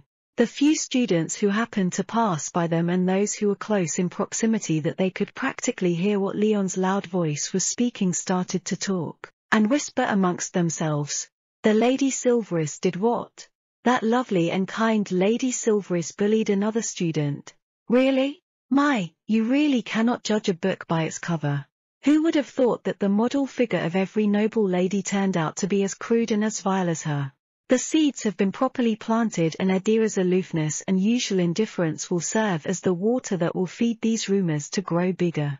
Come on, spread it more. Let it fester. Let it take root properly. Become my swords, you foolish nobles. Iris thought deep in her while struggling to keep her sad and panicked look intact and not break, as well as the smirk threatening to display on her dollish face. Father, I'm back. A man burst in through the heavy double doors of his father's study all lively and excited. A quill pen swished past him and slightly grazed his cheeks that made him freeze on his spot and stand as straight and as tense as a bowstring. So you still know how to come home, you bastard. Just where have you been to that you got delayed for a week, huh? His father flared and slammed his palms on his desk, very unlike his usual calm demeanor. I, I found the woman I want to marry. His second son suddenly blurted out of fear and he didn't know whether to get angrier because of his nonsense or just give up since this guy will always do whatever he wants anyway. Anastasius slumped on his chair and sighed in defeat before saying, So, who's the girl who finally grounded this to you? I don't know her family name but I know her name, he exclaimed, regaining his prior excitement. Anastasius just looked at his son like he was some idiot spouting idiotic nonsense before his son added, Don't worry, it's easier to locate and identify her than you imagine. She's actually attending at the nobles only school here in the capital. Why don't you go and bring me back the name of her family then and we'll talk about this again? He suggested and waved his son away. He was feeling an impending headache from this second son of his. I will, without fail, father. Oh. I mean, your majesty. He corrected himself. No need to correct yourself. It's only us anyway. Oh and before you go, you said you know her name right? What's her name? Stefan was already out the door when his father stopped him briefly to ask about the girl's name and a bright grin spread across his face before giving the name. Adira. And she's as strong and lovely as her name. Well then, farewell father. I shall go and claim my bride now. And with that, Stefan vanished as quickly as he came, leaving his father all confused and thinking, Adira? Is it the same Adira Silverus? Or another Adira? Notes, oh. I am very very happy today. I passed my year and I get to read your wonderful comments. Thank you, Move I Love, Natasha 1, Larnon Fishit, Homie 6723, Teruhiyu, Nocturne 840, Shadowtail 7. Much love to you all. I'm really enjoying your comments so much. Thank you as well for all the votes and lovelies. Banzai. Open the gates of hell. Adira walked out and the gazes were still there. Some were fiery and burning while some were cold and nipping. She turned to each of the stairs she could feel prickling her skin and knew that Iris was doing something behind her back. Your Highness. Adira suddenly asked for his attention and clung to him in a needy and spoiled way. Why don't I give you some wood to burn? What is it? Casimir, unmindful of the sudden change in Adira's movements cause he liked it, turned to her with an adoring and pampering gaze. It is so hot in here, maybe because it is summer, but it's so hot. I suddenly want something cold. She whined like how a spoiled princess of the Silverus dukedom should be. Adira need not say else more as Casimir immediately casted a cooling spell around the place and even materialized an ice gem that wasn't algid but just enough to cool her down. Better? he asked. So much better. She answered with a very lovely smile and that was enough for Casimir. My, would you look at that? Yes, she really does abuse her position as the first prince's fiancée. How shameful. How dare she act so wantonly in front of his highness? Adira could hear their not so discreet whispering and hid a smirk. Spread it and may it reach your ringleader. Casimir heard the whispers and took a threatening step forward accompanied with a very chilling gust of winter coldness making them wonder if he was still using a spell, or was that purely him before Adira snatched him back. Do you trust me? Casimir nodded so readily to her serious question. With all my heart. Let me deal with this and everything will be fine. She said and pulled him back to walk towards their intended destination visit Heisa. I can't let them say those things about you. Never mind his reputation, no one shall dare tarnish Adira's name if they wanted to live peacefully in their society. Casimir wanted to remind them of that. Just stay by my side and look as handsome as you always do. That'll be perfect. She added a wink and finally managed to pacify the great demon lord. After all, for people such as these, she didn't need to use a steel hammer to crush a peanut. Adira and Casimir came back together and Lifa greeted them. Oh, my lady, you have a guest waiting in the lounge. A guest? Who? Adira nodded and gestured for Casimir to go ahead and visit Heisa first while she deals with her uninvited guest. Casimir was halfway up the stairs when he heard Lifa's soft voice, clearly being careful not to let him hear. It's a man, my lady. He rigidly turned to them, his platinum eyes turning colder by the second and clenching the handrail in his hands tighter and tighter till the paw would cracked in pain.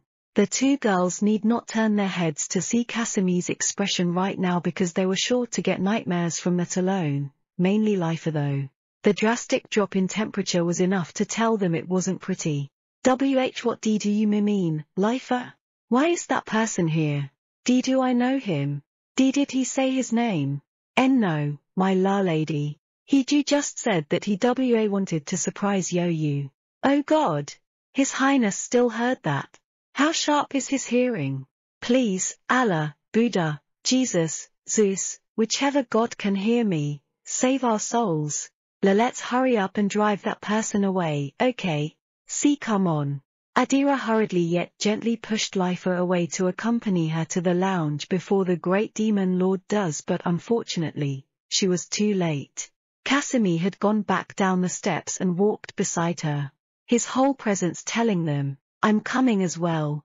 So, shutting her mouth tight, Adira walked, tensed as hell, towards the lounge where an indigo head with silver edges turned and beamed at her.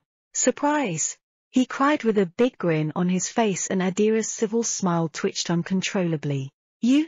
She screamed at him, foregoing her elegance, formality, and posture when faced with this annoying man's face. Yes.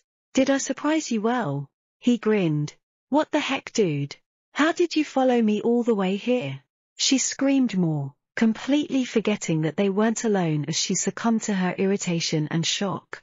When this idea flashed through her head, she turned to Casimir to pacify him when the frigid man also had this look of surprise before softly calling out a name. Stefan?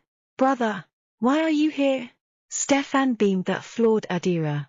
Be our brother. He really was a prince. What what? Adira softly muttered. I told you I was a prince. So that's why you talk as if you know a prince. You actually do know one. I didn't expect it to be my brother though. Stefan said and tapped his brother's shoulders who was still as stiff as a frozen iceberg. What are you doing here, brother? Casimir turned his platinum eyes that held a chilly glare towards Stefan's bluish-green ones. What are you doing here? How did you know Adira? Why are you so close to her? How dare you visit her dorm? What are you to her? Why are you here? Oh. Brother, this is our secret for now. Actually, I chose this fierce woman as my bride. I'm here to propose. Stefan whispered excitedly and with that, he successfully opened the gates of hell. In a split second, icicles suddenly sprouted from the thick coating of ice that crept on the walls and the floor and all else from Casimir's spell and stopped just centimeters away from Stefan's chin, threatening so dangerously close to poking him through his skull. What did you say? Casey, stop! Adira's cry drowned out Casimir's cold and deathly voice who did not even let off his own brother from trying to pilfer his fiancée out of his grasps. Casey? Stefan repeated and watched Adira's figure wobbly try to balance herself through the ice to get to his fuming brother's side. Since when did his brother let others call him with his given name? Even allow them to call him a nickname. Casimir, stop this. What's wrong with you? Why are you threatening your brother? Please, calm down, Casey. Talk to me, okay? You'll tell me, won't you? She tried to desperately appease the berserking great demon lord when he turned to her, that impregnable thick frost shining so dangerously in his platinum eyes. She knows it wasn't the right time or moment, but damn, how can someone still look this devilishly good even when seconds away from committing murder? This is outrageous. Where were you while I was away? I was back at home. You know that. You dropped me off there yourself, right? How did you come across him? I, I went back to the plaza to settle some unfinished business and I happened to, um, run into him. But I swear I wasn't doing anything dangerous. How are you acquainted? We. We both got into a fight and um. I treated him to a meal as an apology to the shop owner who owned the store we fought in front of. Casimir sighed and held his head. Seriously, the moment he takes his eyes off of her, she unconsciously ends up hooking another man into her clutches. How does she do that? Why do they keep increasing for God's sake? Casimir retracted the icicle and thawed the ice but it didn't mean that Stefan was safe yet. The shadows of death on his eyes were still dancing threateningly, still feeling murderous even if he's already cancelled the spell. And he was still ready to shed red. Casey, are you fine now? Adira gently asked him and held his hand. He was as cold as ice. He was really, really mad for whatever reason it was. Your Highness. Adira called and both of the brothers turned to her. One was incredibly upset at having to hear her address him as such while the other was still scared out of his wits and his mind in a jumbled mess, unable to wrap his head why his brother was suddenly so hostile towards him. After remembering that the both of them were princes, she cleared her throat before starting over. Your Highness, Prince Stefan, can I ask you to please withdraw for now? Casey I mean, His Highness, Prince Casimir's not in the best mood right now and I need to sort this out first. Wordlessly, Stefan nodded his head and followed the poor shaking Lifa out the door, leaving the both of them alone. If anyone can fix the Lord of Darkness mood, then it'll be no one but Adira. Casey, can you talk to me? She still tried to coax the iceberg man and gently squeezed his hand to make him feel her. Without answering or speaking, Casimir pulled her into his arms and tightly kept her plastered there inhaling her calming scent of strawberries and milk.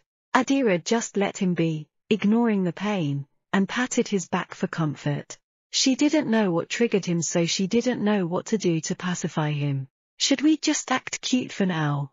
Um, Casey, I just thought of something. She didn't expect Casimir to answer her so she was about to continue when she felt him breathe deep and sigh before humming in a question. Millimeter? I didn't know you would still look absolutely fetching even when you're incredibly mad. She shamelessly blurted out and looked up to see Casimir's expression. Yep. He's shocked, all right? But at least, he's slowly calming down now. Ah. The sun has risen again. Good job, Adira. Good job. We survived again. Notes. Thank you so much to our new batches of commentators. I was so overwhelmed and happy to find new names. I greatly enjoy your comments as always. Thank you so much. Also to the votes that flooded in as well too. Thank you guys. Two needy animals. Adira made it through an ordeal caused by Casimir alive and intact especially his poor brother who couldn't even get his defense up against him. She had thought that it'd be a lot of work to placate the great demon lord but all she did was remain inside his strong and warm embrace and he calmed down by himself. Heisa, who settled for his mother's lap, tried to pry his arms away but this time, Casimir did not budge nor humor him at all. He silently kept still and buried his head on Adira's shoulders. Adira, at that time, felt like she was taking care of two needy animals a growing clingy black dragon and a large silver wolf nuzzling against her, each demanding her attention. She sighed before she brought her hands up to pat Casimir's head softly, pampering and coaxing him. She waited for him to tell her what happened to him but it seems he didn't have any thoughts of telling her anything and that was fine. She was just worried. But it was too silent and she didn't like the silence that was almost deafening so she racked her brains for something to say anything will do. Oh. The final exams will be starting next week, huh? Not that you need to study but, millimeter, I'm kind of worried. What are you worried about?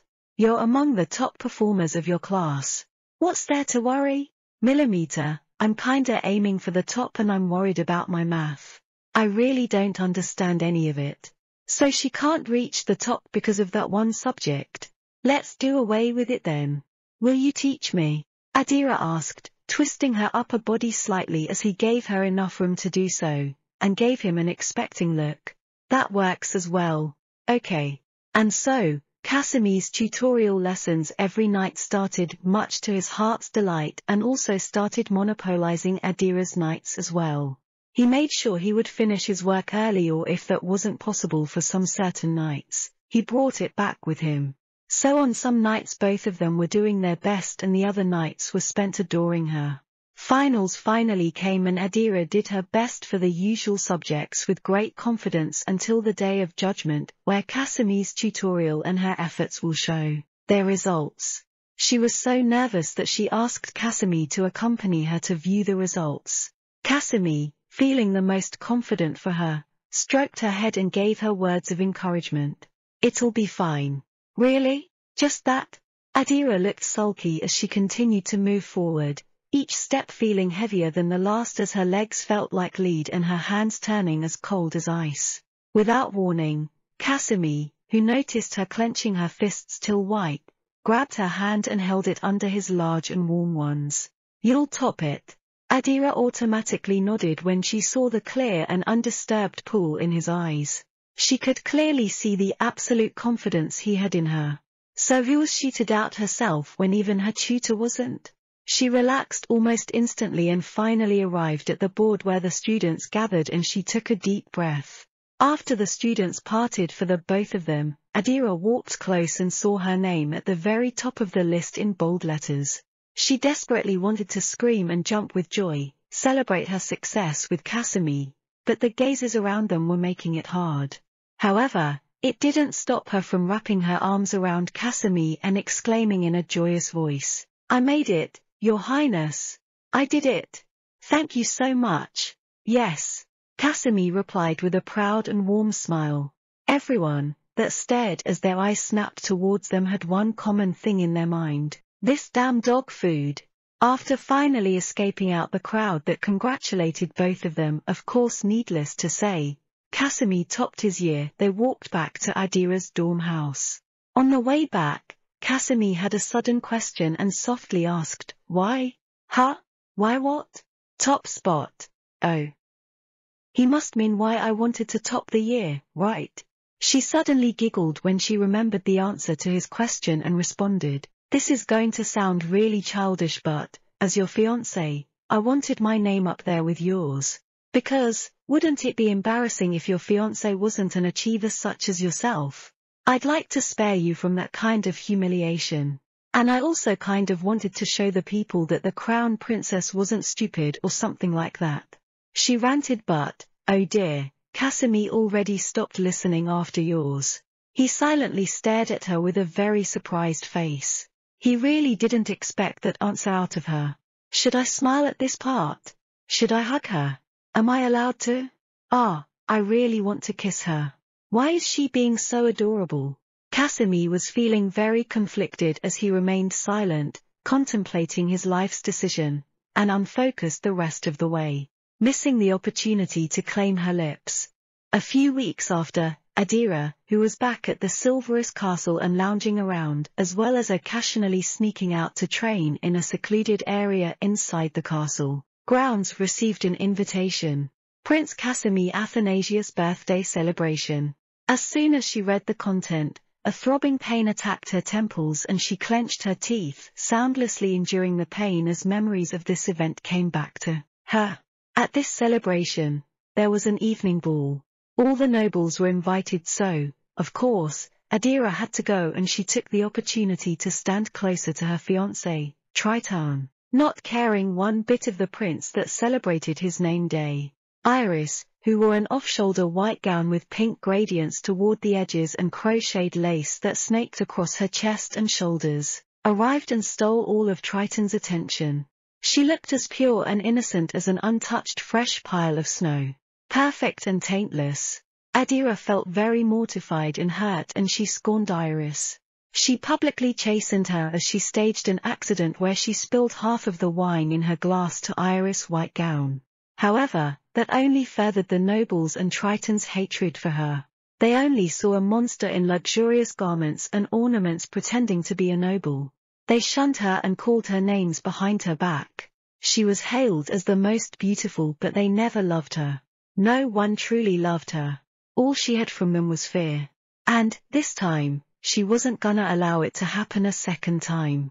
She instructed Lifa to prepare all the necessary arrangements for the ball that was to commence in three days' time. It was time she got her revenge for that little brat scheme. Adira smiled to herself and Heisa rested his large head on her crossed legs begging her to pet him and she did. If you look at Adira's picture right then, she looked like your typical evil queen villainess stroking her peculiar pet while planning her next evil move. And wasn't that just perfect? Notes. Happy 11k reads and 637 votes to us. I'm so happy. Thank you to everyone. I love you guys a lot. Thank you for always voting and leaving me comments to enjoy. Thank you so much. I also discovered this story topped three of its tags. Past life, past memories, and villainous. Woohoo! Banzai! Thank you everyone. Let's keep it up. Love love. Fairest of them all, nobles poured into the palace to greet and celebrate the first prince.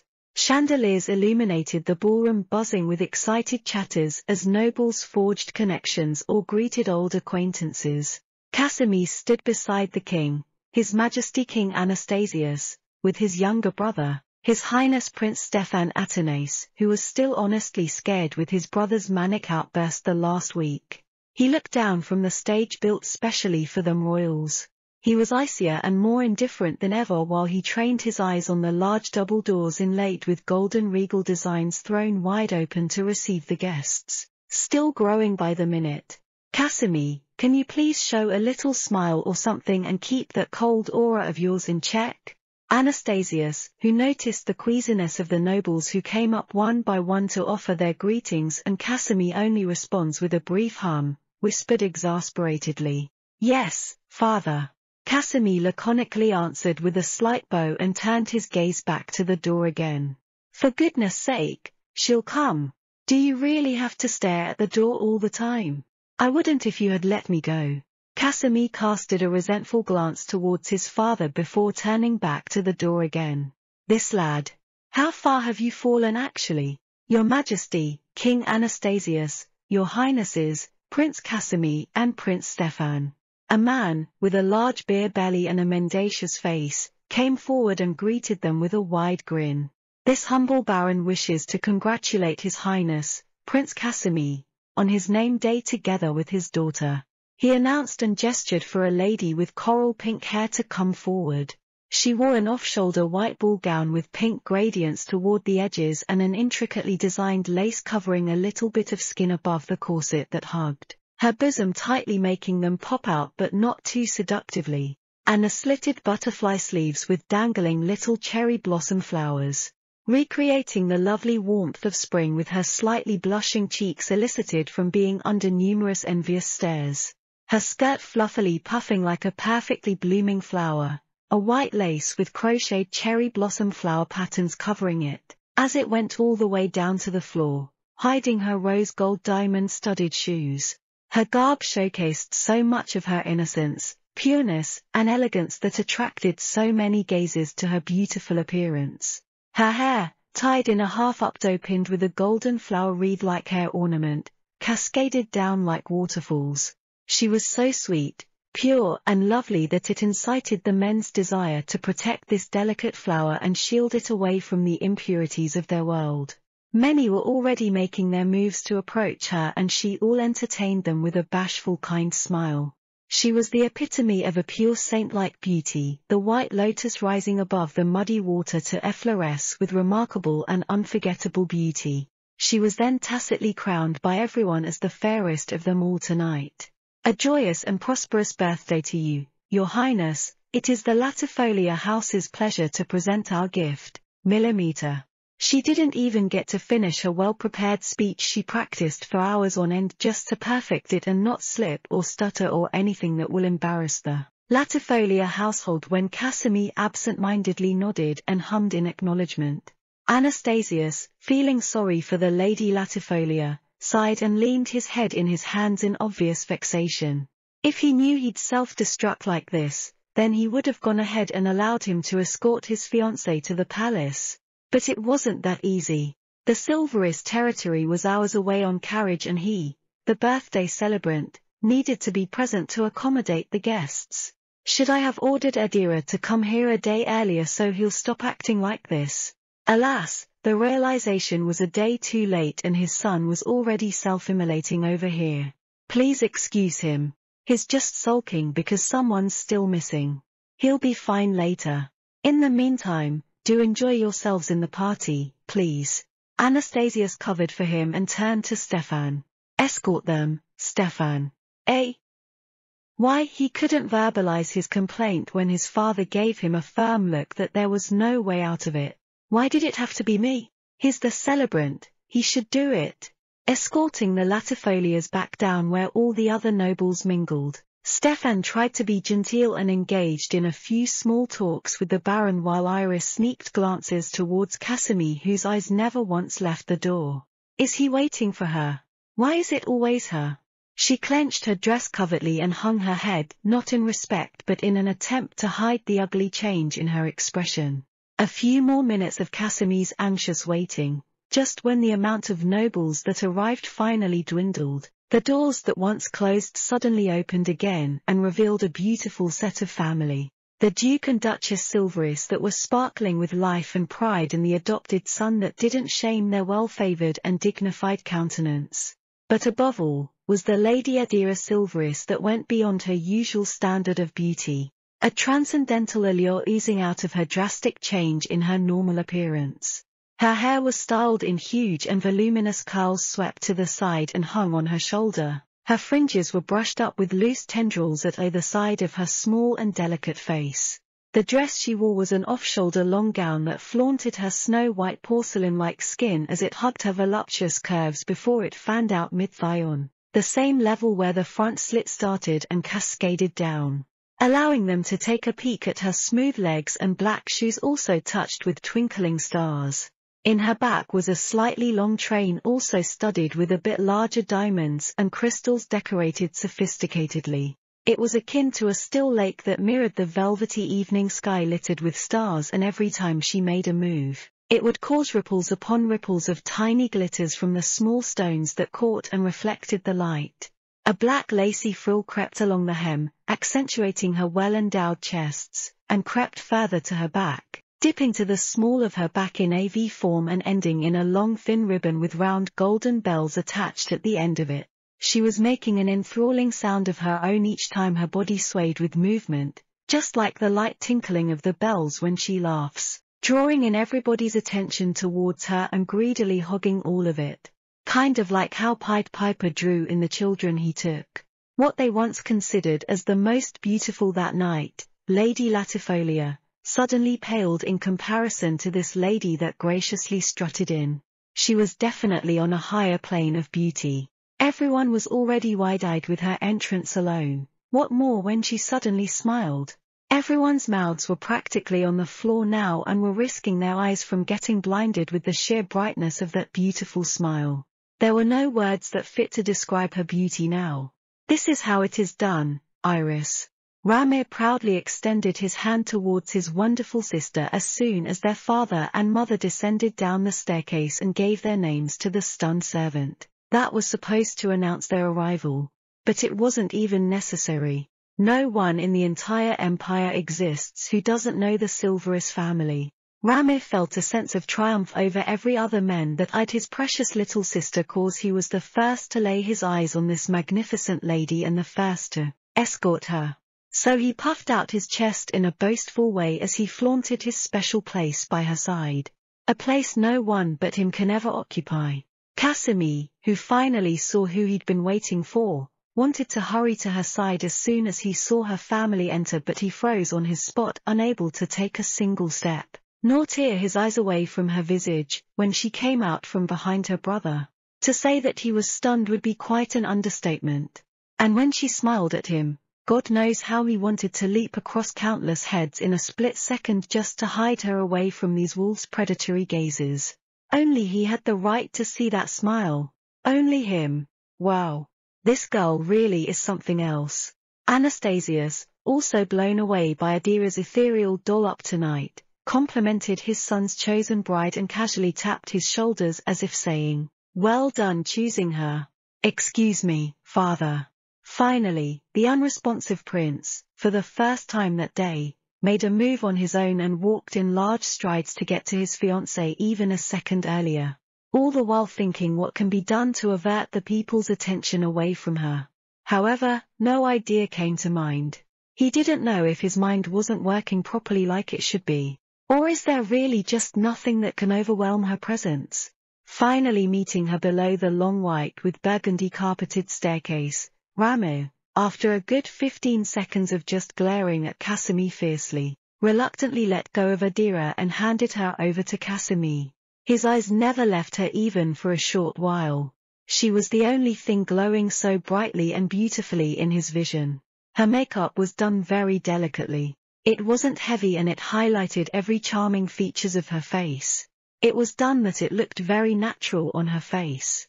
Do I look that different? She finally spoke with slight amusement in her voice and snapped him out from checking her out.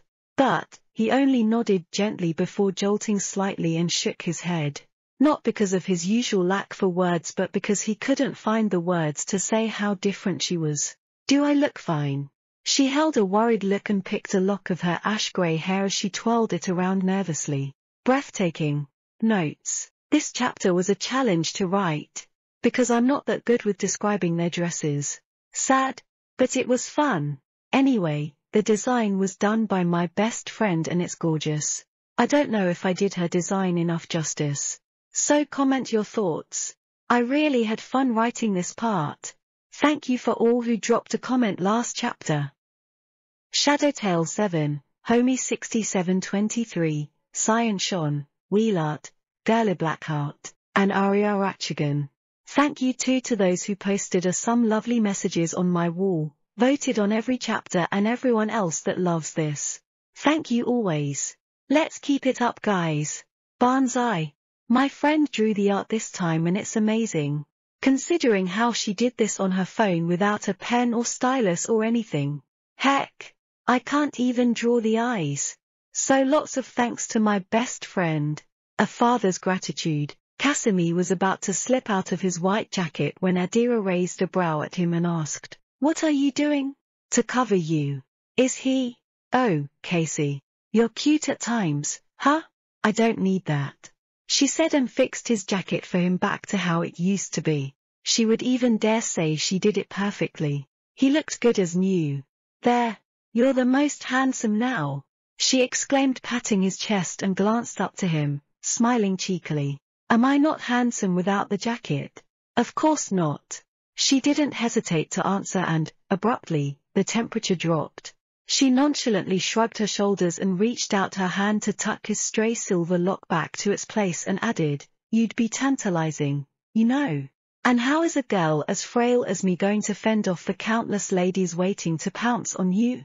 Damn, tonight's dog food also is on a whole another level huh?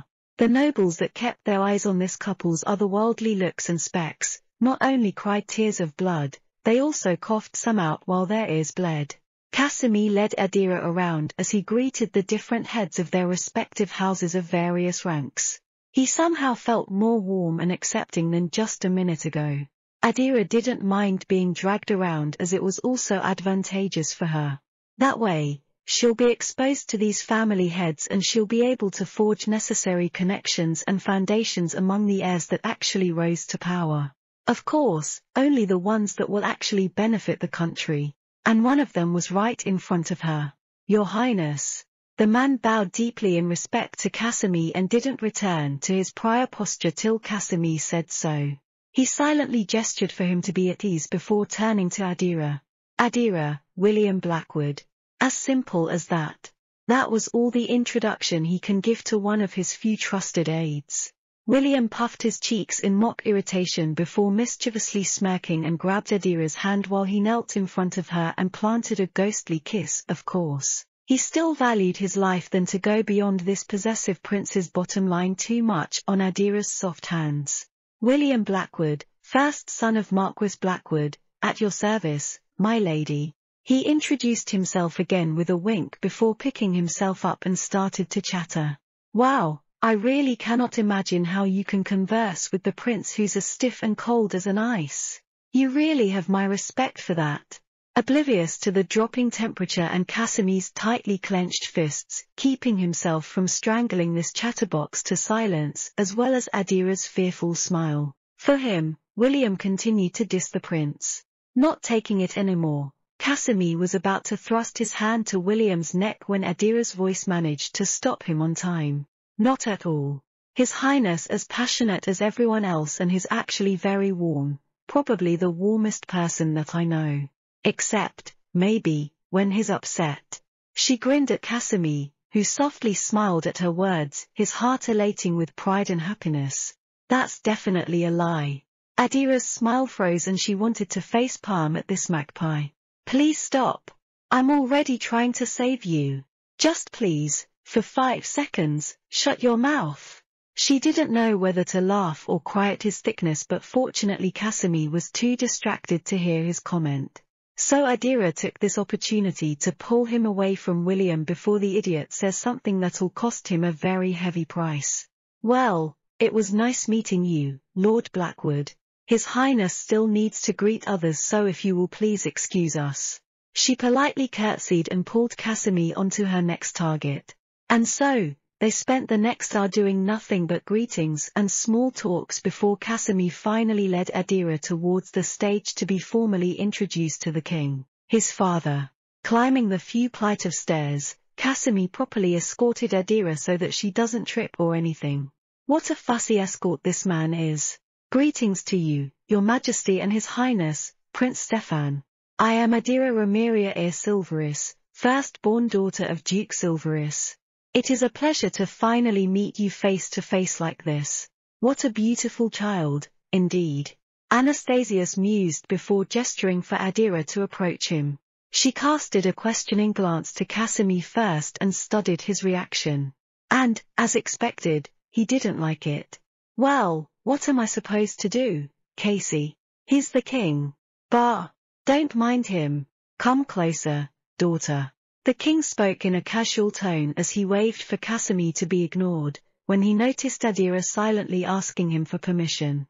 Adira stiffened and turned her wide eyes to the king who very easily and fluidly called her his daughter. Wow! How confident are you, your majesty? No. Actually, this family really loves to claim things on the get-go, huh? Casimir, who was originally feeling bitter at his father for pulling Adira away from him, suddenly felt better after hearing what he called her. He unexpectedly had a change in his opinion before willingly helping Adira closer to his father. How easy. You. Go back to entertaining the guest. The king ordered and shooed Casimir away. Stefan, who kept his surprised and searing gaze on Adira's figure for some time now, jolted when Adira's eyes accidentally met his. The way they also changed along with her overall air, was so damn alluring he could feel himself overheating under that brief stare. He could feel a blush coming and, in an attempt to escape, stood up and slung an arm over Casimir's shoulders. He rhetorically asked his father for permission but didn't turn back nor wait for him to answer as he dragged Casimir away. The Adira that he chose turned out to be his elder brother's fiancée. He didn't doubt the fact that she was able to move this ice mountain though. With how eye-catching, beautiful, charming Anne, can you stop thinking about my fiancé so obviously? Hearing Casimir's cold voice from beside him, chills ran down his back as he stiffened and stood straight like pins. Just that voice was enough to relive the nightmare of that day and he forgot it briefly because of that damn feisty woman. WH who's thinking A about WH who? Do don't scare me like that, brother? Casimir's gaze was untrusting as ever but decided not to pursue it. He cannot help it. If everyone's eyes were practically glued on his fiancée because of her beauty, then even his brother won't be safe from it. But, he also cannot ignore how this idiot tried to claim his bride. He's not sure if he already gave up but it'd probably be better not to let his guard down. While Adira, who was left alone in the presence of the king, was nervously fidgeting. She was confident, yes, but there's a different kind of pressure when you're facing the king, who is also your fiancé's father, all right. Yo your majesty.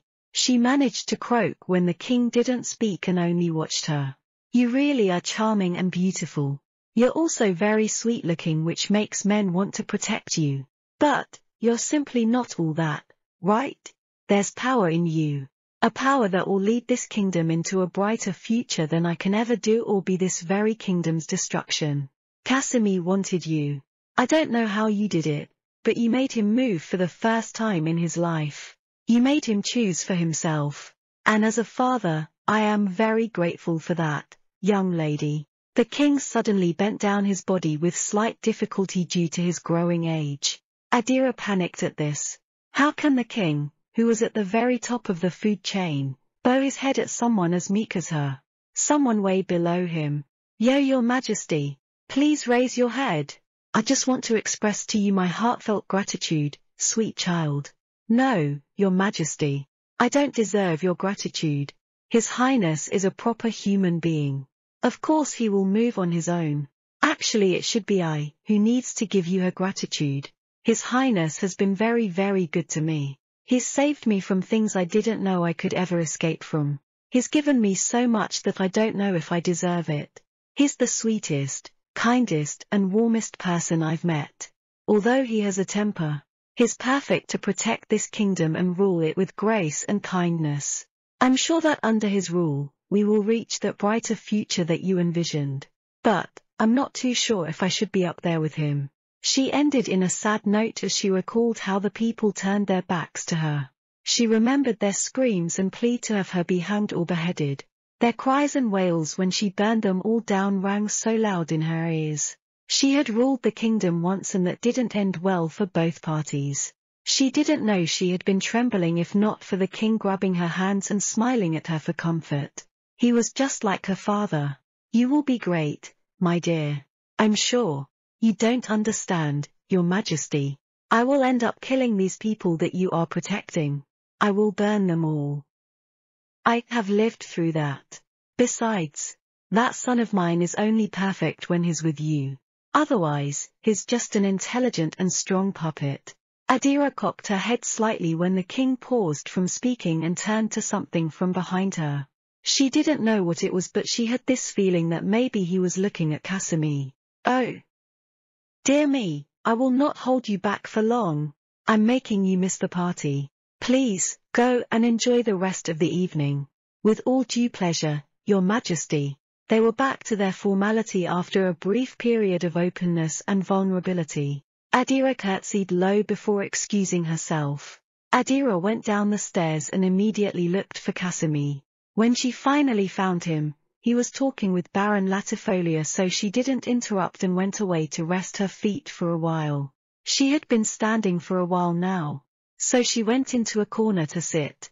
Another one of Casimir's aides, one of the men she always saw at the student council room, came close to her and knelt down in respect and planted a kiss on her hand that he held. Good evening, Lady Adira. I am Leon Riona adoptive son of Earl Riona. A pleasure to be at your service. Good evening to you as well, Lord Riona. Did His Highness send you here? Adira giggled at the thought that no matter what, Casimir won't ever let her be alone. There was a short pause and Leon smiled while answering her with a short, yes. He really is a worrywart, isn't he? Notes. Thank you for the overwhelming support and love my lovelies. For the comments, votes and subscription. Thank you so much. Let's keep it up. Banzai. The one meant to lead. Adira remained on her spot while waiting for Casimir. Leon wasn't saying much and she figured that maybe he just doesn't talk much. And then, the light and soft music changed into that of waltz. Ah, the nobles are dancing. Adira thought and figuring that Casimir would be needing a partner, she got up. But what she saw was him already holding Iris at the center of the nobles that also came forward to dance. Leon saw Adira stopping and stared at something, and then he also saw it. Racking his brains for something that will somehow lift her spirits a bit, he took off and collected a variety of sweets from the buffet. Adira just stood there and watched them. It seems that no matter which life, she always got the shorter end of the stick. They do look good together. Perhaps. Iris is really the one meant to lead this kingdom to that brighter future, your majesty. She felt a light tap on her shoulder and gently turned to the plate of sweets shoved to her face, in a poor attempt to hide this awkward lord's embarrassment. Eat. Sweets will make you feel better, my lady. Seeing the amount of gooey chocolate dripping from the cake, the fiery irritation building up in her was extinguished just a tiny bit. Thank you, Lord Riona. Although coarse and straightforward, Leon was sweet and considerate and that was enough for Adira. She took it off his hands and chose to focus on the sweet instead. A bit of the chocolate stained the corner of her lips and Leon pointed it out. Adira, a bit of a sweet tooth, couldn't stop herself from wiping it off and then licking it off her finger. Chocolate, after all, was her guilty pleasure. Tea, my lady. To wash all the sweetness away. Leon offered and Adira chuckled sweetly at his gesture. He was just like Lifa. Thank you, my lord. A few minutes after, of just sitting and occasionally seeing Casimir and Iris dancing, Adira felt the building heat rising and making her dizzy. The kind of heat that was arousing her down there. She involuntarily bent down and clutched her rapidly beating chest and overheating body. My lady! Leon, who noticed the abnormality in Adira, reached out to help her.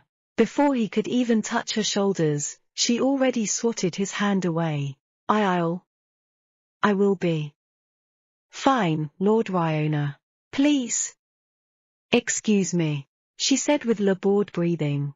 As if she was having a hard time getting air into her lungs. She unsteadily got up and Leon extended his hand again, wanting to help her, but she just shot him a very dangerous glare with that very bewitching look in her face. With a flushed face and heavy panting, Adira moved forward and tried to escape from everyone. But oh no, not the men that was just waiting for her to leave the Lord's watch. Lady Silverus, I'm, Lady Silverus, may I ask, my lady, Lady Silverus. Their words were swirling into one big cacophonous sound that was grating on her nerves and making her dizzier. Please. Everyone. I, I am out of sorts. As of the moment so please, excuse me. She breathed out and all the men were enchanted with her beauty at close quarters as well as how she was so seductive with just a few words. While they were out of focus, Adira took the opportunity and slipped away from them as well. She needed to get away from everyone or anyone. This. This is that drug, right? An aphrodisiac. She stumbled forward and searched for something that will quench her thirst. She was dying from the scorching heat burning her insides. Something. Anything that will satiate my desires. Right. Casey. Casey can help. She continued to move forward shakily and briefly leaned into a pillar for support. She was burning hot and she needed something cold, or someone who will satisfy her darkest desire. Adira was very unstable the more the minute stretched further and when she tried to move forward, she bumped into someone and she just keeled over. Luckily, Triton, who bumped into her, reflexively snaked his arms around her in an attempt to catch her from falling. Adira, help me, it's hot. Help. Call. Call Casey please. She breathed and clung to the person that caught her. You're very hot. What happened? Triton felt alarmed.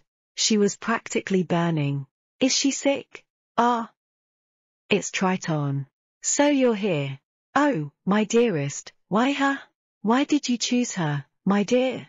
Delirious from the heat and pain of the drug that was poisoning her senses, Adira ran her fingers on Triton's face as she asked him, forgetting that things were a little bit different now than in her past life where Iris was seducing him as she seemed to regress back to that time.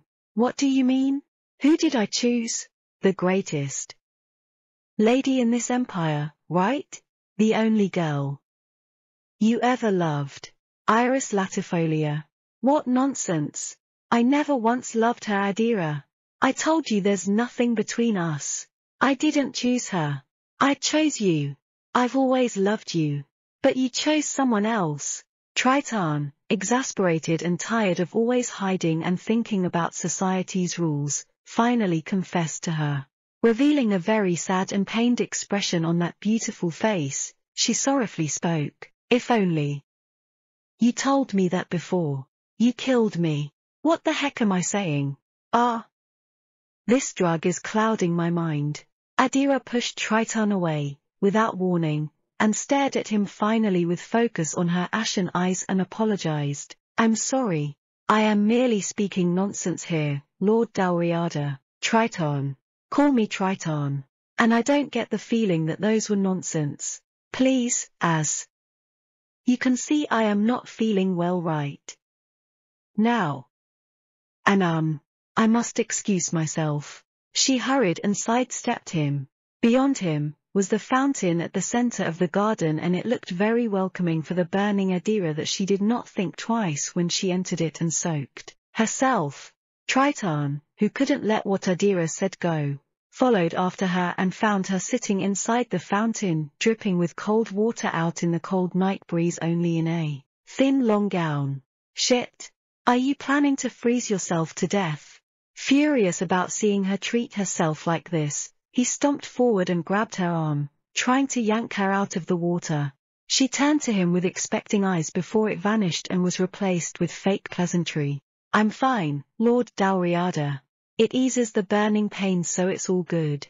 When she looked at him, she looked so devilishly titillating and enticing like she was a succubus that crawled out from hell to feast on him and he didn't mind.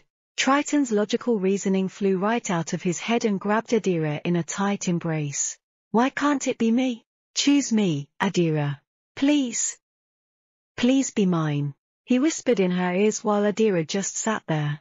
Her question from many years ago was finally answered tonight. She doesn't feel for Triton anymore.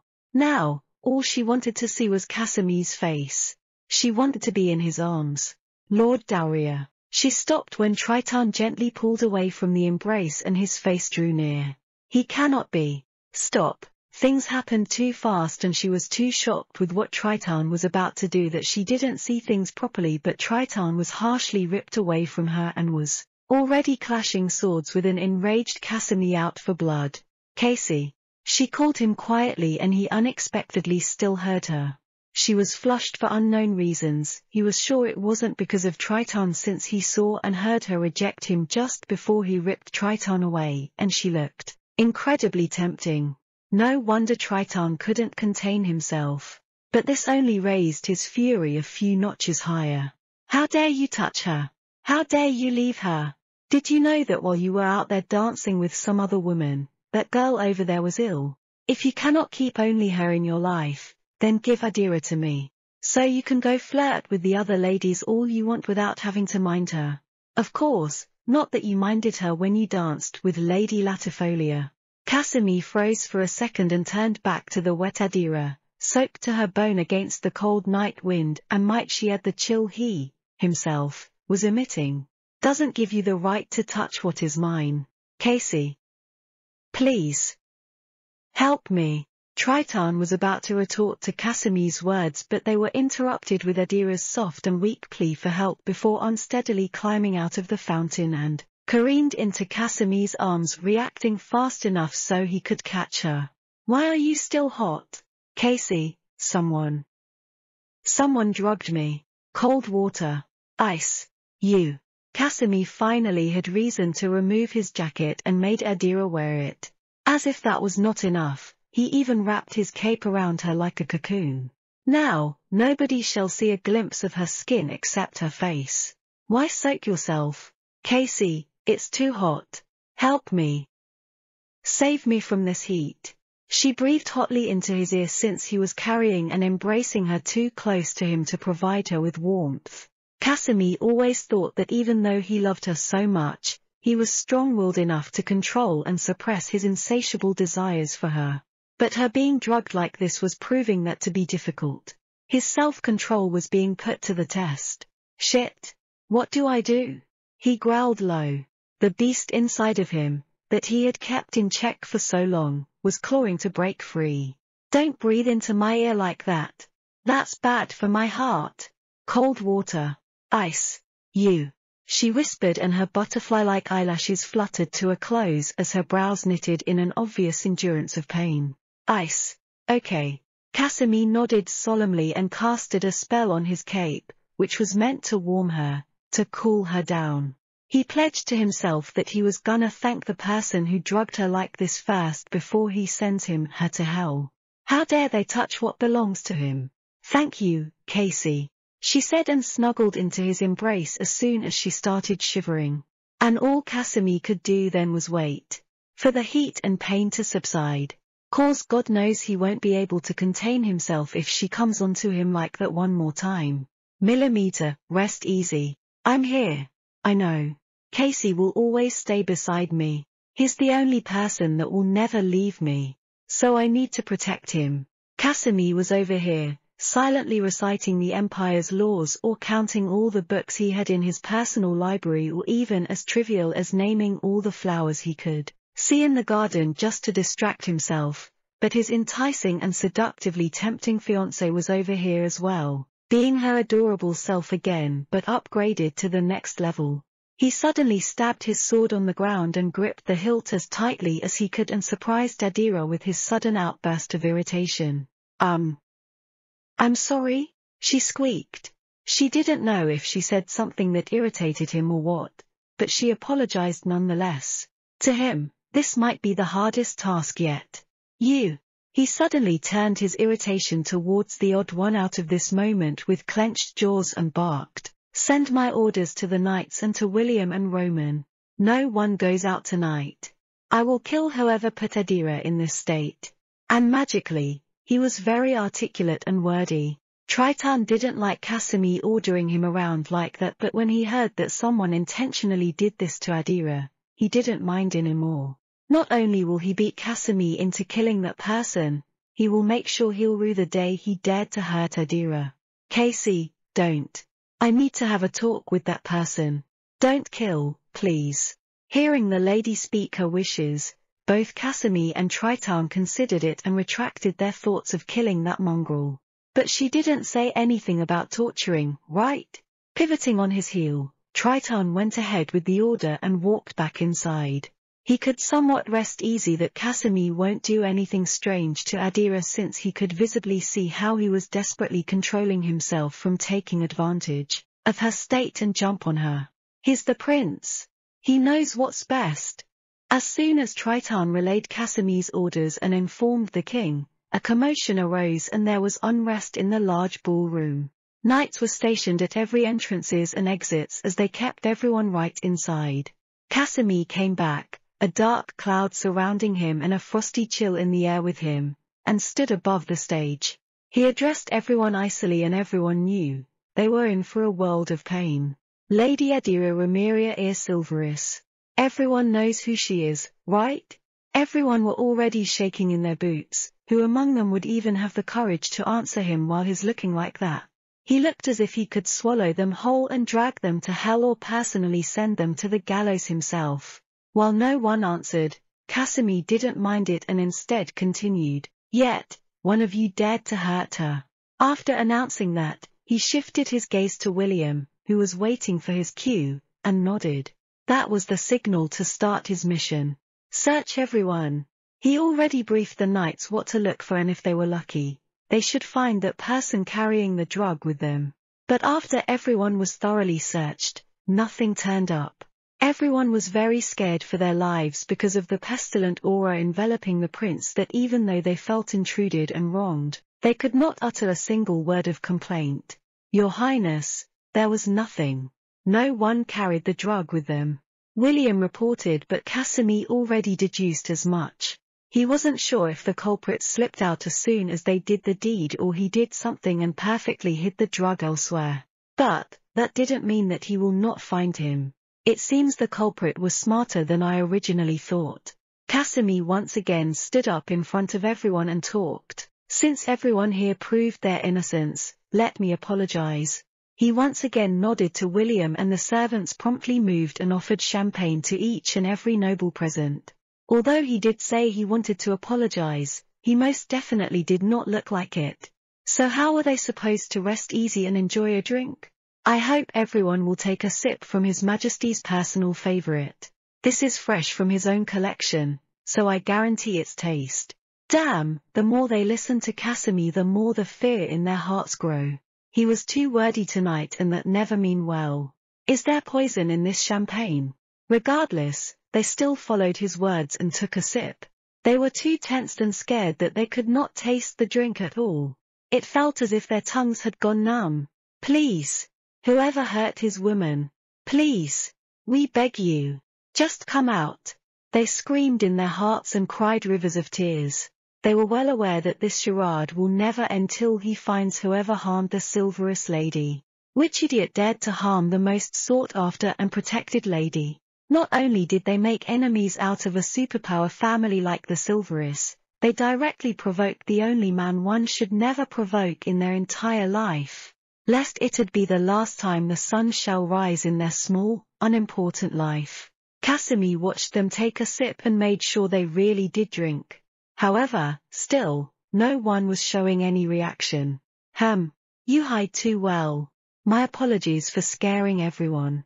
He smiled but when he did, he looked even more like the great demon lord rising out from hell to drag whoever angered him back down with him. Everyone wished he wouldn't smile when he's practically chilling them to death. He instructed the knights to step away from the doors after opening them wide. The nobles dared not avert their eyes away from this ticking time bomb and kept as still as they could. Everyone felt that even breathing loudly might spell their death. Everyone's free to go. Casimir said and walked down the stairs to approach a noble and shook his hand with an apology. The noble was so scared he almost shut himself. Now, imagine how humiliated he would be if that actually happened. His dead to high society. Casimir personally escorted the said noble out the door and repeated the process to a few more nobles, personally seeing them out and shaking their hands. The nobles finally relaxed a bit as they filed out of the ballroom slowly. The king and the Silverus family were confused with Casimir's actions but didn't say otherwise. They knew they could leave it to him although Rame and Silfa was reluctant to accept that idea. It went down to a few more people now and even then, he did the same. Until he came across the one person with a peculiar scent on their self. Found you. Notes. Thank you so much for the overwhelming support and love guys. Thank you for your comments as well. I really have fun reading them as always. Of course, as well as the votes. Thank you so much. Hold your hand. Everyone were already out the doors and returning to each of their houses alive and with intact limbs before they allowed themselves to rest easy and sigh of relief. That was the scariest Casimir had been for a while now. The more wordy he was, the more they felt his oppressive anger overwhelming them to the point they were drenched with sweat and tears and unconsciously trembling in fear. Although they didn't know who the culprit was after all, they were sure that Black-Hearted Prince won't ever let this incident go, since it specifically involved his woman. Casimir went back to Adira's side, she was temporarily at the farthest end room of the east wing of the palace. And no, he didn't mean to arrange it like that so no one disturbs them okay yeah, he did arrange it like that. But partly because they had to secretly bring Heisa when Lifa came over. Heisa was throwing a bit of a tantrum, probably feeling his mother's discomfort or the disturbance in her manner. He even meant to just let her rest in his room but rules and circumstances would not allow that and he doesn't want to paint a bad impression on his soon-to-be parents. He remembered she wanted to meet that person to ask why he, she drugged her with an aphrodisiac. So he came to report to her. Knocking gently, he pushed the door open as soon as he heard her acknowledging voice and found her leaning against Heisa for coolness in front of the fireplace for a little bit of warmth. She had already changed into more comfortable clothes and let her hair fall in natural waves, looking so soft and homey, like a wife waiting for her husband to return home. And, upon seeing her weak figure, he decided to put it off for a while. How are you? millimeter better. Heisa's scales are very cold tonight and he's very perfect. Adira answered and snuggled closer to Heisa, which was to the latter's absolute happiness. They say I'm cold. He subtly inserted and sat close to her while keeping his icy platinum orbs on her. Adira giggled cutely and smiled brightly. Was she really getting better? Why is she a hell lot more beguiling? She slightly turned her body and opened her arms to receive him. She's been with Casimir for a long time that she can guess what he wants more often than not. Brightening up at Adira's gesture, Casimir slowly shuffled closer to take her in his arms gently. Of course, he must not look too eager. Millimeter case is warm not cold. Those people are lying. And Casimir believed that. Whatever comes out of her pretty little mouth was his only truth. I can cast ice magic. He reminded her, though it wasn't needed, and Adira only shook her head. Casimir's temperature was perfect for her. Or was it the person himself? Did you find the person? Adira cautiously asked. She knew that asking about this incident would upset the great demon lord. She could clearly see it when he stepped into her temporary room. But, she needs to know. She has this gut feeling that this incident wasn't all that it seems at the surface. And true to her expectations, the temperature in the room dropped a few degrees after she mentioned it. Casimir was upset and his whole being was austere. Yes. Did you kill? Although she already knows the answer to that, she wanted to hear him say it. She wanted to hear him talk. No. Millimeter, Casey really is kind. Who's kind? I didn't kill him only because you asked not to. I want to hear that person's reason. She added in a small whisper. She wasn't all that advertent of her surroundings because she was more cautious of Casimir's surroundings. She was more worried of his impending assassination that her own security totally flew over her head. Honestly, as idiotic it may sound, it didn't really occur to her that she'd also be a possible target. Of course, Casey is strong. So what better way to hurt this man than to harm his only weakness? She felt somewhat upset when she thought that. At first, she rigorously trained to perfection so she could protect herself. But now, she was being so pathetic and being a burden. She even had the audacity to boast about protecting Casimir when she couldn't even protect her own self. How am I supposed to protect him if I'm this weak? I'm sorry, Casey. Adira suddenly apologized and Casimir stopped playing with her long ash-grey hair to look down at her sad little face. Why? I'm a burden to you, aren't I? It breaks his heart to see her like this unsure, Sad and doubtful of herself, he thought that maybe he really should have went and killed the person on sight. You're what makes me strong. He consoled her and gave her a comforting kiss on her head. If he could cut his heart out and offer it up to her or slice his brain open and show her what he thought of her, he would. He'd do anything to see her strong and confident smile again. Although it wasn't that bad to be needed like this, He'd still rather see her confidently stand up and face her challenges than mope like this and doubt herself. Casey makes me strong too, you know, because I know that you'll be there when I turn around, I can move forward without fear. She finally dozed off, breathing evenly and peacefully after being in Casimir's warm hold for a while with Heisa's head resting on her lap. Casimir transferred her to her bed so she was comfortable while Heisa's tail flicked and hooked the edge of the blanket to cover his mother. The former stroked her head a few more times before answering her slumbering figure in a soft whisper. You don't need to turn around. I'll be holding your hand every step of the way. I'll be with you even if you don't want me to. The next morning, Adira finally returned to normal and Casimir felt proud for passing through the night safely albeit sleeplessly. Casimir stayed over at her room to protect the weakened Adira, in case that person decided to finish his job, but wasn't confident in himself so opted to while his time at the beige Victorian couch a little ways away from Adira's bed. Heisa was resting his head on the bed, in the space beside Adira's slumbering figure getting too small for him, and was told by his father to protect his mother against anyone that enters. Lifa, after being informed of what happened to Adira, was very worried about her mistress that even if she wanted to sleep she couldn't. So just like back then, when Adira fell into a long sleep after falling off the horseback when she was a kid, She stayed by her bedside and guarded her.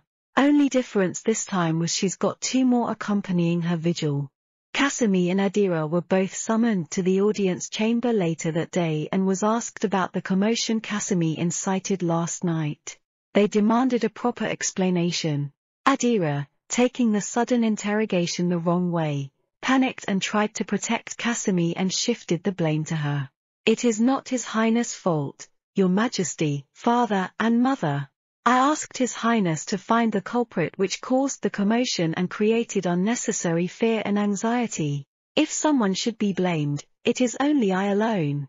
Please don't blame His Highness, Prince Casimir. Everyone was very shocked at Adira, most especially her parents. They had never seen this burning passion to protect someone in her all those years ago. And mind you, she never rose her voice like that as well. Casimir glanced at her warmly and lovingly. So this is how it feels to be protected. Adira, they're not chastising me. Calm down. He told her gently, taking her hands into his large ones and used his other free hand to pat her head. That is right, daughter. Casimir failed to properly explain to us yesterday because he suddenly took off after seeing all guests out. To which I could guess where. The king calmly comforted the panicking Adira with a hidden smirk and reveled in the blush that coated her cheeks when she realized that she just overreacted. However, Adira's father had a complaint. Who are you calling daughter? They're not even married yet and you're already calling my daughter yours. Father, we have a more serious issue at hand here. Notes. Hello. Thank you for all your lovely and funny comments. I had a great time reading them. Thank you also to those who voted relentlessly. Love YA. By the way, I saw someone with a Lucas image as their profile and I couldn't help but say Jude. You're the beast. I miss my boy. And to the Hamilton dude. I am not throwing away my shot. Dang. Let's run away. Casimir explained to their parents what transpired last night and what happened to Adira. Silpha was burning with fury and clutched his sword, on the ready to stomp out of the room when he discovers who the bastard was and torture them to death. And, Andrea didn't care to stop her husband. She was even willing to assist him if need be. Casimir obviously noticed the animosity enveloping the two elders and he does not plan to stop them from dealing with the person but he tried to convince them to leave it to him. Partly because he wanted the first blood but mostly because that's what his bride wanted. It took a while before the elders decided to trust his words but they did. If anything, they'll just have to renegotiate after he brings in the culprit. The king, Anastasius, trusted Casimir and left it in his hands. Also, it's his bride who was harmed and as a fellow man he knew no one can stop him from exacting his payback. You have my utmost gratitude, your majesty, father, F.A. Duke and Duchess Silverus. Casimir bowed respectfully before they were excused and took Adira with him, much to the chagrin of the Duke Silverus. He wants to spend time with Adira for a while before she has to leave for her home back at the Silverus Fief again, before they are separated for miles again. They were walking around the garden silently. Adira wasn't talking and was just hanging her head. He thought that maybe she was still depressed about the incident so he tried to cheer her up. Adira. He called and she muzzily turned to him before he slipped a flower on her ear that took her off guard. You look better with a smile. His gaze was full of worry, warmth and love that Adira, who was thinking about what to do to improve herself, froze for a few seconds before blushing at Casimir's flirting skills suddenly kicking in. Goodness, Casey, what am I gonna do? She mumbled under her breath and, of course, Casimir didn't let it slip his hearing. His senses were always dialed to the eleven when it's Adira. Smile. He answered, completely misinterpreting her affliction. Of course, your highness. She teased him and smirked before a wild idea popped in her head and she smiled oh so brilliantly whilst mischievously. Casey, let's run away. Okay. How can you answer that quickly without giving it much thought?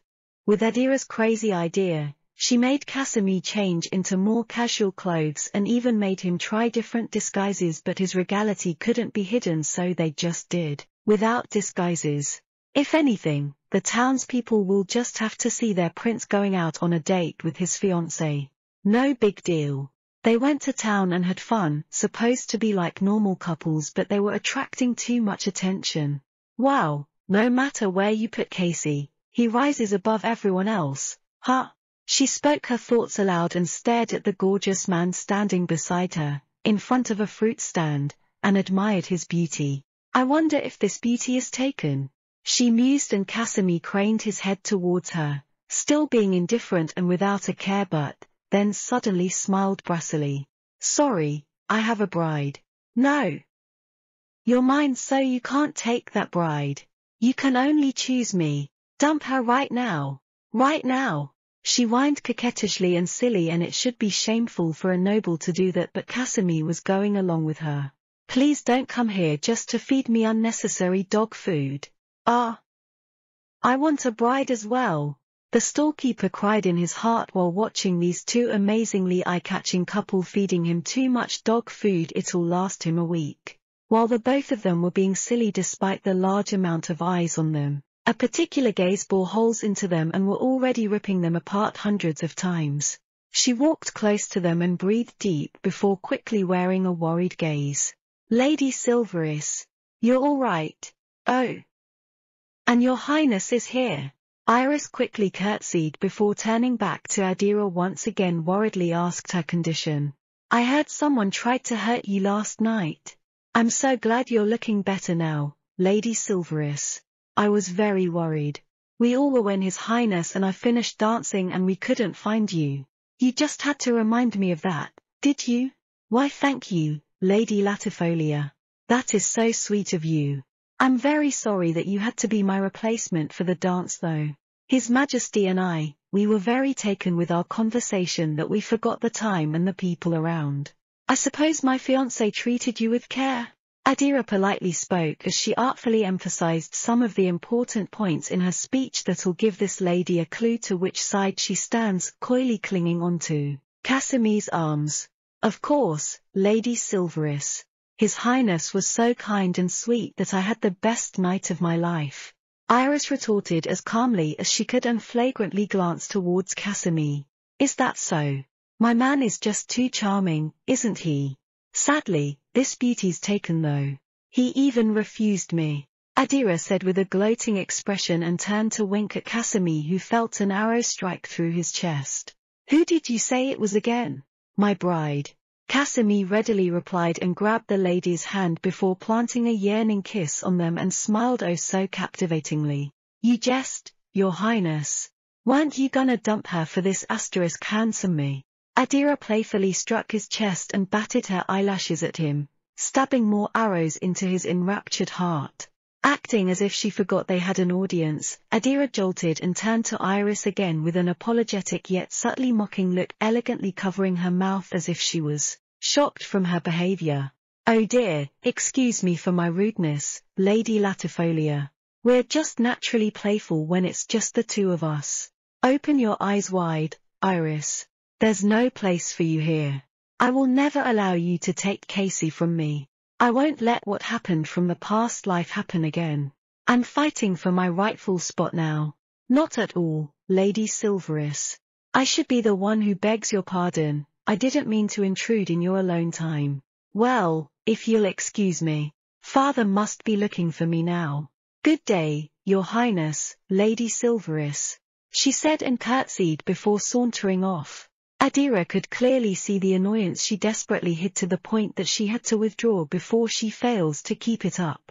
Failing to hide her victorious and haughty smile, Casimir asked her, You don't like her? Which woman would like another girl who's seducing her man? Adira, looking very upset and irritated, glowered at Casimir and crossed her arms across her chest like a very, very angry wife. And that oddly aroused something in Casimir. Are you jealous? Casimir, strangely joyous and pleased with Adira's fiery temper, asked with a wide smile. However, this smile only caused Adira's temper to flare up before a dangerous look glinted sharply in her ashen eyes as if it could burn Casimir to cinders and answered, So what if I am? Notes. Asterisk no. They're not cross-dressing. Adira's being playful and purposely mixing things up. Hi, Thank you for the emotional comments I receive every day and the votes that continue to pour in without fail. You, my dear readers, are the best. Let's keep this up and continue supporting our future king and queen. One way or another. Iris, who immediately went home after her brief interaction with the prince and the noble bitch, silently entered her room and thrashed all the things on top of her tea table in one fell swoop. That bitch. She soundlessly screamed and fumed while supporting herself on the table. She gritted her teeth before she accidentally saw her hideous reflection on the window. Everything should have been mine. Everything of hers is mine. It's mine. Screaming hysterically, she punched her reflection that cut her hand. Her chambermaid was so scared that she trembled while walking closer to her mistress as surreptitiously as possible to patch up her wounds silently. Still driven crazy with her intense bursts and irritation Adira triggered, she whisked the servant away and pushed her away. She was infuriated with how Adira obviously laid her claim and drew the line, slapping it hard onto her face. She's been passive until now. What the hell happened to her? And what the heck is that Dalriada doing? Doesn't he want her? Ah, she really makes me rankle. Iris slammed her fists on the table, already numb from her furor, that made the poor mistreated servant wince. This is only the beginning Adira. I will get revenge. One way or another, Prince Casimir is mine. She vowed and watched the inimical grin of her reflection from the fissured window glass. She's mad. The servant helplessly thought as she watched her lady being consumed with her hatred for the Lady Silverus. What's your plan? Casimir, happier as he'll ever be, asked his beautiful bride, who finally calmed down. Millimeter? I really don't know if you ask me, but I do know that I want to ask why he did that. She answered while scraping the last drops of chocolate ice cream from her parfait. Casimir, seeing Adira's cravings, pushed towards her his untouched parfait. Why untouched? Well, you see, he was so over the moon with happiness he didn't really want his attention divided with eating and watching his wife. Adira beamed brightly when she saw Casimir give her his share and immediately digged into her second batch after thanking him sweetly, sweeter than any parfait Casimir could possibly eat. Relishing the satisfaction of her cravings. Why don't we just torture it out of him? No. You can't do that. Adira quickly shot down his suggestion and appeared to be thinking. It couldn't be that he was ordered to do so, right? If so, my rivals are finally making their moves to remove me. Ha! Man, you know how hard it is to have lots of rivals. She shamelessly complained and was met with a look of disbelief from a pair of platinum eyes, as if saying, seriously, I have it harder than you'll ever do, my love. Unbelievable. Casimir muttered under his breath and Adira sharply caught on this. It really is.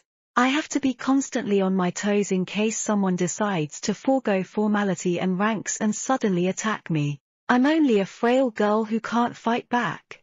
If Stefan could only hear Adira right now, he would have a severe coughing fit till he vomits blood and whine mournfully. How shameful are you, woman? Casimir could only sigh in vexation.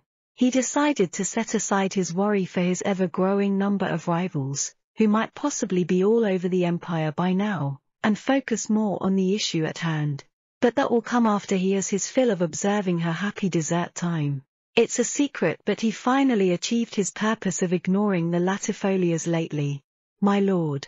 Iris curtsied when she came face to face with Leon and made sure she had on her piteous expression as well as her tears. Lady Latifolia, what happened? Um, nothing, my lord. She lied and sniffed pitifully, casually and conspicuously wiping her tears with her injured hand. My lady, what happened to your hand? Who hurt you? My lord, this is nothing. I, I, I broke a teacup and accidentally hurt myself. She lied, making it more obvious so that Leon would pry more. That's a lie. You can tell me Lady Latifolia. And we can tell His Highness Toge. She didn't let Leon finish and repudiated vehemently, no. You cannot tell this to His Highness, my lord. You absolutely cannot tell him. It couldn't be. Is it Lady Adira?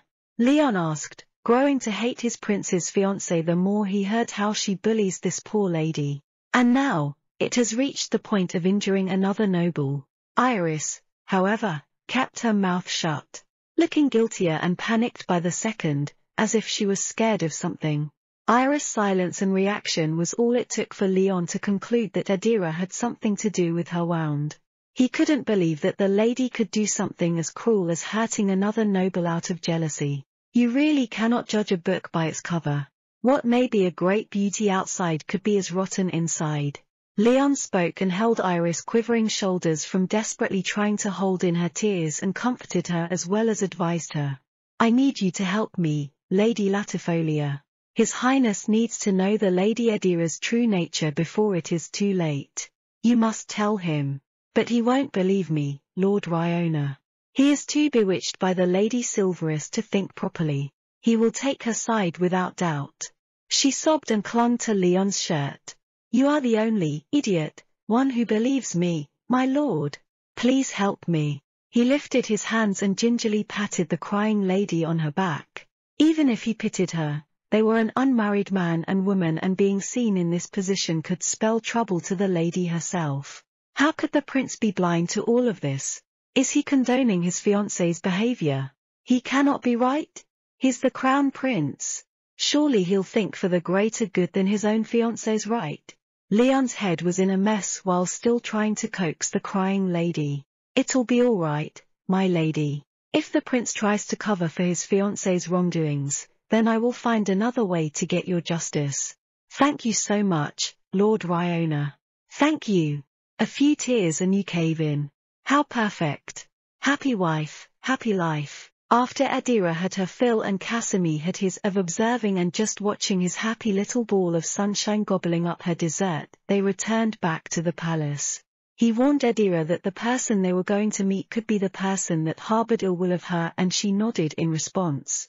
I mean, with Iris' constant attacks, another enemy isn't that much different. You'll be with me, right? So I have nothing to fear. Who would even dare antagonize you? I really would like to see one try. Casimir was itching to lay claim on those pink little cherry lips but decided against it and reeled it in. There should be a right time and place for everything.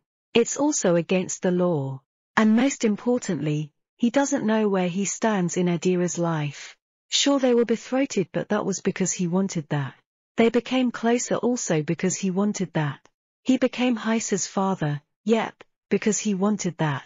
He became involved in her life, a part of her everyday, because that was what he wanted. But what does Adira want? All this time, he's been basically forcing his way in purposely trying to make her jealous and trigger whatever emotion he could get from her, which took a really long time, by letting the Latifolia girl get as close as she got. But was it really Adira's own heart? Or did he force what he wanted too much and he was only fooling himself? Because it has been a while, but Adira didn't seem to get along well with Iris. Is she mad because the girl was sticking close to me? Or is it the girl herself? Anything that involved Adira, Casimir just can't seem to be confident in the answers he formulates nor read and understand this sprightly beautiful goddess. She was always the uncertainty or irregularity in his world of patterns and predetermined actions. She was an irregular ball of light shining down on his otherwise dull world. Adira. Oh. Your Highness, Lady Adira. You're together. Again. You know, Your Highness, Sometimes I wonder if you were a stalker from your past life. William, who happened to pass by and found the two of them, decided to walk closer and greeted them. Actually, he's still a prince, William. As usual, very oblivious to Casimir's chilling agitation. William voiced his thoughts and pulled a lame joke on Casimir that didn't elicit a laugh nor a smile but only an icy glare. Adira turned to him and greeted him back, as friendly as she could, with a slight bow. Good day, Lord Blackwood. What are you two doing? He asked. Well, um, we're here to interrogate someone. Adira, after briefly checking Casimir's current mood, answered honestly. This person was Casimir's aide and if he trusted him, there's no reason she shouldn't. What do you want? Nothing really. I just happened to see you two and decided to greet you. Go away. Casimir icily chased him off and glared daggers at this thick-headed idiot. But why? Maybe I can be of help for this interrogation thing you're about to do. I know a lot of methods with varied paraphernalias. I'm a master in this field. You can use me and we'll extract whatever information you want in less than a minute.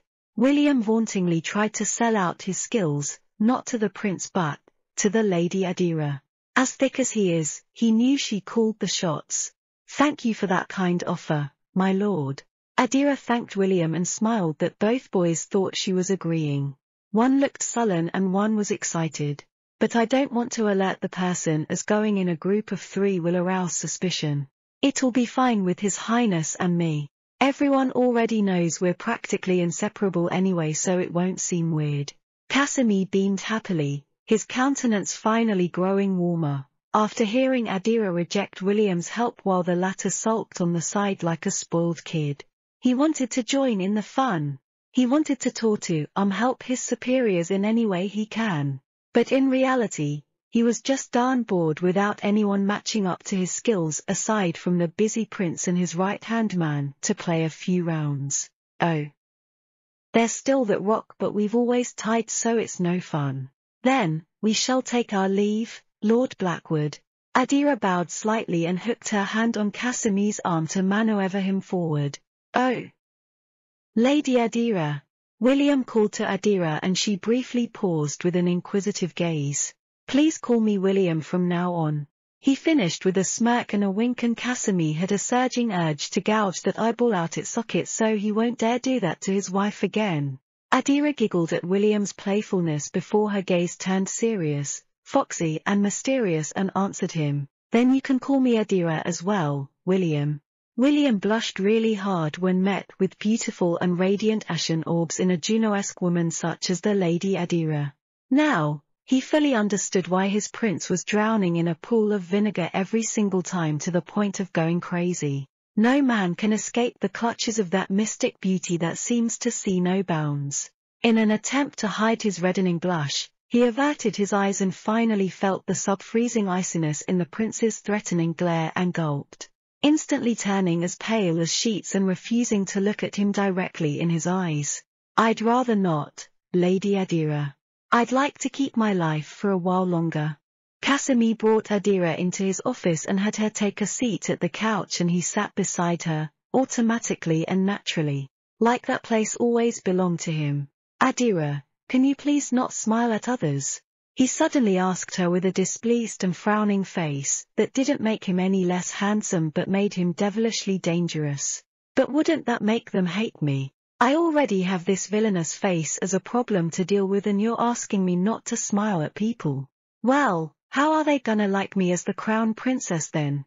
Ranting against the few words from Casimir, she planted a hand on her hips looking like a spoiled child demanding her sweets like a dominating queen. This is cheating. When she says it like that I can't say otherwise. Okay. Casimir immediately surrendered. There's nothing to gain out of arguing with a woman anyway, so why bother? Just let her win. As they say, happy wife, happy life. Do you think he'll come? She suddenly asked, softly and worriedly. She never understood how she picked this person's nerve for him to plot against her like that. He wasn't like that from her previous life. He actually rose to power and became part of the empire's asset. So why? As she was mulling over this, a knock snapped her out and Casimir answered, Come in. Your Highness, you summoned me? The man went down on his knees, as soon as he approached in a suitable distance, as a sign of respect to the two who stood way above him in rank while avoiding direct eye contact. Millimeter. I have a question for you. He looked up, confused not only because his prince said he summoned him because he had a question but also because with his voice came the abrupt drop in temperature as he looked as murderous as he did the other night. Pray tell, your highness. Your humble servant will do his utmost best to give you a satisfactory answer. Leon Riona, adoptive son of Earl Riona, a man under my protection as my aide, answer me. Why the hell did you drug Adira? Thanks for the treat. Your Highness, I didn't. I swear on my life I never placed anything in the lady's drink or meal. I don't like her but I most certainly would not do anything to harm a noble such as her, who is also the prince's fiancée. Leon cried and defended himself, denying anything Casimir was accusing him of. But your highness, should you really be believing whatever the Lady Adira tells you? Aren't you even doubtful of her? How can she blame it all on me? Just because I kept her company in your absence. Do you even know what she does to other nobles? She hurts them your highness. Lady Latifolia's injury is proof of that. Leon felt very cheated and aggrieved.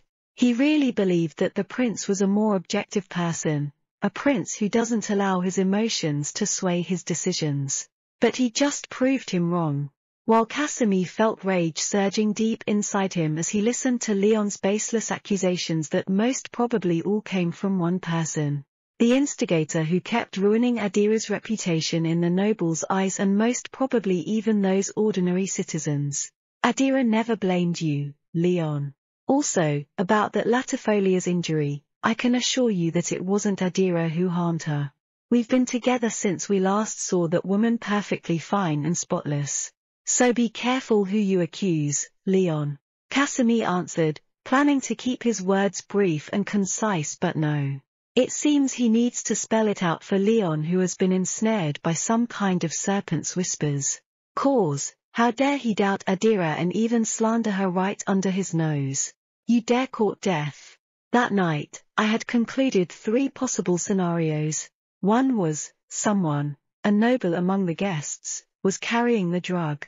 But after searching through everyone, the knights found nothing. Two, I thought if no one carried the drug, how else was it possible to smuggle the substance inside the palace without alerting the guards?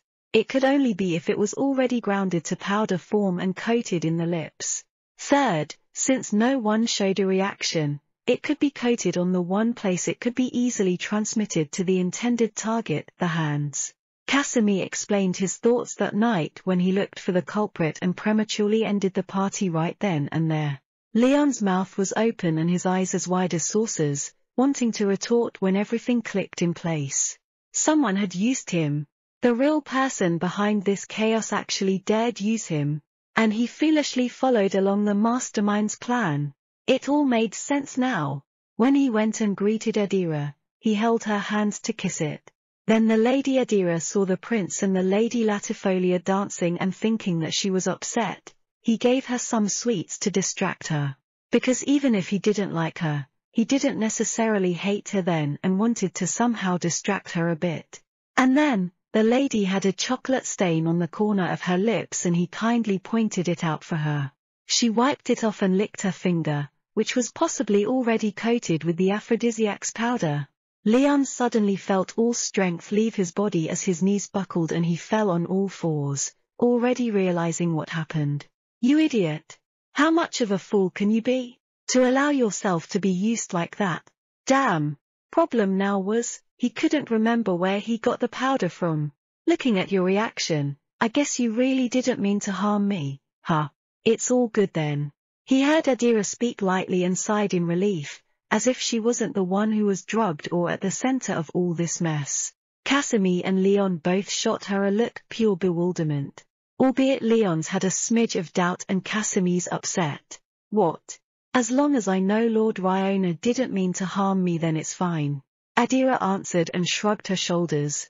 She had been too nervous thinking how she got on his bad side unknowingly when she's supposed to be gathering their loyalty for when she takes the throne with Casimir.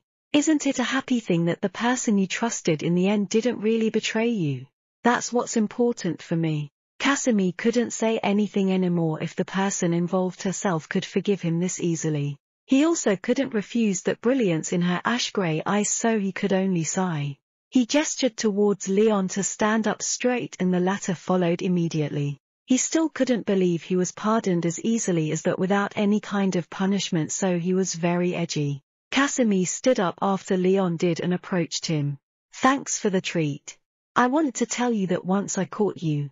Casimir whispered, careful that Adira wouldn't hear him before he drew his arms back and swung it so hard Leon flew all the way back to the wall. That was for drugging her. Stand up, Riona. And Leon did as he was commanded.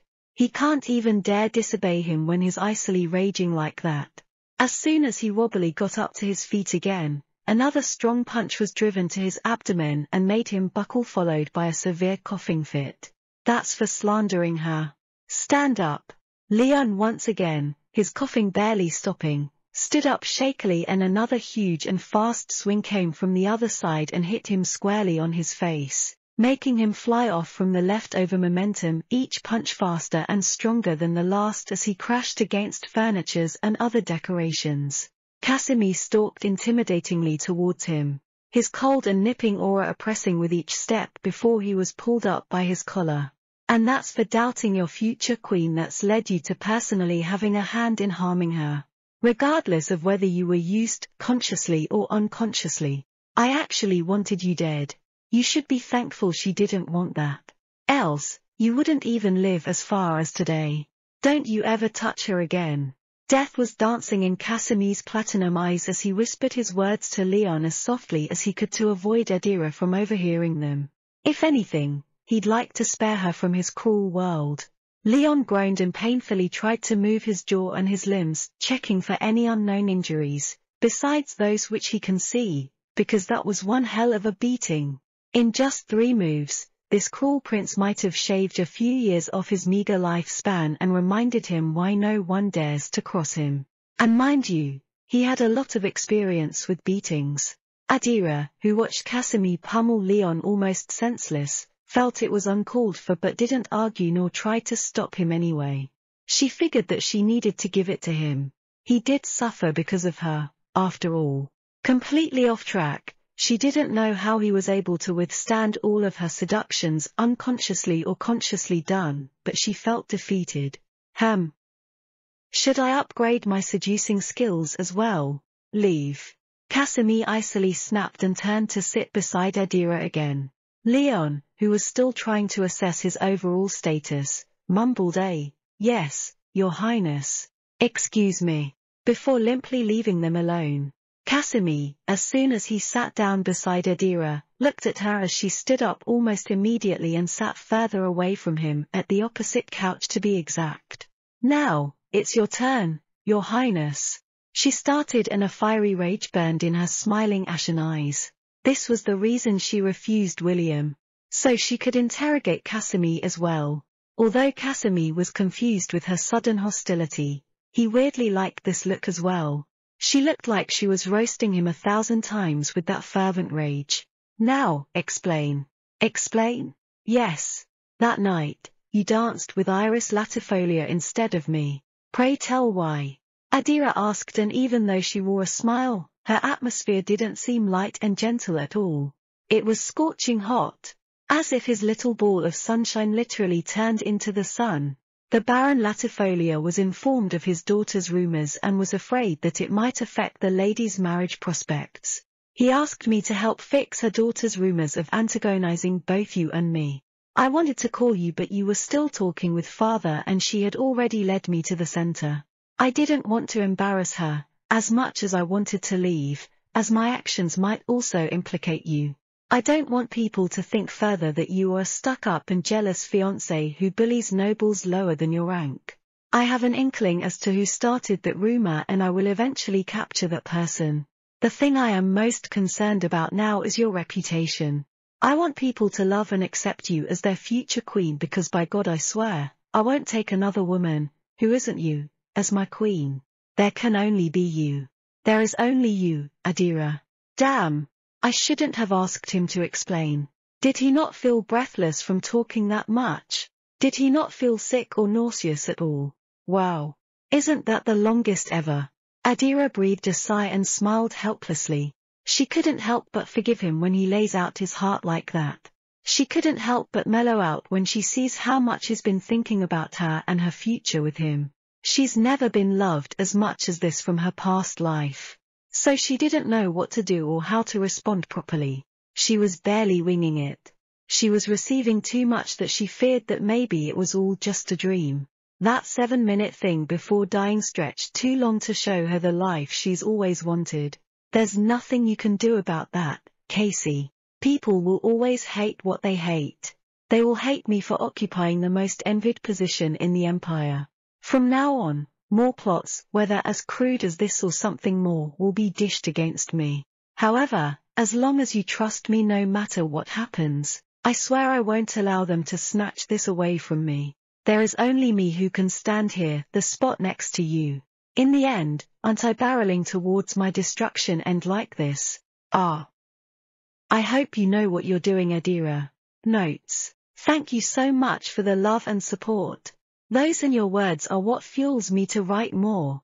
And your comments are a hell lot of fun to read. Thank you. How to shut her up. I assume you have an idea on who started all this, don't you? Casimir, who was watching Adira fall into her own thoughts again, asked. The latter looked up to him but didn't really say anything. She knew that Casimir would believe her and she never doubted that. What she was concerned about was, how does she prove it? I do but I don't know how to prove it. I'm sure that by now that person would have destroyed the evidence. I would do that if it were me. She answered him and casually leaned back on the couch's backrest, feeling drained from all the thinking and scheming and emotional turmoil she was experiencing. I need to go see Heisa. I'm going away for a while. She suddenly spoke and bolted up. Casimir, although confused with the sudden fluctuations in her mood, followed after her and they returned to her temporary room where the growing dragon was lazing about. The moment he heard the clacking of heels approaching and smelled his mother's strawberry scent, he packed up and was already lying in wait in front of the door so that it was him his mother sees first as soon as she opens the door. And indeed he was. Adira dove to have Heisa in her arms and snuggled against him. Even back from her past life, whenever she got tired, stressed or confused, she always ran to Heisa and rode him to the skies to escape the place for a short while. Heisa, take me away. She whispered and her son didn't even hesitate before bolting out the balcony and flying out of the room with Adira still clinging as tightly as she could. Casimir and Lifa were taken off guard and the former couldn't stop Heisa in time as the dragon took Adira with him and flew high up to the sky.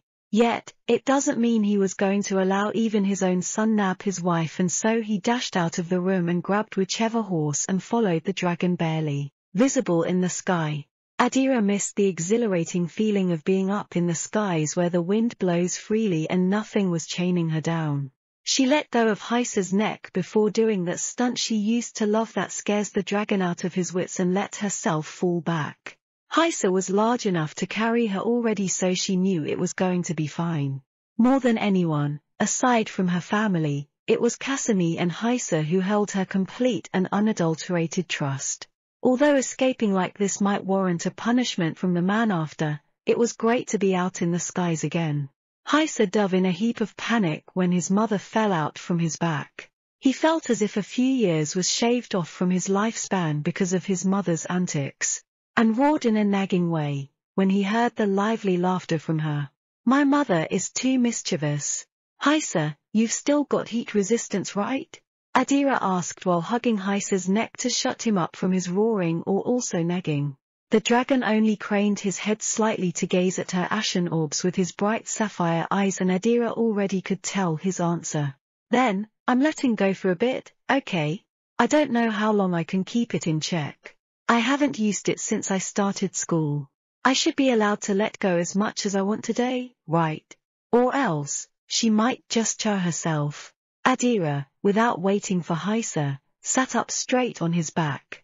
It was a lot harder to do so since she was wearing a dress and dresses flap a lot against the wind.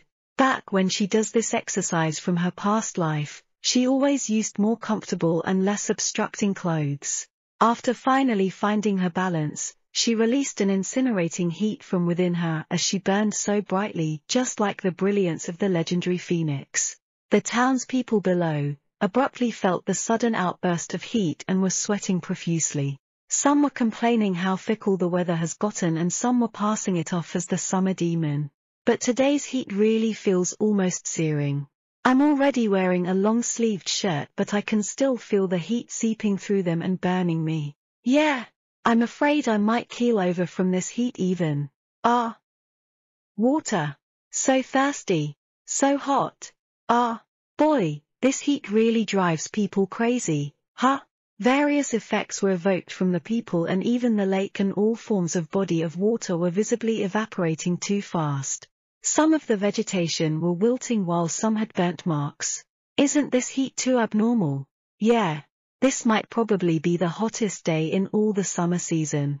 While Adira who was letting loose up above them finally felt more relaxed and more clear-headed before snaking her arms around Heisa's neck feeling the burning hotness. His scales retained and asked him to land somewhere inconspicuous.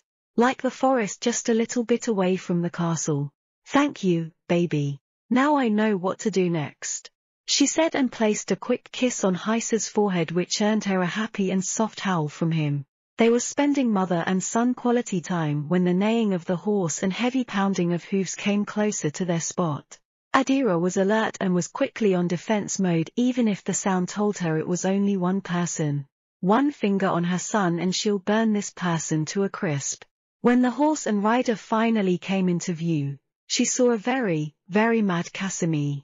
The same expression he wore when he flared at Triton back at the camping site. Um, what do you think you were doing? He sounded calm but he didn't look calm. She could even almost hear the rumbling of the brewing blizzard threatening to swallow her whole. I couldn't think well. I needed to escape for a while. I'm sorry. But please don't blame Heisa. I ordered him so please, don't punish or take Heisa away from me. Do you not trust me? I do. I trust you with every bit of my soul.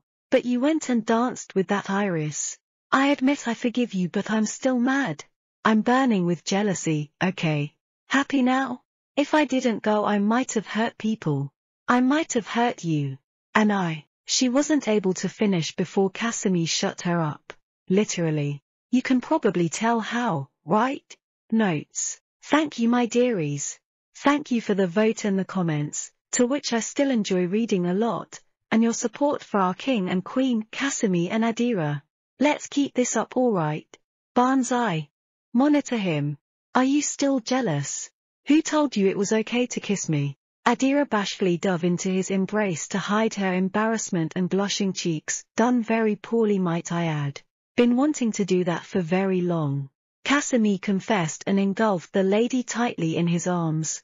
Her petite little form fit so perfectly right inside his embrace. Everything, no matter how messy things may seem right now, seemed perfect, at least that moment felt perfect.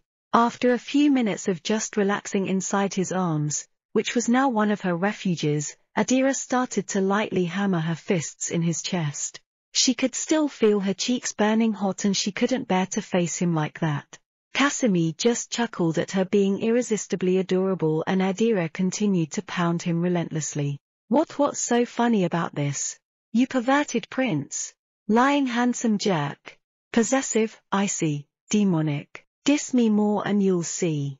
Casimir threatened her and she immediately zipped her mouth shut, of course, much to our prince's dismay. He turned solemn and caressed her head lovingly before whispering, It's only you, Adira. Remember that. He reassured her once again and placed a kiss on her head. Oh well, he'll just have to wait till she gets used with kisses. They have all the time, after all, so there's no hurry. Ah, I almost forgot. Casey, I want Leon on my security detail. She spoke and it was Casimir's turn to be shocked and stopped. What the hell is this woman thinking? He thought and immediately a frown covered his face. He cannot allow this request. Ever. Not just long ago, the man harmed her and now she wants him as a bodyguard. Wait. Hear me out first. I need him close to me so I can monitor him. Haven't you heard of a phrase keep your friends close and your enemies closer? So I need to know what he does, who he talks to, and where he goes. You'll allow me that, right? You'll give me one of your aides, right? Choose someone else. Please Cassie Tilda. No. Cassie Tilda. Please Tilda. No. Your Highness. My king. Casimir stopped and turned to her, desperately trying to stop himself from agreeing to her unreasonable request even if she bats her eyes adorably like that or even if she looks up to him with cute upturned eyes almost like a whiny cat. He must stand tall. He must stand his ground. You even stole a kiss from me. Okay. Adira beamed and cheered jocosely upon hearing Casimi's answer and danced a little happy dance. Damn this woman. But I'll also give Alexander to you. Alexander? Why not William? I'm well acquainted with him and he seems very trustworthy. She asked with a confused tilt of her head. However, Casimi kept his lips sealed. Yes, William was trustworthy and will definitely keep Adira safe but is a threat in another sense. Okay, if you want to give this Alexander person, then it's your call. Adira chose to compromise with a panicked look upon seeing Casimi's expression gradually turning wintry. She was afraid he might retract his earlier compromise. She really needs to get Leon's trust and loyalty so she'll have someone who keeps tabs on Iris' moves. Cause, she's as sure as hell it was Iris' scheme this time again. Really, you just refuse to give up, huh? Ah.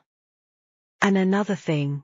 At Adira's sudden addition, Casimi steeled himself and braced for another unreasonable request from her when what came out of her mouth stunned him for a good few seconds. Will you also give me the future king?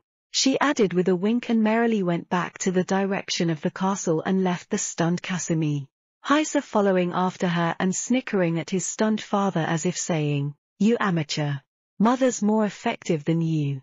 She was blatantly and shamelessly flirting back with him from now on, deciding that she might need to upgrade her seduction skills as well.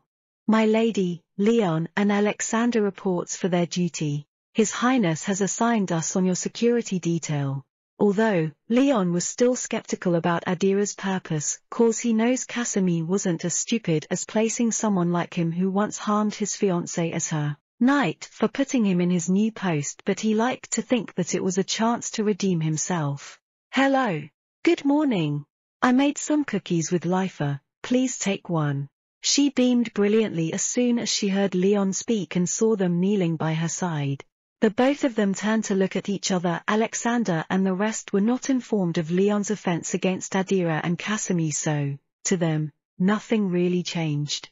They were asking themselves wordlessly if they should or should not. Please?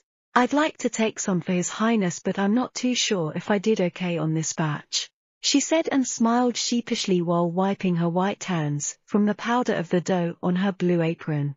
This lady isn't your typical lady at all. Which lady, a duke's daughter even, would dirty their hands like this and wear a blue apron? Weren't they supposed to like pink? The lady doesn't like pink, huh? Alexander spoke and answered his lady's request and partook in the cookies she baked. And he must say, she did a very good job. It was exquisitely delicious. Oh. Yes, I particularly hate pink. Too girly for my tastes. She smiled. Leon, who watched Alex enjoying the cookies, also took one and reluctantly ate it. Well, she was a good chef. She made such delicious cookies and was even worried with it. She would even shame the pastry shops in the capital with these cookies she made. It's very delicious, my lady. Leon managed to voice out his thoughts before he lost his focus with the ambrosial taste of the cookies. Don't worry. His Highness will like it without doubt, my lady. You've basically kept a tight leash on that guy. No matter what, he'll always agree to you. Alexander added and took a few more, subtly glancing at Adira for permission while Leon was already addicted with the cookies and was practically begging for more. He can't help it. Adira does make addictive snacks and sweets. And no, they don't contain those harmful substances. Adira smiled and handed everything for them to finish. Since she was very confident with her pastry, she already set some aside for Heisa and Casimir of course. Not that those two ever complained on anything she made. Heck, she could serve them burnt cupcakes or whatnot and they will still happily eat all of it. She only said those things so they would feel compelled to taste and eat the cookies she specifically made for them. Lifa was aware of this but didn't say anything with her mistress' blatant lie. After all, it wasn't the first time she did this, lying so naturally in their faces. Lifa watched the men take their time savoring the snacks her mistress made for them and then thought, is she bribing them through their stomach to be loyal to her? Wow. My lady, you really are something, huh? Lifa thought and turned an incredulous look towards Adira, who also watched the men stuff their cheeks with the snacks, as the smile on her face twitched. Adira, who noticed her do this, smiled mischievously with a wink that told her, the best way to a man's heart is through his stomach, right? I'll be taking your pawn for myself, Iris. Alexander Vorai. Adira's days, more or less, was still her same old routine. She had already returned back to the Silverus fief with her parents and got frequent visits from Casimir. Alexander and Leon accompanied her back to the Silverus castle and stayed under the first prince's orders, sanctioned by the king himself. Well, that's one supportive father he's got there. Alexander thought while accompanying Adira around the garden. She was walking aimlessly through the maze, or so he thought, but they actually came out on another exit, hidden perfectly well that if one didn't know about it, they'd likely just pass by it. However, Adira purposely led him and allowed him to have knowledge on this secret.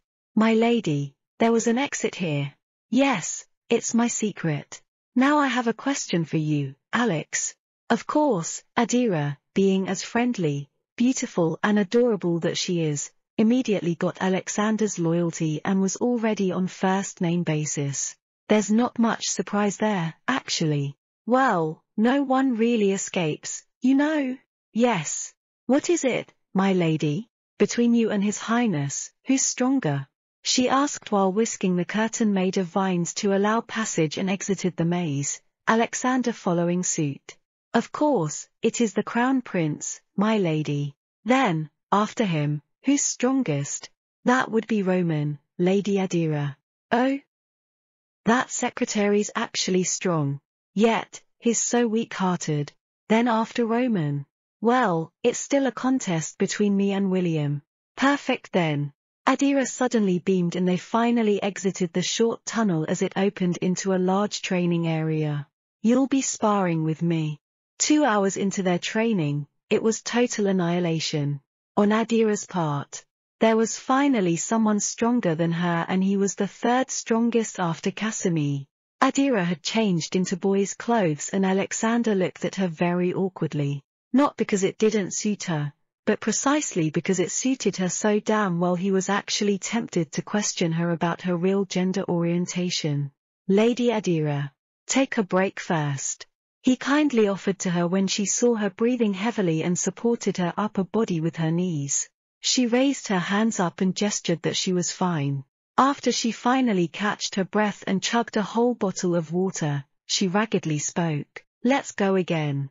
Alexander, who couldn't refuse, took his stance and waited for her to lunge forward and attack him. All the while, he had only been defending against her attacks and deflecting some when he's able. But there were also times that he felt an odd sensation as if a humongous pitch-black monster was lying in wait, watching, studying and calculating his every move with its big ash-like eyes that could burn him any minute. It was those times that he unwittingly counterattacked and threw his lady over his shoulder or pushed her with more strength than necessary or even almost breaking her arm. As he twisted it towards her back, he felt his heart rapidly beat as beads of sweat rolled down from his temples. While he was waiting, Adira was simulating lots of combinations she could use and soft spots she could exploit. She also took into account Alexander's subtle habits like he always, without fail, starts a kick with his right foot. However that was all it was, simulations. All that's left now is how to smoothly perform those simulations and at least get a hit in. She lunged forward and Alexander braced himself for Adira's opening move a big swing from the left. But she didn't. Instead she ducked to his right and swung her foot in an attempt to sweep him off. Alexander, reacted fast enough and leapt to avoid her and jumped away to place distance between them but Adira chased him. She sent punches after punches, kicks after kicks but every single one of them was blocked by Alexander. When she caught his head and was about to drive her knee to his face, Alexander immediately placed a defense up but nothing came when she fluidly climbed up on his shoulders wrapping her legs around his neck, pulled his head back to expose his throat and was about to place a claw on it. Alexander, greatly alarmed at her fast growth rate and how she picked things up too fast, caught her hand and wasn't able to think properly when he pulled her down too hard and threw her off. Adira landed on the ground too painfully that the impact took her breath away and she coughed as she groaned. Dear Lord, I am so sorry, my lady. I didn't mean to harshly pull you like that. Oh, the Lord of Darkness will surely swallow me whole. He sputtered in a ball of panic while hurriedly helping Adira up and was about to rush her back to the castle when she hit his chest to attract his attention. I'm fine. She managed to say in between her coughs. But my lady, send me back and his highness will know. And if he knows, you will surely lose your neck. Do you want that? She tried scaring him.